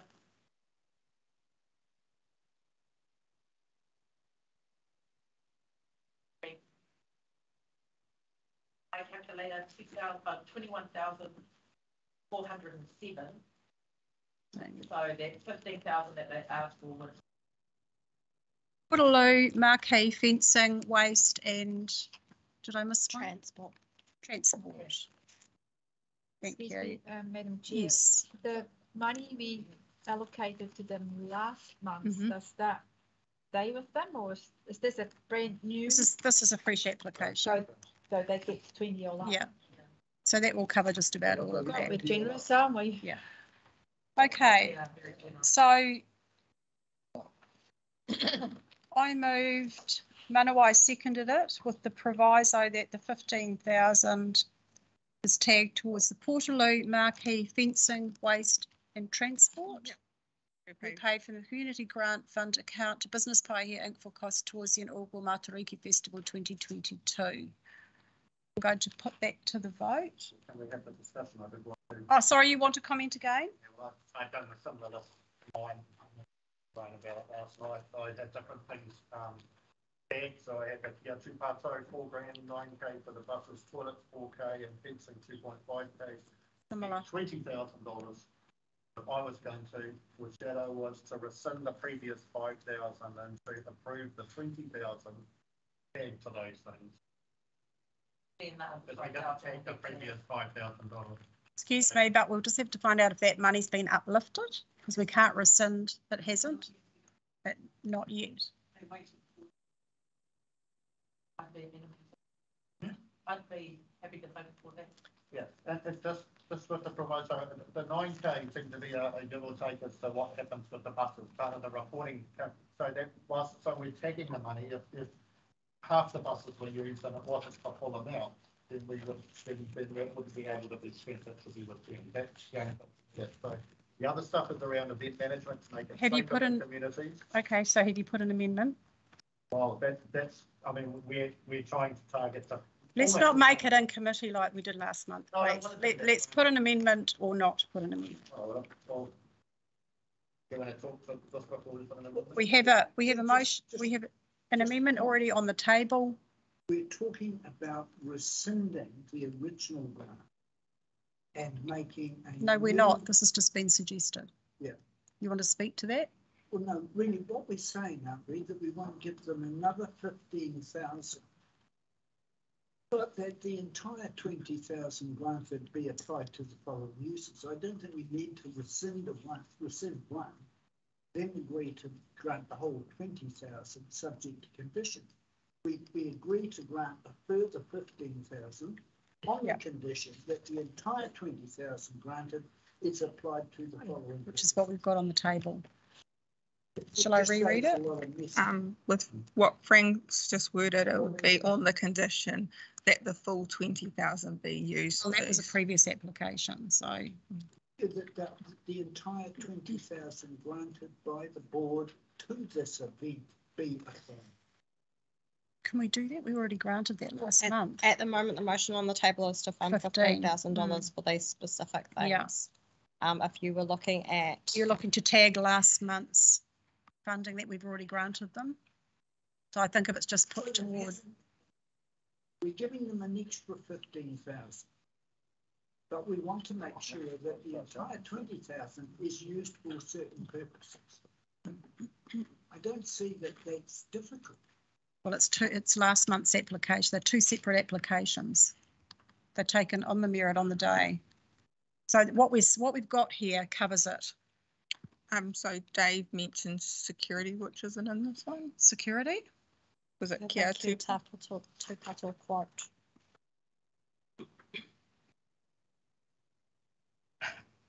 You want to add security? Was that, the request was for security? And security, buses, toilets and fencing, but that overall, that, all of that added up to twenty. So if you're only allocating Entrance. fifteen, Fifteen. um, then you would need to take But they could just part allocate. I think just a point of clarification, Dave, is that it, we can request that it be put toward those things. If it's less or more, that's their shortfall or, you know, it's, it's, you're specifying things. They might spend half on the Portaloo, half on the transport, a quarter. It's up to them how they apportion it. What we're saying is this is what we would like it spent on. that's fine, so long as the reporting back comes back and says that that's how the money was split. Yep. If it allocated across, Yes, the- we're only going by the quotes that have been provided Correct. for those. Yeah. um, For Yeah. those particular issues. Like getting a twenty grand, don't be looking at me like that. What do you mean I'm getting my twenty grand? You might like to rescind that one. I'm not a member of Business Paihia. I'm not involved in the festival at all. I'm putting the motion that the Bay of Islands Whangaroa Community Board approves the sum of fifteen thousand dollars plus GST if applicable is tagged towards the Porter, Portaloos. oh, Portaloos marquee fencing, transport and security be paid from, to be paid from the board's community grant fund account to Business Paihia incorporated for cost towards inaugural Matariki Festival twenty twenty-two. That's two E's on there. And the Northland Waste was included in it. Um, fencing, waste, I've got, uh, no, we missed waste out, I don't know why we changed it. Put waste, fencing, waste. Fencing waste. Waste, transport, security. Oh, yeah. Right. Oh, On Matariki it out, I'm going to put it to the vote. All those in favour, raise your hand. Against? Would you? Carried. Would you like that recorded?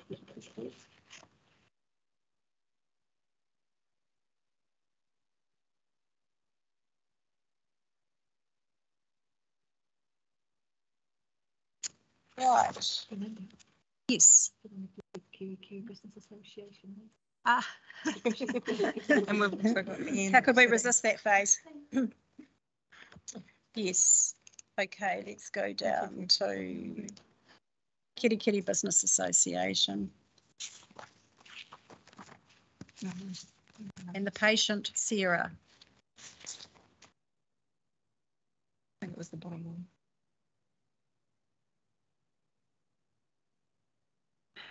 Right, so we have this recommendation that the Bay of Islands Whangaroa Community Board approves a sum of seven thousand four hundred and fifty-eight dollars plus GST if applicable, be paid from the board's community fund account to Kitty Business Association for costs towards Main Street irrigation replacement. Do I have a mover?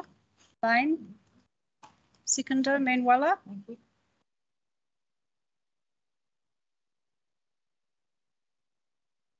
We're going to have a robust discussion around the hanging baskets and the irrigation? No? No questions, no comments?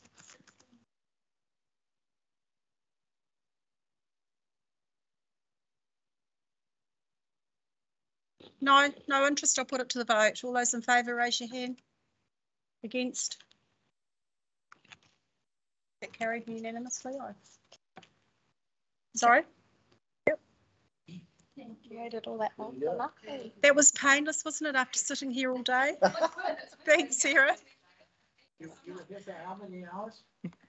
No, no, I'm putting an hourly rate on. Your voluntary hours. yeah. It's not as much as Nola's done. Thank you. Oh, yeah, she's a toiler. I hope you enjoyed hanging with us. See you again, I'm sure. Thank you. Right. Deputation? Do we want to do Ian's deputation? We did give her one. Oh, we the way they spoke about. And do you want us to jump to you, seeing as there's nobody else waiting? Are you happy sitting there for a minute? No? We can move to your item. Okay, perfect. Right, so we're moving on now to, uh, moving back, I should say, not on. Seem to be turning pages backwards and forwards today. Yes. Oh, I still got the D, E, F, and I, and H. business Paihia. D is next. Nine thousand. hmm Yeah. And thirty-six. Any overspent? Overspent?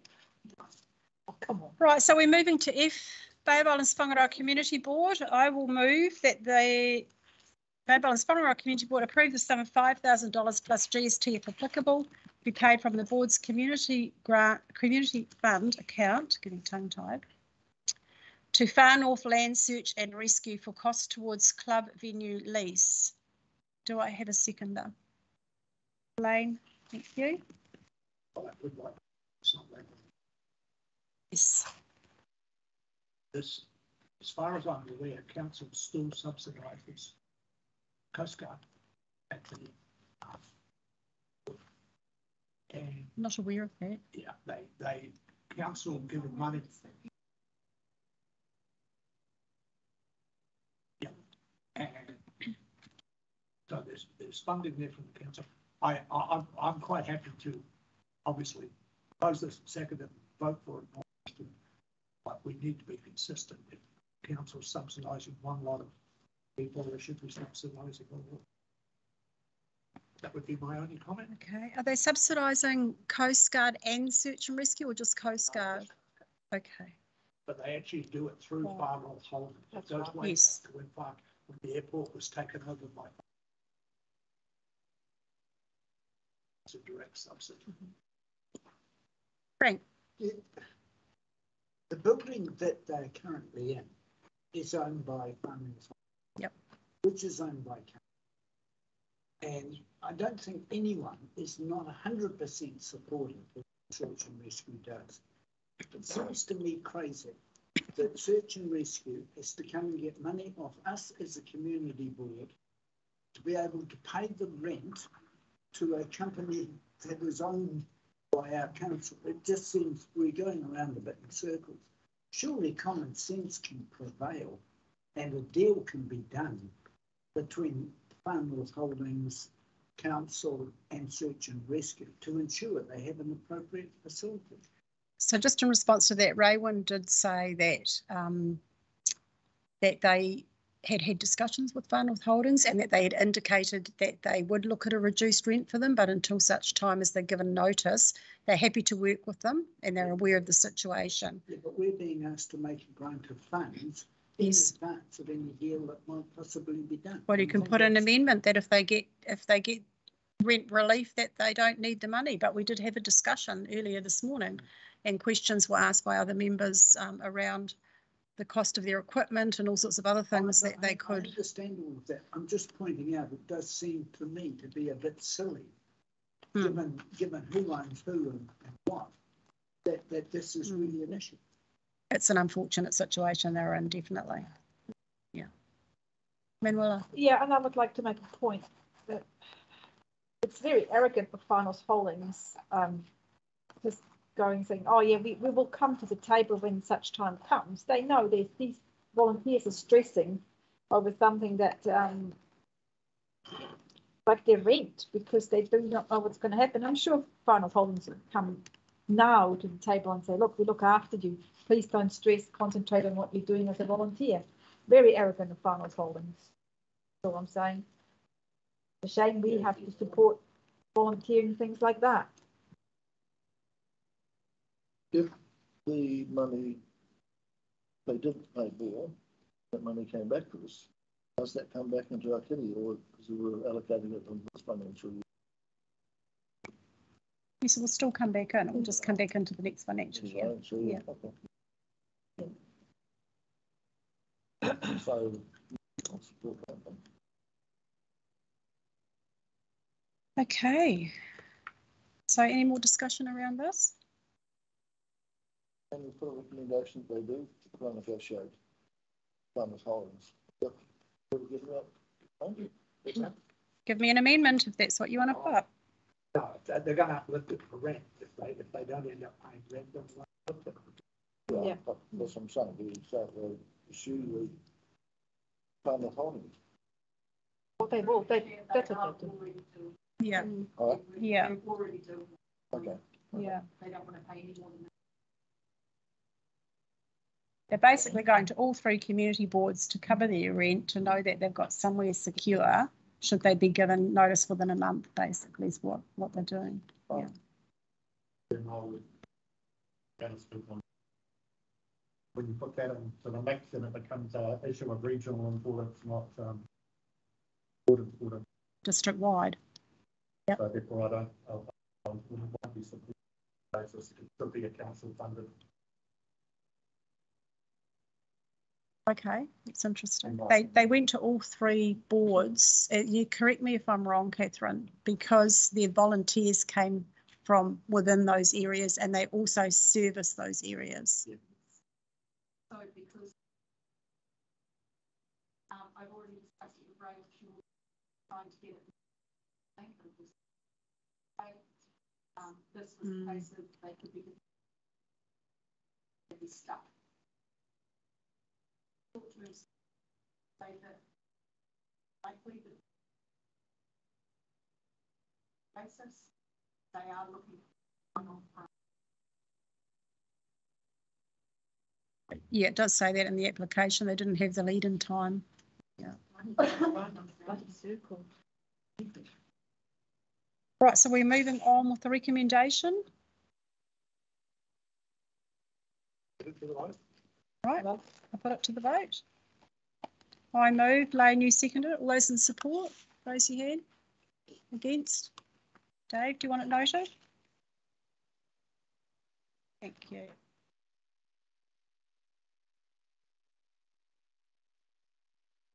Four thousand dollars left. Whoa.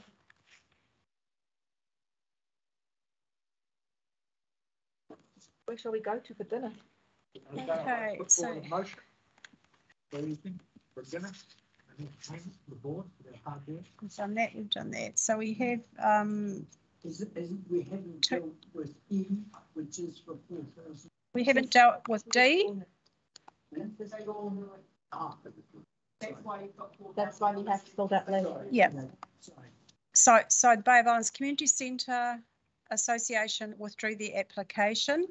We did not have a speaker to the Kerikeri Rifle and Pistol Club.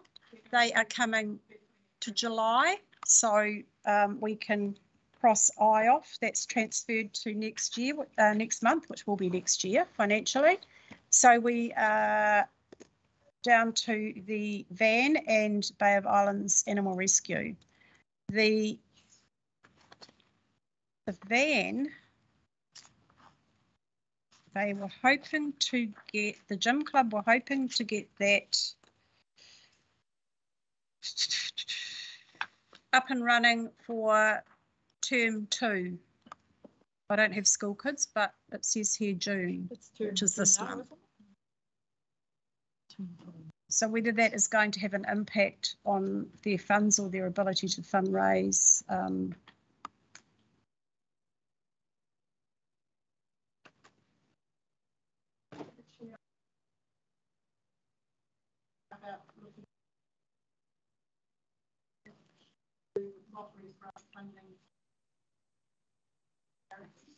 They are working.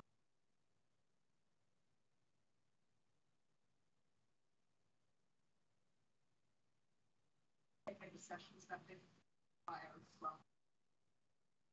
yes, Manuela. Um, just put it all in perspective what we've done today. Yes, Um, we funded twenty grand to a one day event.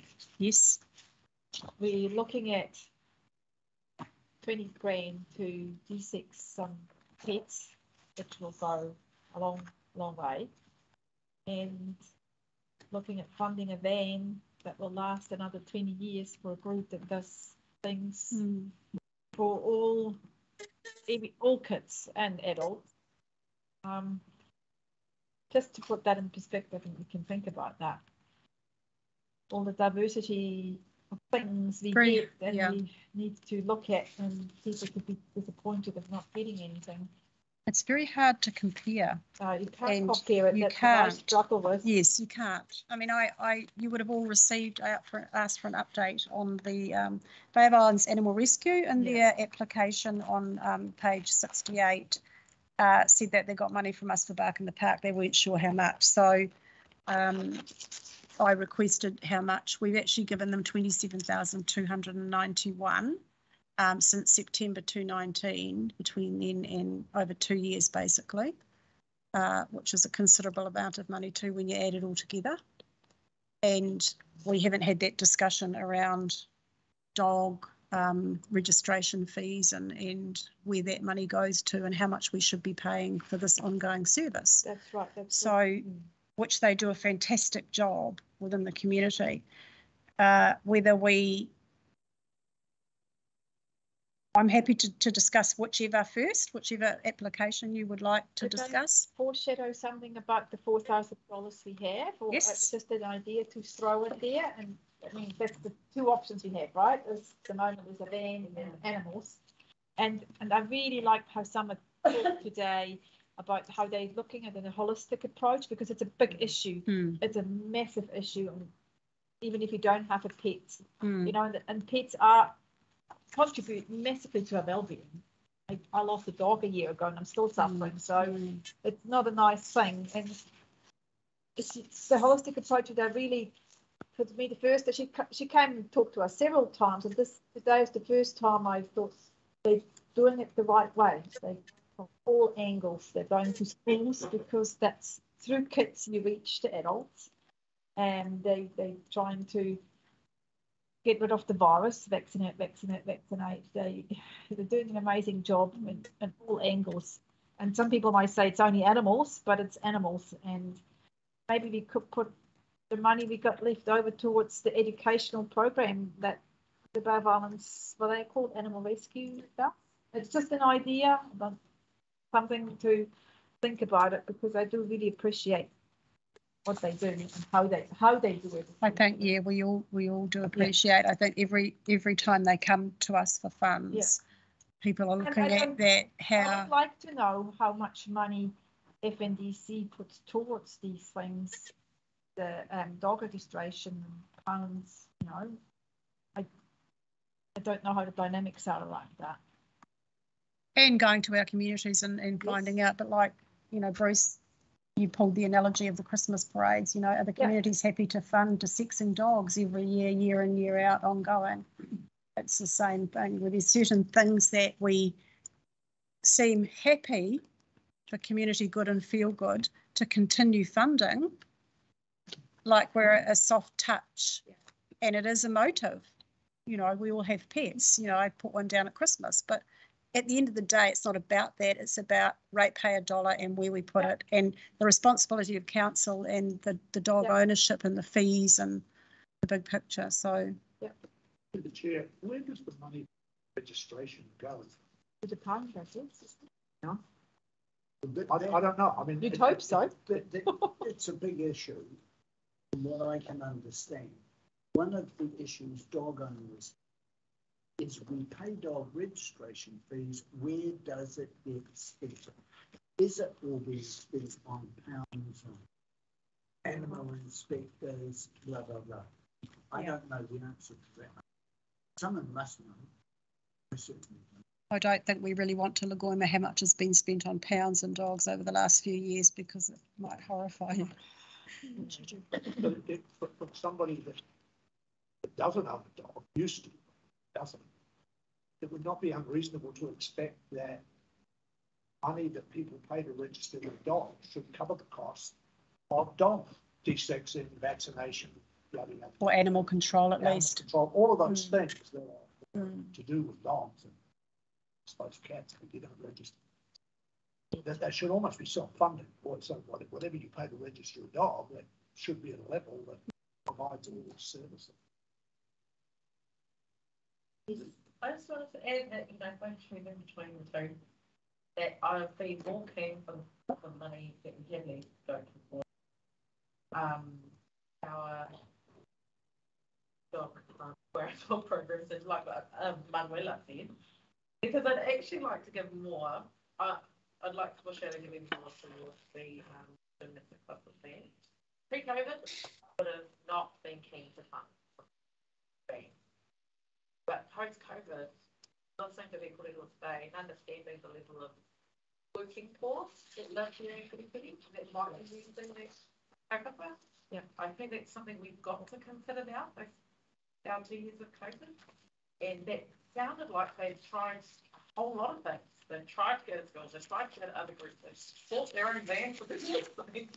And they've really done, gone above and beyond. Mm. And that just, I think what they're seeing is that working force potentially, based on all of the effort they're putting in trying to organise transport.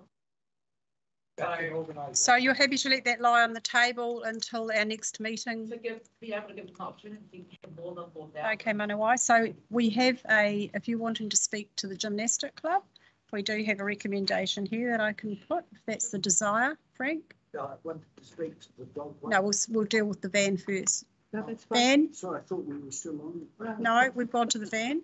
Sorry, Van? that was just Ben? A van, I mean, I, I just blanketly support gymnastics because I've watched them fight for Hmm. the last twenty years. Um, and I, but not there, and it's just like I, I was the wife of somebody that works at the Salad Club. And they have gone above and beyond and they get little support from uh, Sports North, but it's kind of not the end thing. It's not rugby, it's not league, it's not football. Um, and they don't get that support. And they're quite right. They didn't get the support of the high school because it wasn't seen as a high school style sport. It didn't Sure. take place. Yeah. So they have fought, fought, and fought and to get a location. And I just think the number of kids they put through and, and how they do it without a facility. And I, I'm not using this as a bad example, but we have the bowling club, which- has, if you go through the number of active members of the bowling club and you spend on the bowling club, uh, and then you look at this gymnastics group, the number of kids that they managed to put through a week. It, it, you go, well, why, why am I funding one and not the other? So I'm wholly in support of their ban. Okay. So, Dave, So, D and H. we're dealing with H. We're dealing with H. Could you just let me speak and I'll explain my point? We did. We're not talking D and H, we're talking about H. Okay, so this one talks about to be considered the next financial year, but we're talking about two different funding applications. We are. Which are considering whether we give money to dogs or to vans. So actually, yeah, well, Manawai was speaking to the van. We can't speak to them both at the same time. If we're gonna, I'm gonna put a recommendation to the van. I'm going to recommend that we leave this one to lie on the table. I'm going to recommend that we leave the other That one the to rec- lie on the table because it's not sentiment that both, are- but I'm going to recommend that we move on to actually the Bay of Islands, the, the, the community centre one, but the four thousand. That was withdrawn. Or she wasn't going to come to speak to. It has been withdrawn. The application has been withdrawn. Well, I just want to recommend that both these ones left on the table. We're not going to do them justice. but Unless we agree to consider a part payment and to reconsider the application in the new financial year. Can I ask what resolution is currently on? She's trying to get a, the chair's trying Right. to get a resolution and Well, we must have had a resolution to start the discussion. No. No, No. because I, I spoke. We had the what two I remaining. Was something to extra on top of what's here. The four thousand dollars we got left. Which started top the of the- debate. Of the twenty thousand they want for the sexing program, that's what I was, sorry, I Okay. wasn't clear enough. Okay, well then, seems to me a way around this is that we have the resolution H. Um, and we, we're looking to resolve that that application for twenty-five thousand remain on the table till the. next Yes, Frank. Would you Can like you put to that move in? it? Yes, I'm trying to. Yes. Frank is mover. Or- I'll send Thanks, you- Manawai. Right. Seconded Manuela. On Whangakarā uh, Community Board tables the request for the sum of twenty-five thousand dollars plus GST for applicable, applicable from the board's community fund account to the Bay of Islands Gymnastics Club for cost towards the community van to be considered in the new financial year. Moved, Manawai, seconded Manuela. All those in favour, raise your hand. Okay, carried against, carried. Right, now, I will put the recommendation that the Bay of Islands Whangaroa Community Board tables the request for the sum of twenty-one thousand dollars plus GST if applicable from the board's community fund account to the Bay of Islands Animal Rescue for cost towards animal desexing to be considered in the new financial year. Do I have a seconder for that? And discussion? Can I move an amendment? Yes. please? I would like to move an amendment that we approve four thousand of the request for twenty-one thousand and leave the balance to be um, dealt with at our next meeting. And then we don't lose that four grand. It's going to them. And Yes. Bob is your uncle. Do I have a seconder? Yep. Thank you, Lane. Thank you, Lane. That was painful, wasn't it? So I'm now going to put the amendment. That The Bay uh, of Islands Whangaroa Community Club approves the sum of four thousand dollars plus GST if applicable, be paid to the Boys Community Grant Fund to the Bay of Islands Animal Rescue for costs towards animal desexing. But the bit about the remaining seventeen. Catherine, will they have to reapply or can we resubmit the application on their behalf? Straight? Yeah.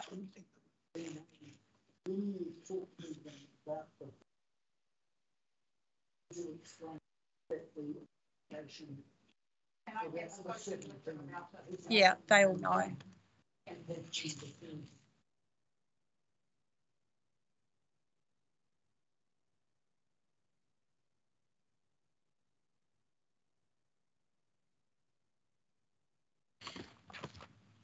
Right. Do we vote on that? Move Frank, seconded Lane, four thousand dollars. All those in favour? Against, carried.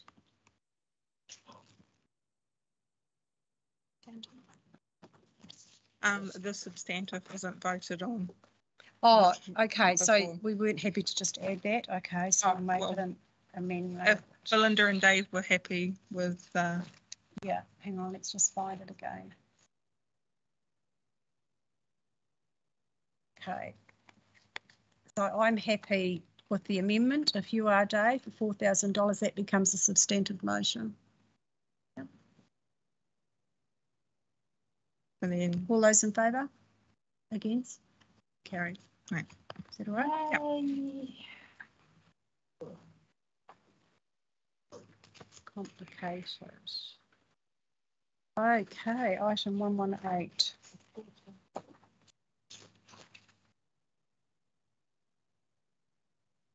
Item seven point five, page one one eight. That the Bay of Islands Whangaroa Community Board commits eighty-five thousand dollars from its placemaking fund for twenty twenty-one to twenty twenty-two to detailed design work at the Strand Russell. Remover? Yes. What surprise. Oh, Would anyone like to second that, please? Yeah, I'll go. Thank you, Bruce. You've read the report. Should be along the Google anyway, so. Any discussion? I'll put it to the vote. All those in favour? Raise your hand. Against? Carried. Thanks, Peeps.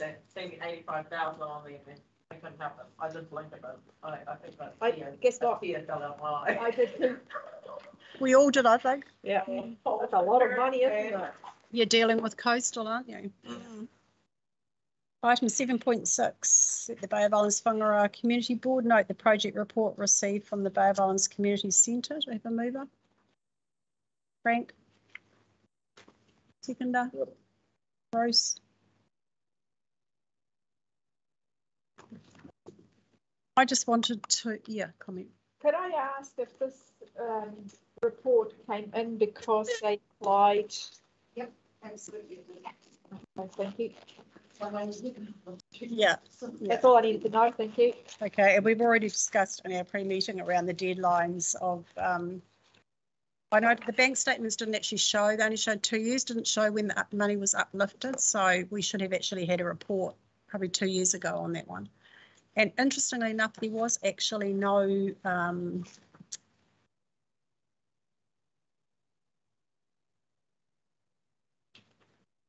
there was, there was no information given on the findings of it either, so anyway, we'll move on. All those in favour?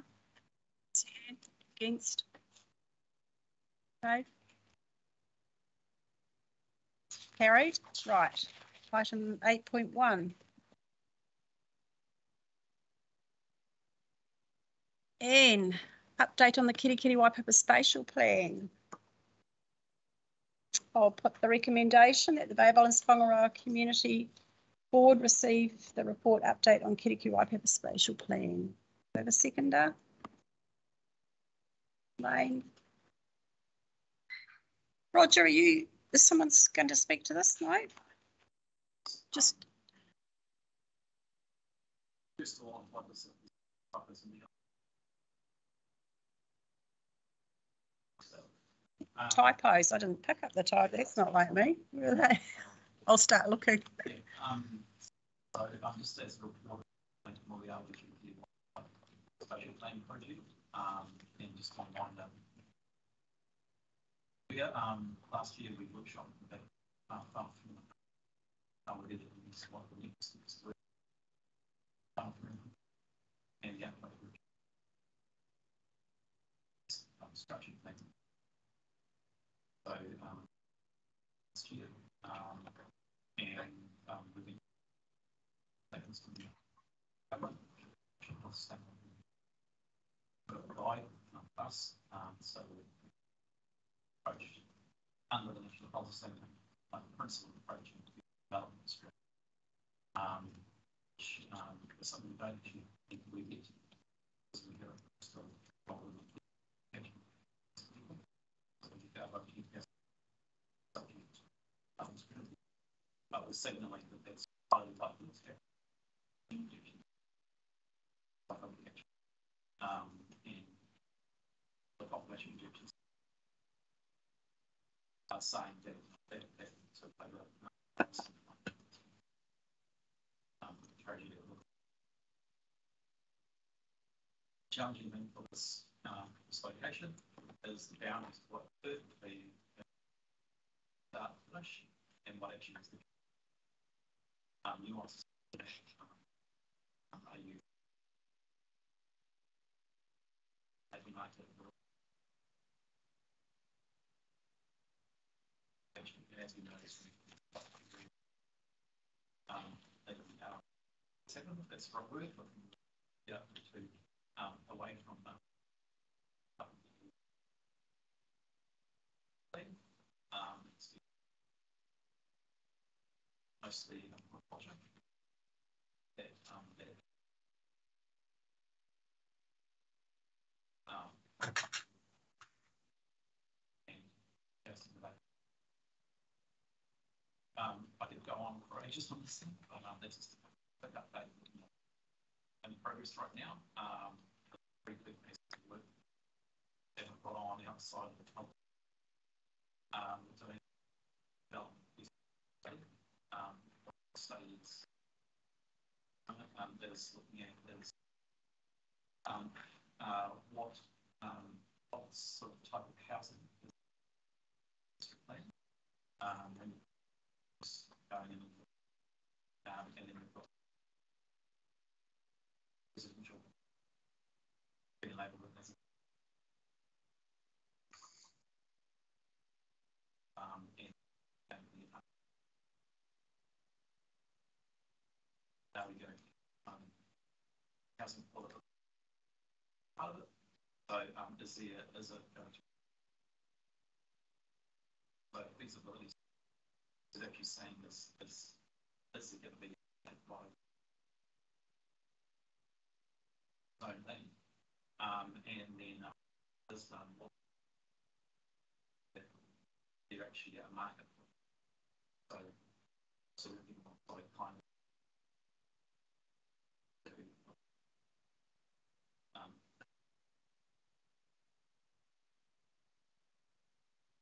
points if you just the housing. That, um, and we're doing functionality tests. Test, um, and, um, one by one test and also type statement which is basically, it the post for your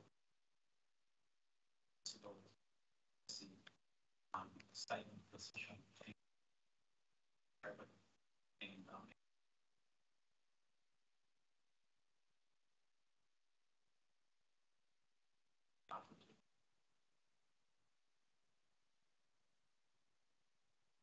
that uh, population buildings and we're just.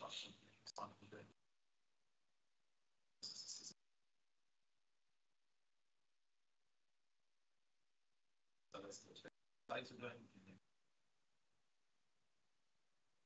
Um, they, that looks. Um. A bit um. Something like this foundation document, discussion document. Frame. the, uh, banking costs.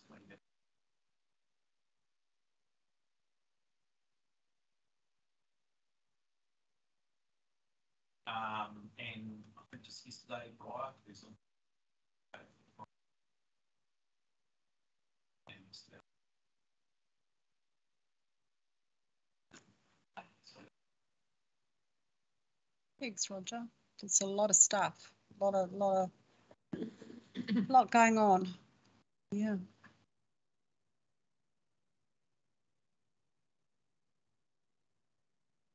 Right.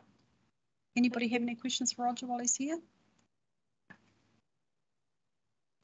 About other things though. Elaine. Yes. Something else of this, go. Fine. Um, whenever we have a housing, you look at the- the actual earnings of. So, you know, the, the average earnings for territory for this. uh, being from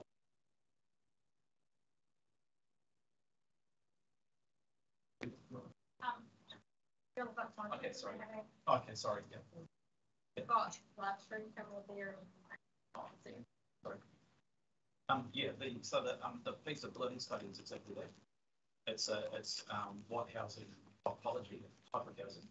Um, and district plan is going to enable, um, intensification and the government is also pushing for intensification through some regional, some recent policy statements. So, um, the feasibility study. Was right, this, the district plan is putting twelve eight metres, have a two or three story apartment. So, uh, so the question is, is there going to be uptake for that, and there a market for it? So what sort of people do we need to?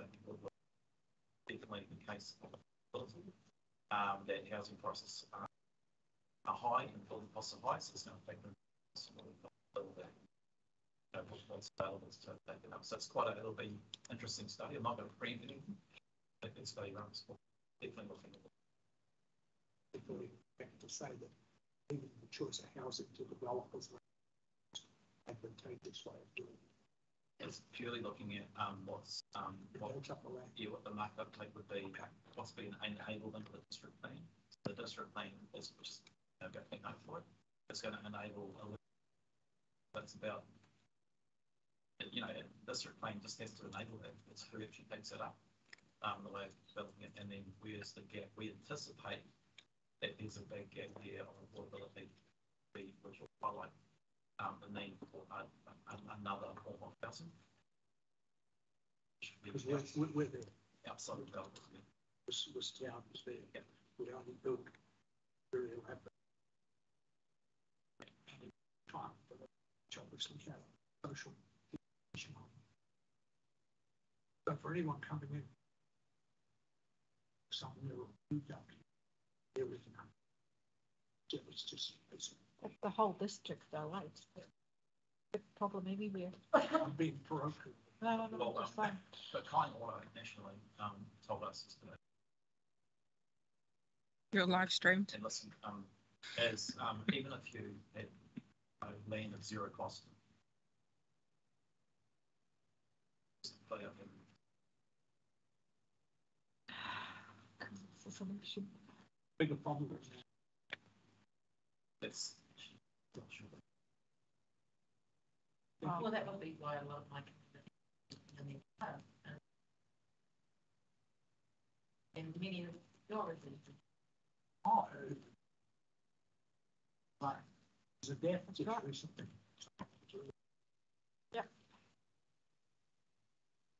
All over the district.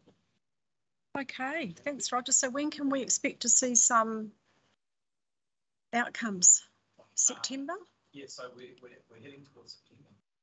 Um, what we're doing is we're sharing early drafts of what we're doing with, um, government agencies, so we've got the government agency, um, June, um, which is what, the final, um, Ministry of Housing Development. Um, well, we only did the HB one, because, um, so uh, this is- but, uh, included, um, and what's proposed yesterday, I don't know if it's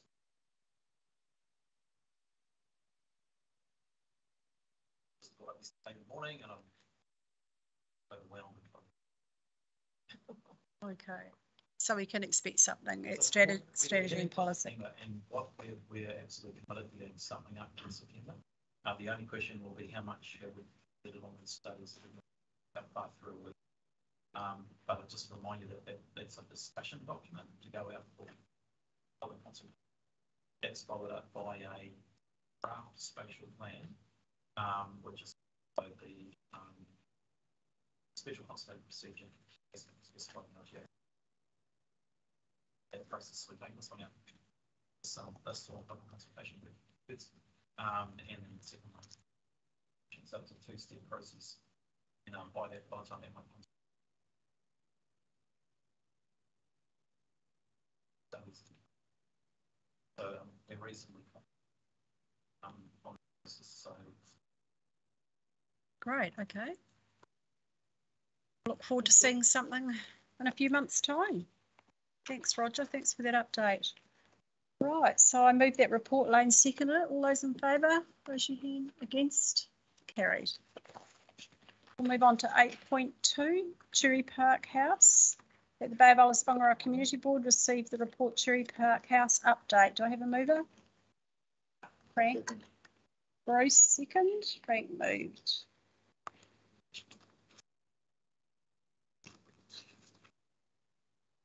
Any discussion around this? Frank, did you want to raise any points in here? No, not really. Um, Okay. The committee has considered this report, but they haven't formally met, but I may be available to them. Uh,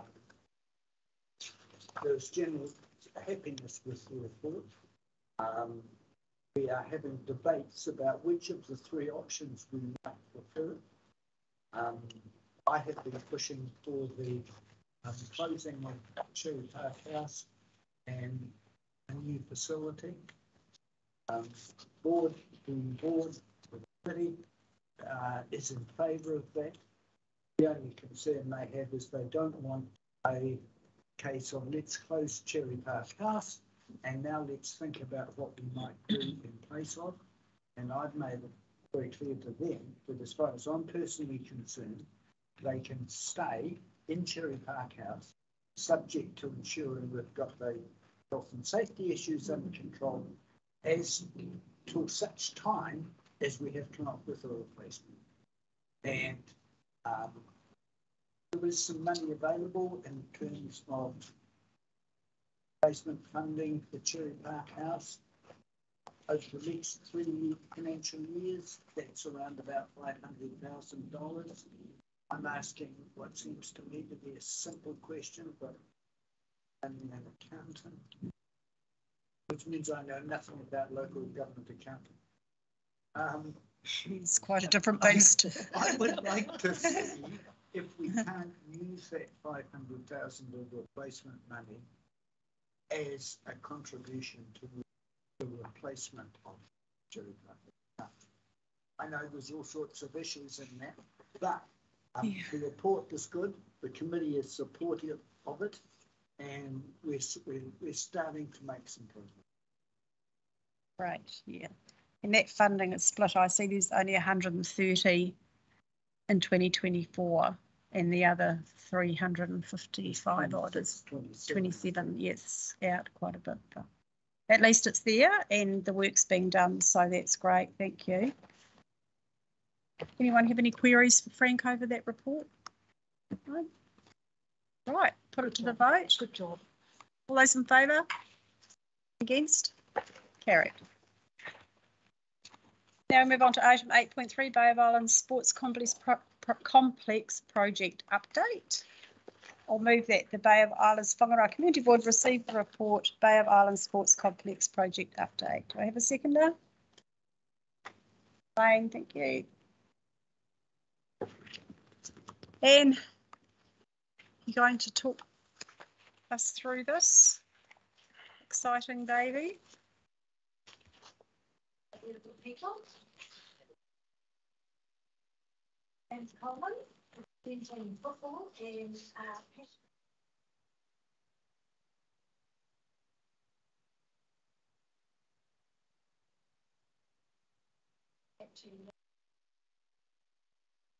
texted me and she said she's, uh, watching us. was also with Roger. Very and delighted that sent me through on the conditions that we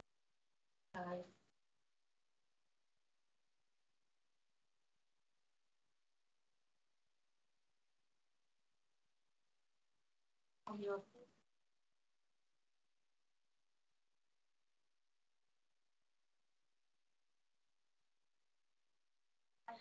suitable. There's a lot things we've learned that uh, soil suitability is big ingredient to both. Absolutely, the whole examine the soil and make sure never had sprayed and then drains, sites that were and. So, uh, accessible for um, particularly our children from school, so that's cycle, connectivity. We looked at so many things. And we landed on the site that we've got. We bought that a couple of years ago. It's a bit about 45 years.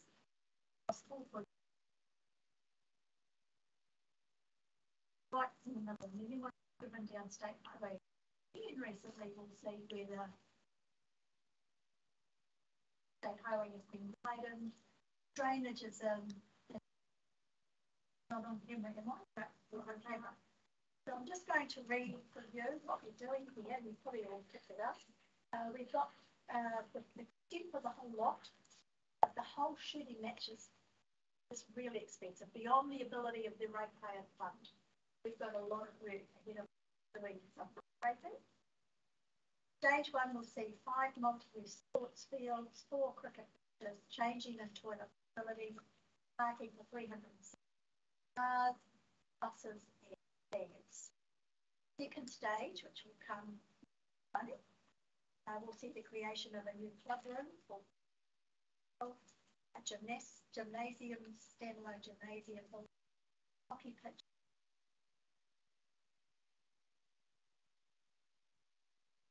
we wish to acknowledge Dame Jones. Dame Jones enabled us get this far and our theme park really have been just amazing done without them. We have an amazing committee that is votes and we meet regularly with council staff and our planning team. That's probably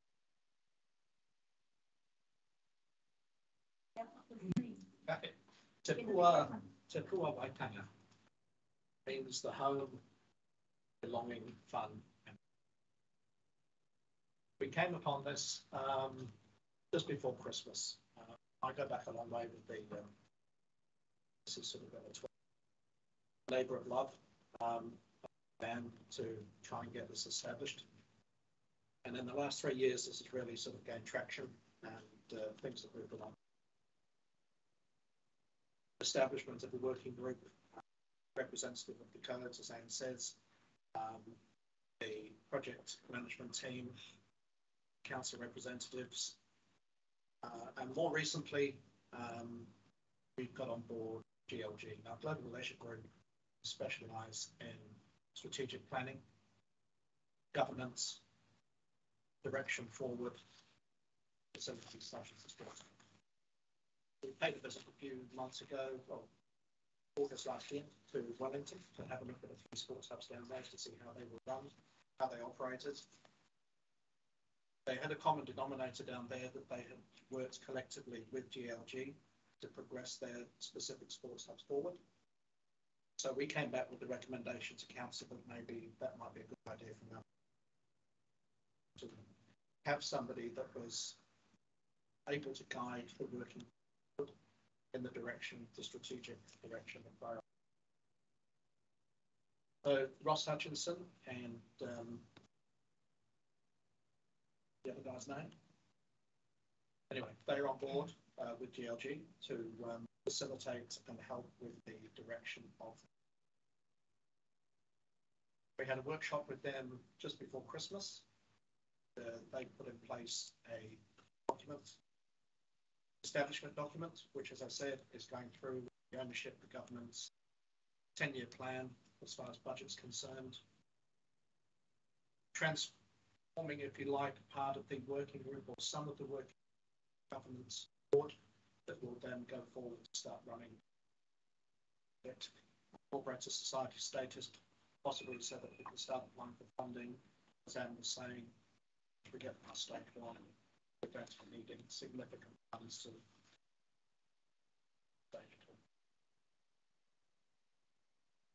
It's going to make a massive difference to the community. It's going to be huge. It started off for me with football, and you know that.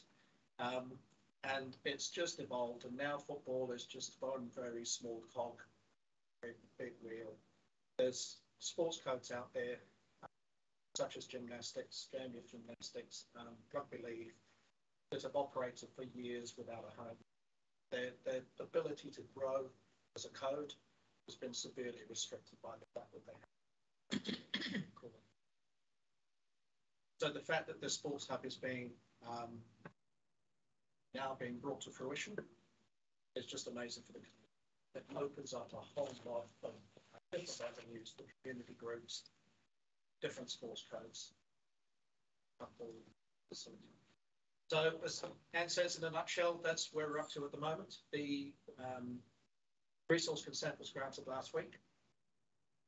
It's not that far away from moving in with um, earth movers and that sort of thing to start things underway. There is a sort of a cautious optimism that um, fields could be ready to be used by the beginning of the 2023 season, um, which is May next year.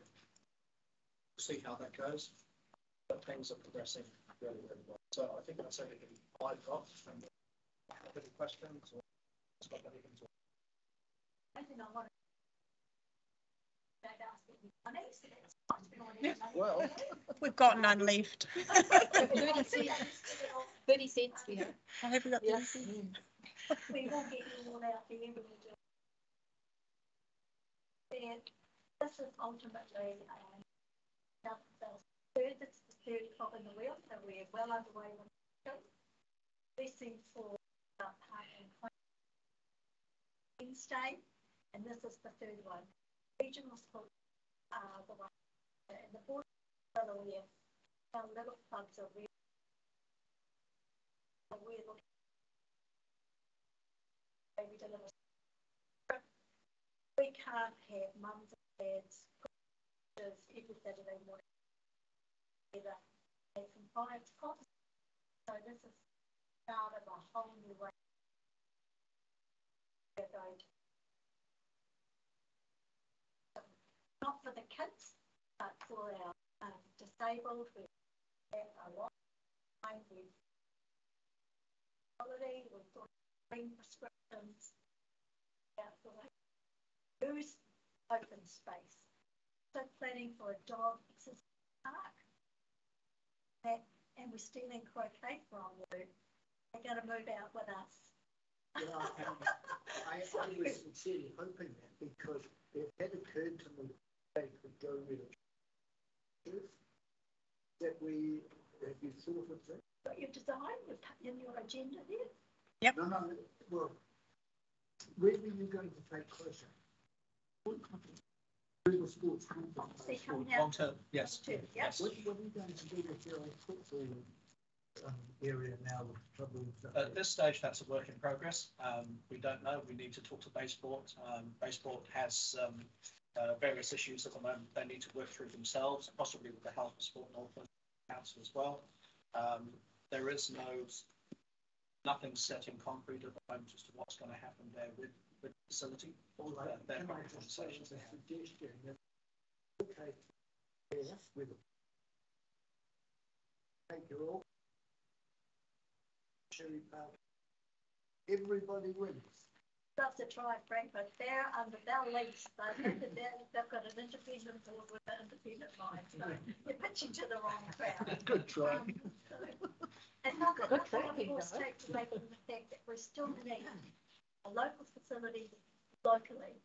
So this is not intending to take away uh, in any way, shape or form local field that we need for the community, a, a sport uh, in, in any of our small towns our ultimate ambition is that we become stadium, so we can host national events. That's exactly what I was going to say as well. The, the, the opportunity here is the Bay of Islands is a destination. People come here on holiday, they come here all the time. And yet all of our sports codes that operate out of Kerikeri or this area, when we're playing competition, have to travel. Gymnastics has to travel to Whangarei.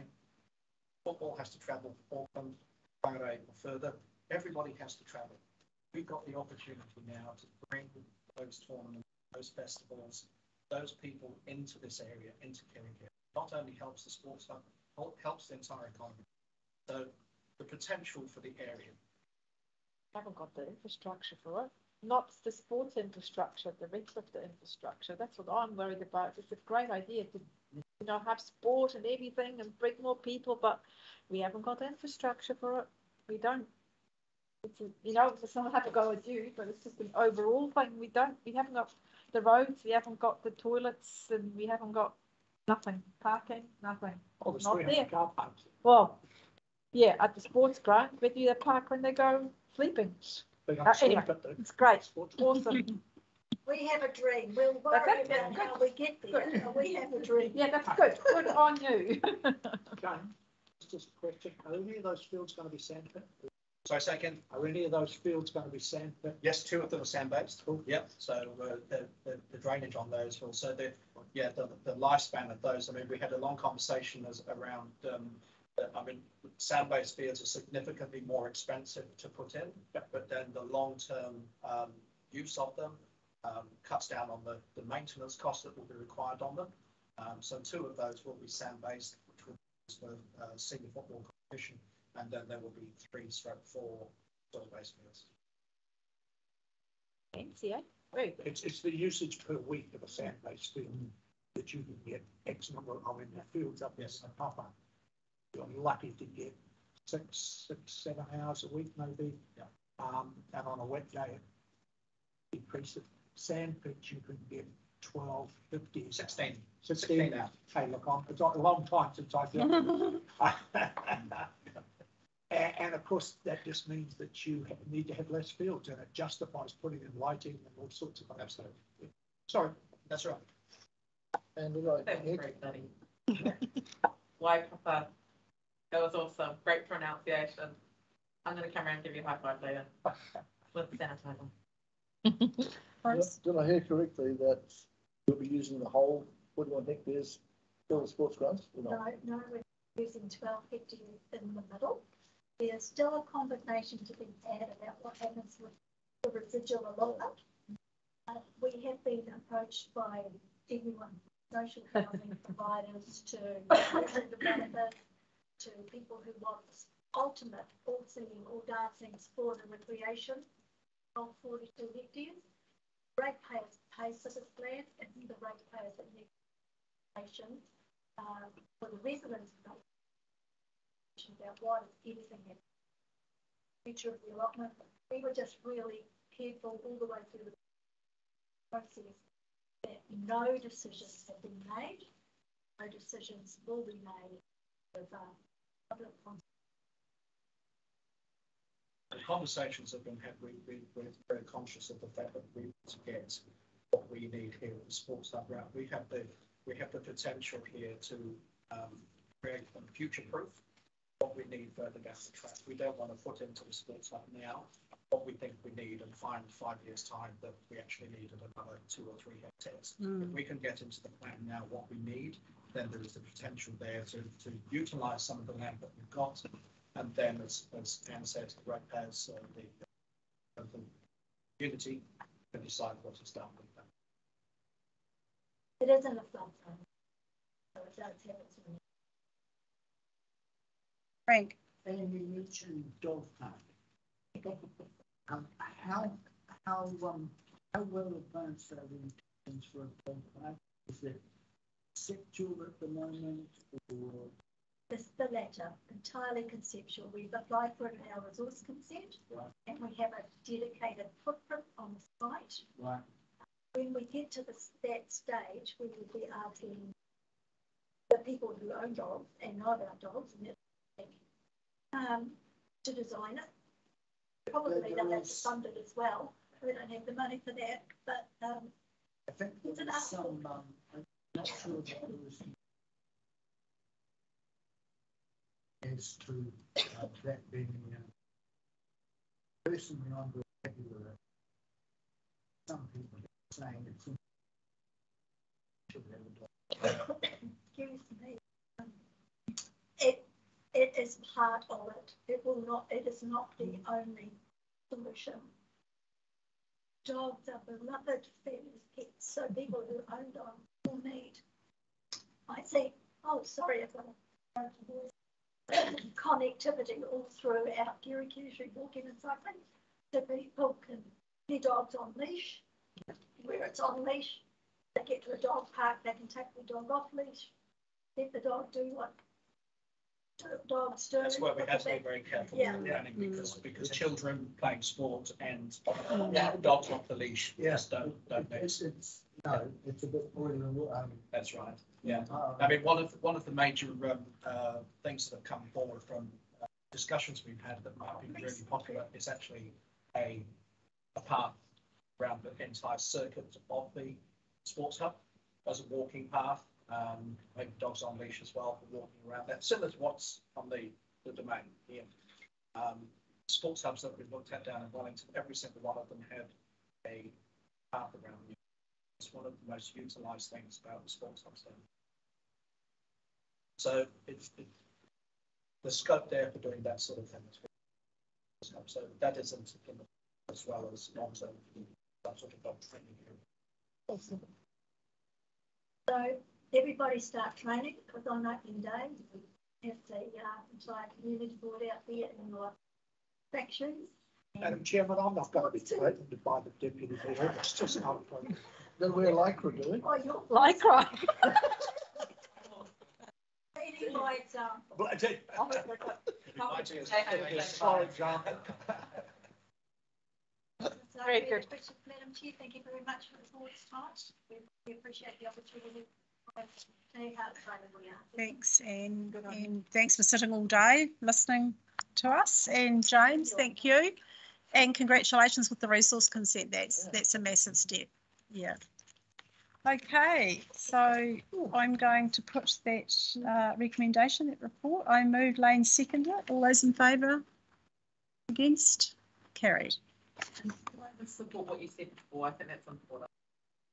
It is great stream, but like, you know, taking on the infrastructure that we currently have, so on duty. And I, I don't know if everyone noticed, but I noticed, buddy, there was a great white papa here. That was awesome. Like I hope. You started a business out there. I uh, appreciate it. Hello, Elizabeth. Right, time is not our friend today. Item eight point five, Par Road. The post-construction audit report that we have been waiting on, we kindly have. Uh, Eight point four. Eight point four, what did I say? Eight point five. Oh, that's wishful thinking. That the Bay of Honest Whangaroa Community Board received the, the report, Par Road Post-Construction Audit Report. Yes, please. Moved, Manuela. Have a seconder? Yes. Bruce, thank you. Any comments? Yes, please. Yes. Um, I know we received a petition over that. Yes. I think we, um, decided that when we received the decision, uh, the petition, I think we made the wrong decision to what we, what, what we've got the report, we should have just passed it on to council and say this is a security problem or safety problem, not security, safety problem, council needs to deal with it, because now we got a report that opened even more can of worms and I'd hate to know how much this report cost, but looking at the pretty pictures that. That was, yeah, that was as a request and acknowledgement to the community for the petition. I, I do know that, Yeah. I understand Yeah. that, but in the future, we probably need to be more careful how much we bite off, because like we have with all reports, the information reports, all we're gonna do is to recommend to whatever the recommendations are, and the side of our hand, and all this money we spend on, frankly, from my point of view, nothing. Um, Plain air.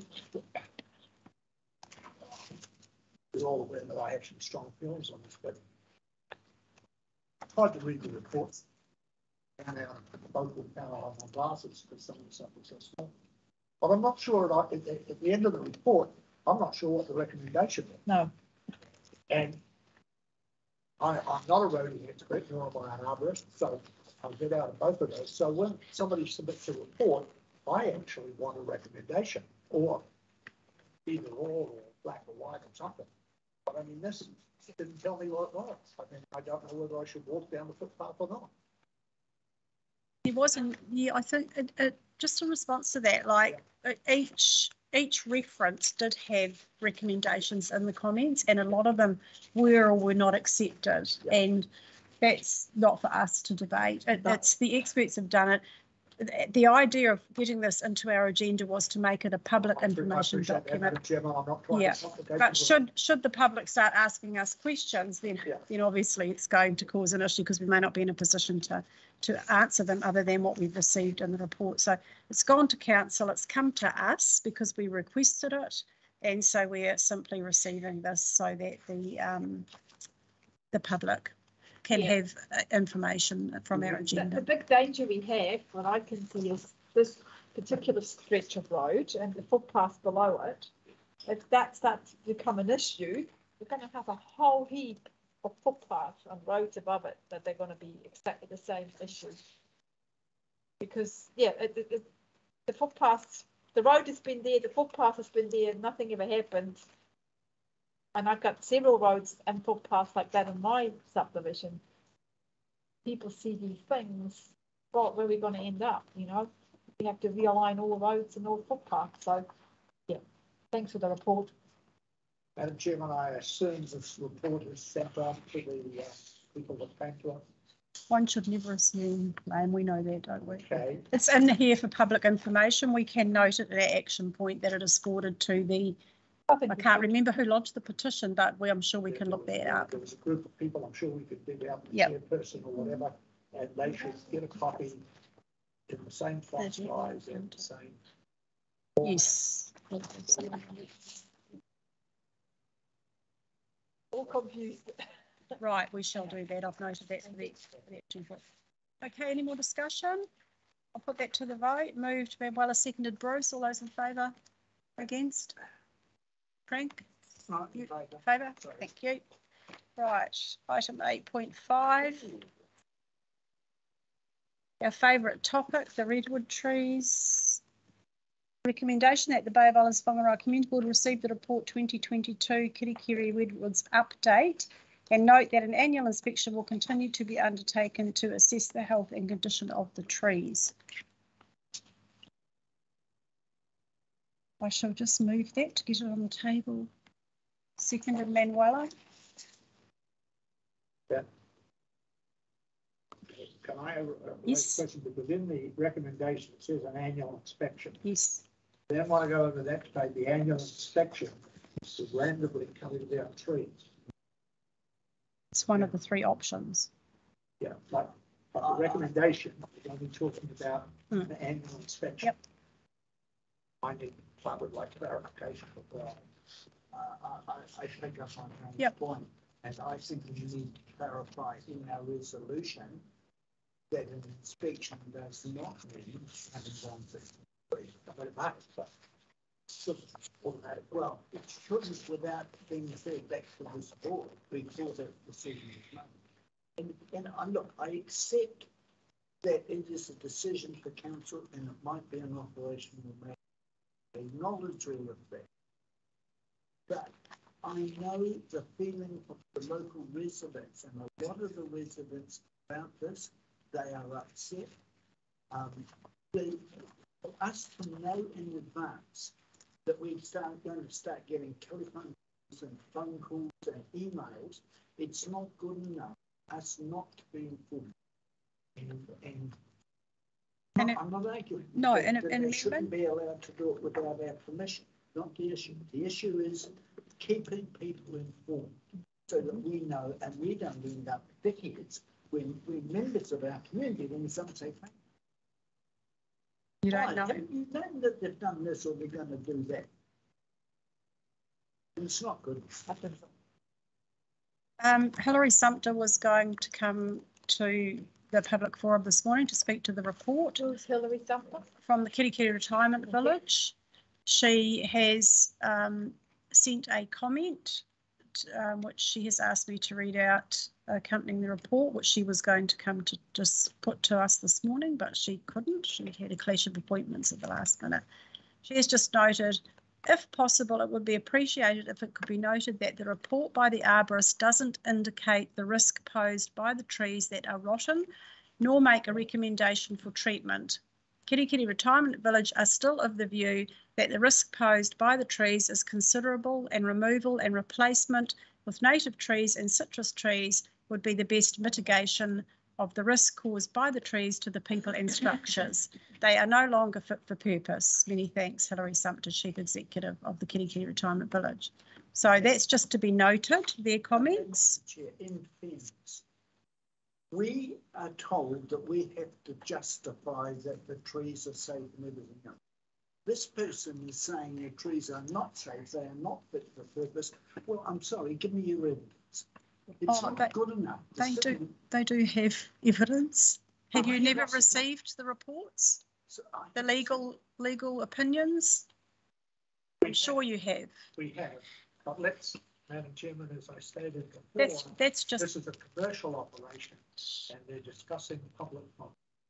And they continue to submit items to us claiming the trees are unsafe. I mean, I would rather we sold them the trees and the reserve, they could do with them what we're not here to discuss this. This is just their comments to the arborist report. I don't. Do we have I'm an not sure how amendment? They get to make comments on the arborist Yeah, report. I agree. I agree. How, how does that happen? Public forum. You can come and talk to anything you like. Okay. Lane, did you have an amendment to put to that second part of the um, recommendation? Well, that- that an annual inspection does not include felling. Without consultation. Yes. Annual inspection does not. No. Yeah.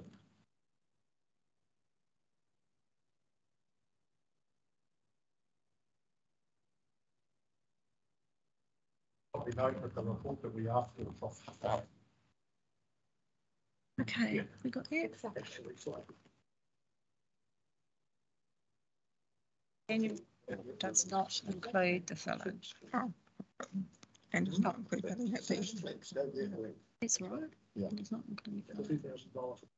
And she's still. without, um, They said consultation, but is it Yeah, with it's, the it's a board? community, you want community board consultation. I'll read it out, Lane.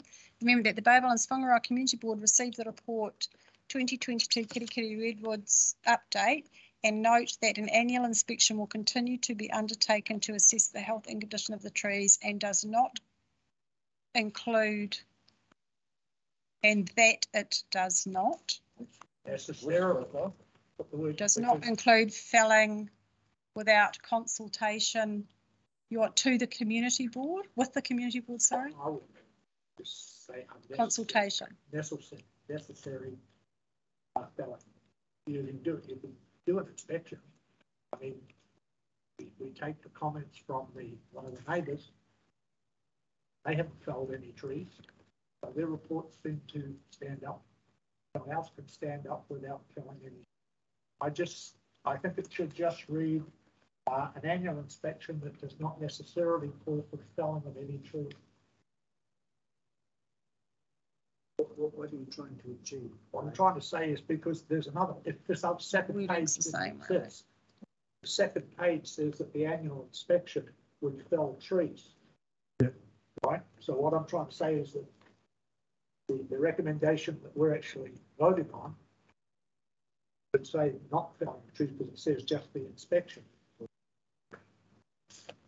So you want to reword that? Do I want to take that? Okay. We just said in that it does not include felling the trees without consultation. Well, just put the trees. put Right, the- I- the- I- I think from our discussion prior to the meeting, the, the, the comment still sits is how often should this happen? As I said, you don't go and have a colonoscopy every year. People Well, Well, No, but uh, they say annual, don't they? We asked, I, I think, The, the, the police report is quite clear that there's nothing in, in danger of, it, despite what Hillary wants to read or not read. You know, Hillary, that, that is not the case from the report that The- we have in front the of us. annual inspection was requested by us to uh, carry uh, out a level So three we're not- assessment. So then are we still requesting an annual inspection? No, we requested a level three inspection, not, not anything else. Level three inspection, and that was ultrasound, or what was it? Yeah, but it had to be, it had to be annual from council's arborist report, didn't it? It's in one of the reports, annual. We, we got a, an arborist's report, which was not recognised. I personally remember moving that we not accept the report, we refer it back to council and asked for the level three arborist. Yeah, that's what we did. The next thing Yeah. we heard was six trees we didn't chop Mm. And that's where the disconnect has come. Oh, to the amendment. Oh, the amendment, okay, sorry. The full boardation of the full board just in case they ask for. How many other Nina's trees in our online. district do we do annual inspection?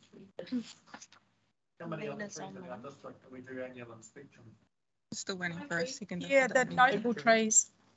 They're not in the notable register, that but we do notable sick. trees. It is Yeah. not well, that tree. There's quite a Visibly few not notable well. trees. Makes Sure, sense. guys, Some of Nina's them online. Don't make sense, does it? Nina's But like you online. say, these trees are all Nina Goby's online, if you want to ask Nina about the annual inspection, where the word annual came from, is that the discussion at the moment? Okay, no, I'm happy with the annual inspection. I just don't want to. Aroha mai, um, through the chair. Sorry, my voice. I'm, I'm yeah. Aroha mai. I'm not too good today, and that's why I'm not there. my my throat's got, and my voice is going. I guess at the end of the day, it's what what do you as a board want us to do to make you feel more secure in terms of being involved in an, the decision with regards to these redwoods? And I know that's probably not what you want to hear, but from what happened, my understanding is is that we were looking at doing annual inspections. Then that got changed to the last the last report we received was that we could go to two yearly assessments, and then the next thing we were told to remove some of those redwood trees to have a look at them. And I suppose what we've done is provided you with the latest information, and then saying, what do you want to do now? Thanks, Nina. Meanwhile, um, last time when the assessment and that clearly didn't happen and now we we got an option two as a carry out a level three assessment so i'm not quite sure why we should put anything forward that then just gets overruled that's that's our dilemma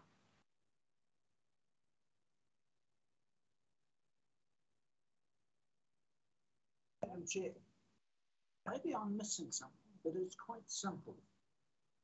We have a resolution that we. want the trees Recommendation. looked at once a year. Change. Yes. So in terms of, of what Nina is saying, what do we want? We want the trees looked at once a year to ensure there is no risk, but that that should not, where possible, in, involve cutting down six trees. Did you hear that, Nina? So we have added note that an annual inspection will continue to be undertaken to assess the health and condition of the trees and that it does not include felling the trees without consultation. Absolutely. Can I just um, ask then, do you want a level three assessment or do you want a level one? The level one being just that visual, or do you want a level three with what with which was what we wanted to do originally? Nina, Nina, Madam- a le- An inspection, level one, if the, if the level one finds something that's not right, then I say, I assume you go on to something more detailed. Level one is looking at them, isn't it? Well, I don't know what the levels are. Nina, level look. Sorry, Chair. Looking at- that we're level- Some options confused here in, in the report. Yeah, level one is just a visual assessment. Level three is the more serious one where they come up with the, the equipment and do like an x-ray through the trees and through the root systems. And that's what we originally were looking at doing before they were felled. Yeah. Thanks, Nina. Seconder. So. Is that in twelve months' time, the mm. trees will be given in twelve months. Visual inspection. What A level three. We haven't asked for a level three this time. Recommendation is simply to note the annual inspection continues to be undertaken to assess the health and condition of the trees and that it does not include felling the trees without consultation. Lane's moved it. I'm lacking a seconder. Thank you, Frank. Going to put that to the vote. All those in favour? Against? Manawai, did you vote? Yep, ca- carried. Thank you. Thank you, Nina. Some substantive. Thank you, everyone. Well, restart. Right, so uh, that amendment becomes a substantive motion. I move by Lane, seconded by Frank. I'll put the substantive motion. Annual inspection will continue to be undertaken to assess the health and condition of the trees and that it does not include felling the trees without consultation. I have a mover. Thank you. Thank you. That's right. All those in favour? Against? Carried. We'll Put the trees to bed for a while. Okay, item eight point six, our action sheet. We're getting there. Nearly on time.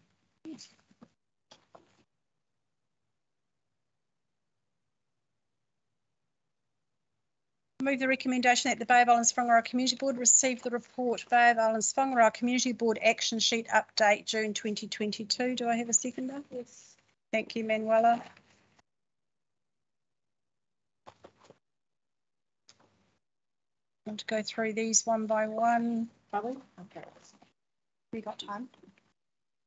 Mm, so just- just One question of, if we're not going one by one. One minute. Um, Tapu Point, we've had nothing more. Uh, Moreton Bay Fig, we know that that's, um, yeah, going to be looked at with it, yep. The Uh, next one, Al fresco dining, update from Cheryl Yes. Given, no option but to renew the Yes. license for thirty-two years to engage with the Duke of Marlborough to work a safe way for the resident. And we, excuse me, so that, that has to happen because we are commencing the placemaking project on the southern side of the Strand and the al fresco policies need to continue until such time as we are ready to disrupt the businesses. It's an annual, I don't know why she's put two years, because it's actually an annual license as far as I'm aware. It's the liquor license, that's two years. So, so what are we actually, so talking not liquor license, just a fresco license? Yeah. It was A year ago, and it was absolute shambles. Mhm. We decided we need to be consulted next year, well in advance. before it- Right, nothing happened. I gave a reminder in the last meeting, we need Yeah. to do something. Yeah. So what does it mean? Nothing No can be done. No, no, no. What does it mean? Does it just roll over as the condition we had last time? Or is it back to the old way where there was just free range, you put your tables where you want, you do whatever you want? Or is it what we decided last year? What gets rolled over? Roger was here, we could have asked him, but it's the annual, the annual license Yeah. will get rolled But what, over. what gets rolled over? The one that we decided last year on because there were restrictions on it? Mm-hmm. Or is it what was before last year that it just, you do whatever you want? Because we put quite a lot of restrictions on it Yeah, last year. We did. So what rolls over? Because the, Stage still up. yes, and there's still cable going across the road. Hmm. There is um, public benches within where people can drink alcohol. On the public bench, you can't drink alcohol. I mean, look, just no consistency and it's embarrassing. And we went to such a rigmarole this, Yeah. this come back and they, it has to be done by the end of this month. Yeah. But it's not just the Duke of Marlborough. We, I don't even know why this gets singled out. I find that Mm-hmm. a bit in a public, in a public document. Yeah. I think, I think it's, be- it's because of A in the resolution. Yeah. Yeah, But it's the whole, yeah, for me, it's the whole strand. There's several restaurants on there. There's several issues there. And I know we're trying to solve it, but just because you're trying to solve it doesn't mean you can just roll over and say we're doing it for another two years. We've got no option. There's never no option. I'm surprised at the two year. Yeah.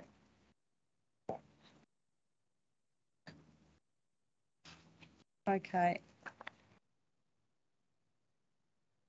So are these uh, applications for al fresco dining licenses going to come to us in the next meeting? I doubt it very much. They will be applied for yesterday Yeah. to be granted on the thirtieth. So Um, it's just a rubber stamp and it's just. okay, well, it shouldn't, it shouldn't be though, should it, Manuela, because it doesn't comply, so it should be referred back to us, that one. Such shambles, this public, Hmm. public, um,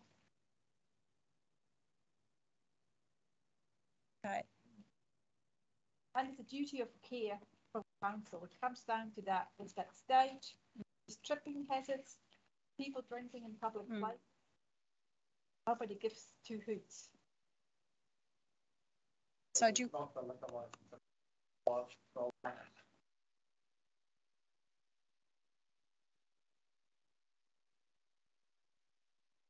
thanks, please.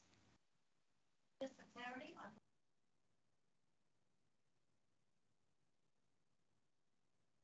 Um, I'm actually having a bit of trouble following myself, so my role when I feel that the alcohol attached to an alfresco dining. The policy requires those they sent two through conditions that you as recommended, I captured. So the a.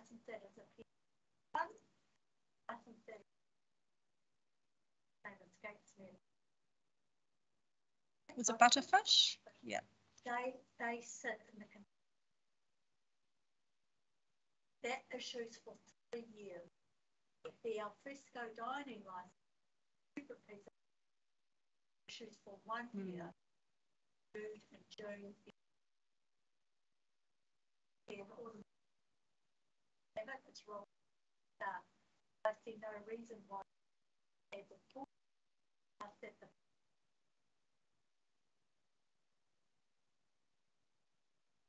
you,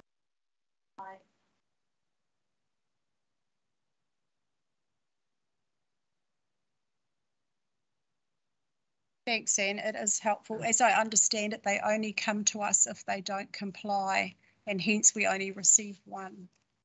Um, and that was due to the fact that there was street furniture within the But the problem area. was, it was not just that one. Yes, it wasn't. Anyway, thank you, Anne. Can we put that in an action sheet? to get- Yes. Or shall I do that via mm, Melissa? We'll note it in here. Okay. Do you Okay. want, Resolution. A If you want it to go into the action sheet that we're discussing, then it needs to be a motion on the No, table. I, I'll just do it, in a list. yeah, Okay, Never mind. So should we both follow that up? I'll, I'll do it. I'll copy you. in. Okay.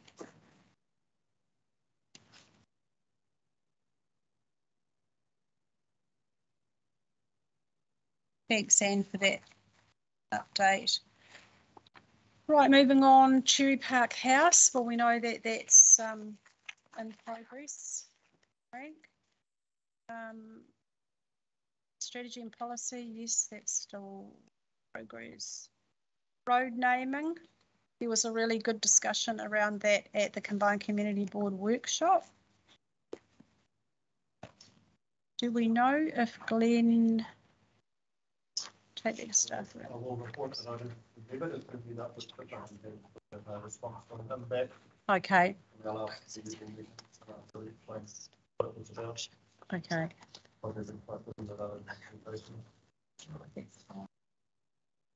Right, so we've got um, two things to add. One is page 25. We'll go back to, I had something on there. I've got a note about amenity lighting. Yes, so that was um,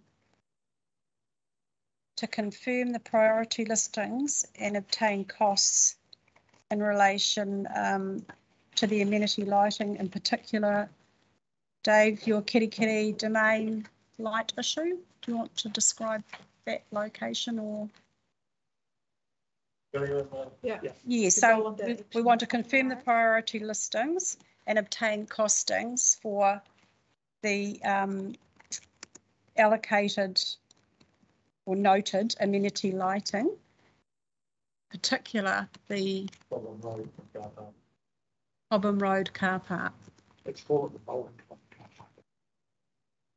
That's all one, it's not a, yeah, but No, no, okay, no. that's, yeah, Yeah. yeah, okay. That, that's what it's referred to. That's just for using. That's what, okay, yeah, yeah. Cobham Road Bowling Club car park. Confused, can it? With can't be confused with anything else, can it? No. Was confirm priority listing and obtaining costings. You see, I missed the Oh, part for, after oh, the for, note. for the noted um, amenity lighting list.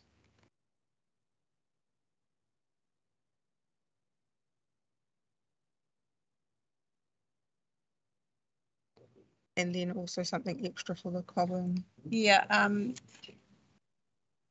Sorry, back the carriage domain as well. so you want to prioritise that one, prioritising the, what did we say, prioritising the To know what everything costs. Cobham Road Bowling Club Then car we can make park. a decision. We can't make a decision what goes first. No. until We know what each item costs. But I think what came out of that discussion, Manuela, was, if I recall it, was that, that that's a project Yeah. in, under construction. Yeah. And we haven't captured the, the particular light or lights that need to be costed and should be high priority. Is that what we're saying? Yeah. We have, we have two lights there, Madam Chairman, on that project that are for League at the moment because League's there. When League moves to whatever, we can reposition those lights around because at the moment they just shine in grass areas in the middle. Um, So there's a bit of discussion, but I'll undertake to do that with them. Is it one light or two? Two. So this is, we're talking two lights here, Cobham Road. um, I think you two can lights. make one light with two. Yeah, So- that, that's what we talked about um, for the group was so so that there wasn't a expensive jump. Good. One like closest to the boundary, so it could shine in both directions. So member Lane Ayr two Liaise with the, uh, project management company about that light. about the, the location. position and, and and allocation. So There's a number of items. This, sorry. this is, this is to do with the Kerikeri domain redevelopment and. So for it to get on the action sheet, I need a resolution, so I just wanna, I'm not sure the, con- what you want done with the common room. Okay, to Okay. confirm priority listing and obtain costings. Uh, well, we have For about that for the- all noted amenity the main funding, I lighting. Come from a whole lot of different budgets, gonna. All the noted amenity probably don't need list in this report. So that's in the report. And they could not fund the two. And Rachel came back to us. and Um, said, Cobham "Okay, Road Bowling Club car park, two lights to up." be Am I right? It is. Not just the parking lot. He wants to focus member on those lane two. mills. Which is a separate issue. Or even one for the car park, Yeah, yeah. so the bowling club and the bridge club, we Two. use it at night in particular. Yeah. Who have problems, that it is, some of those. It was problems. lane, yeah. Using that for quite a Lane. while and, uh, anything. To liaise with. So it's a safety issue both for. You can't see. Project manager. you. project. But So, excuse me. Lane, do you want to, lia- are you lia- going to liaise with the project manager or with, yeah, David Clapp and the project manager. With staff and the project. with manager. staff and project manager. Okay, We had that, what, a year ago? okay. Yes, well, I don't think fine, but I don't think- Sorry, I should. It's, it's, it's interesting the number of overlaps there are Ignore between me. the project. Okay. that would normally- Right, Yeah, but- We need to vote on that. so Let- move. Yes, I move it. So. Manuela's. Manuela's moved that. I'm going to read it out. It's not a, it's not worded as a resolution. It's not worded as a res- resolution, okay. To confirm the priority listing and obtain costings for all, Should it be that the board request from this chief executive? Yeah.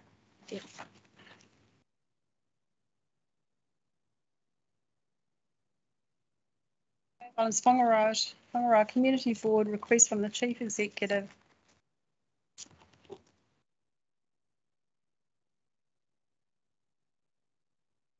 Confirmation confirmation of the prior. of the priority listing and obtain amenity costings for all noted amenity lighting in report seven point one. Cobham Road Bowling Club Car Park, two lights to be added and costed. Member Lane Ayr to liaise with staff and project manager to identify the location. Would it be and that the Cobham Road Bowling Club car park? Lights be added and cost. So the two lights, are they in the car park or are they? No, they the don't exist. They're not on the list. I suppose, So it- and, have the ability and additionally, because they're not on here, so if we cost these, they're not going to get costed unless we put them on the list. Confused? At the Cobham Road Bowling Club.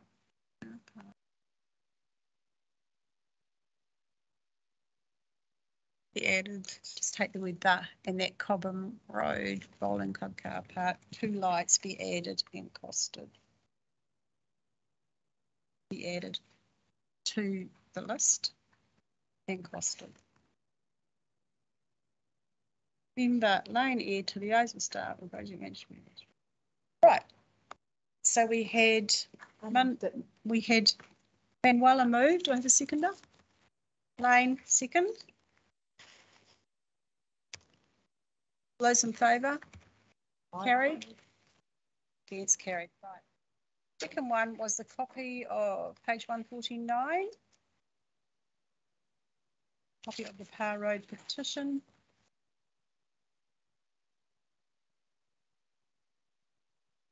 I'd like to move that a copy of the Par Road petition, no, of the Par Road report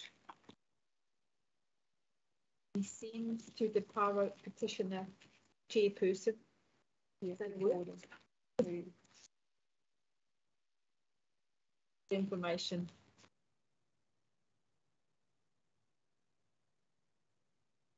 This may be the submitter of the Road Yeah, petition. sorry. We, I don't know who they were.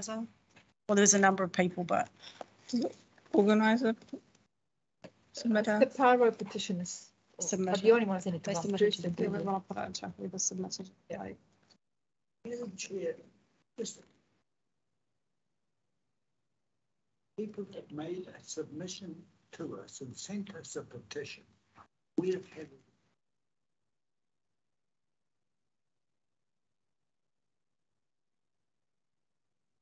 shouldn't we ask instructive? I think they just presented the petition to us as a board in the public forum, if I recall, but I'd have to go back and dig it out. Yeah. Like, Frank, we're doing a solid courtesy. We're doing it. Yeah. We're doing it because they wanted us to follow up and they wanted acknowledgement of their petition. Yeah, no, I'm just making the point. Are you happy with that? That a copy of the Power Road report be forwarded to the submitter. That's it's called Power Road, um, post-construction audit report. yeah. Yeah, and don't use the wedding, uh, road post.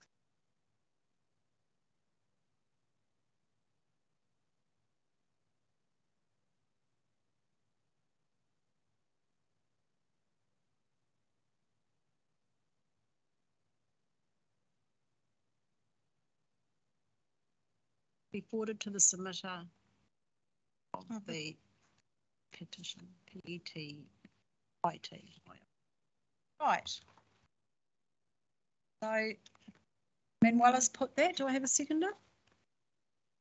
Bruce, Thank you. All those in favour? Against? Carried. So those are the two additions. And it brings us to the end of our action sheet unless I have missed something. Right. So now I'm going to move that we move into public exclusion. Did we carry the action sheet? Oh, did we vote on the action sheet? I Don't think we voted on it, did we? No. I put it, Manuela seconded it. That, that the Bay of Islands Whangaroa Community Board received the report Bay of Islands Whangaroa Community Board Action Sheet Update June twenty twenty-two. All those in favour? Against? Carried. Thank you.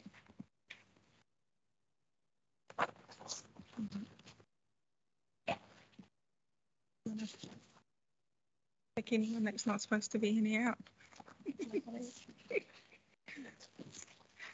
Oh, they've got to move first, they can go into pets. So part of open still is you've got to move. Yes, okay, so I'm going to move that we go into um, public exclusion.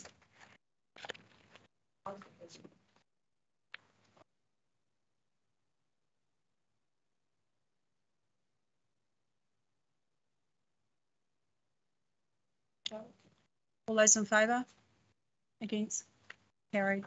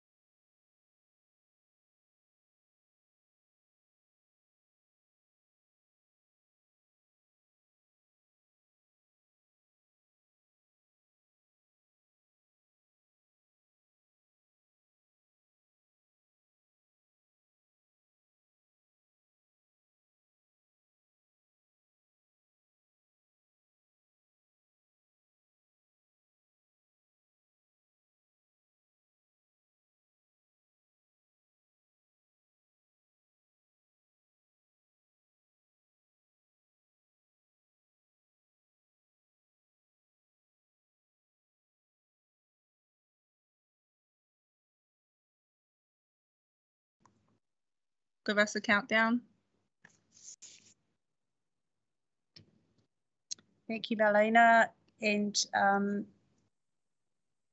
that is the end of our business for the day today. I'd just like to thank all of those who are in the room and listening to us online. And um, I will ask somebody to close with a karakia. Thank you. Dave, would you like to? Anawai? Okay, um, ai o ki te aura, ai o ki te bi, ai o ki te ao katoa, ai o ki a. Peace to the universe, the land, peace to all things, and I will. Right.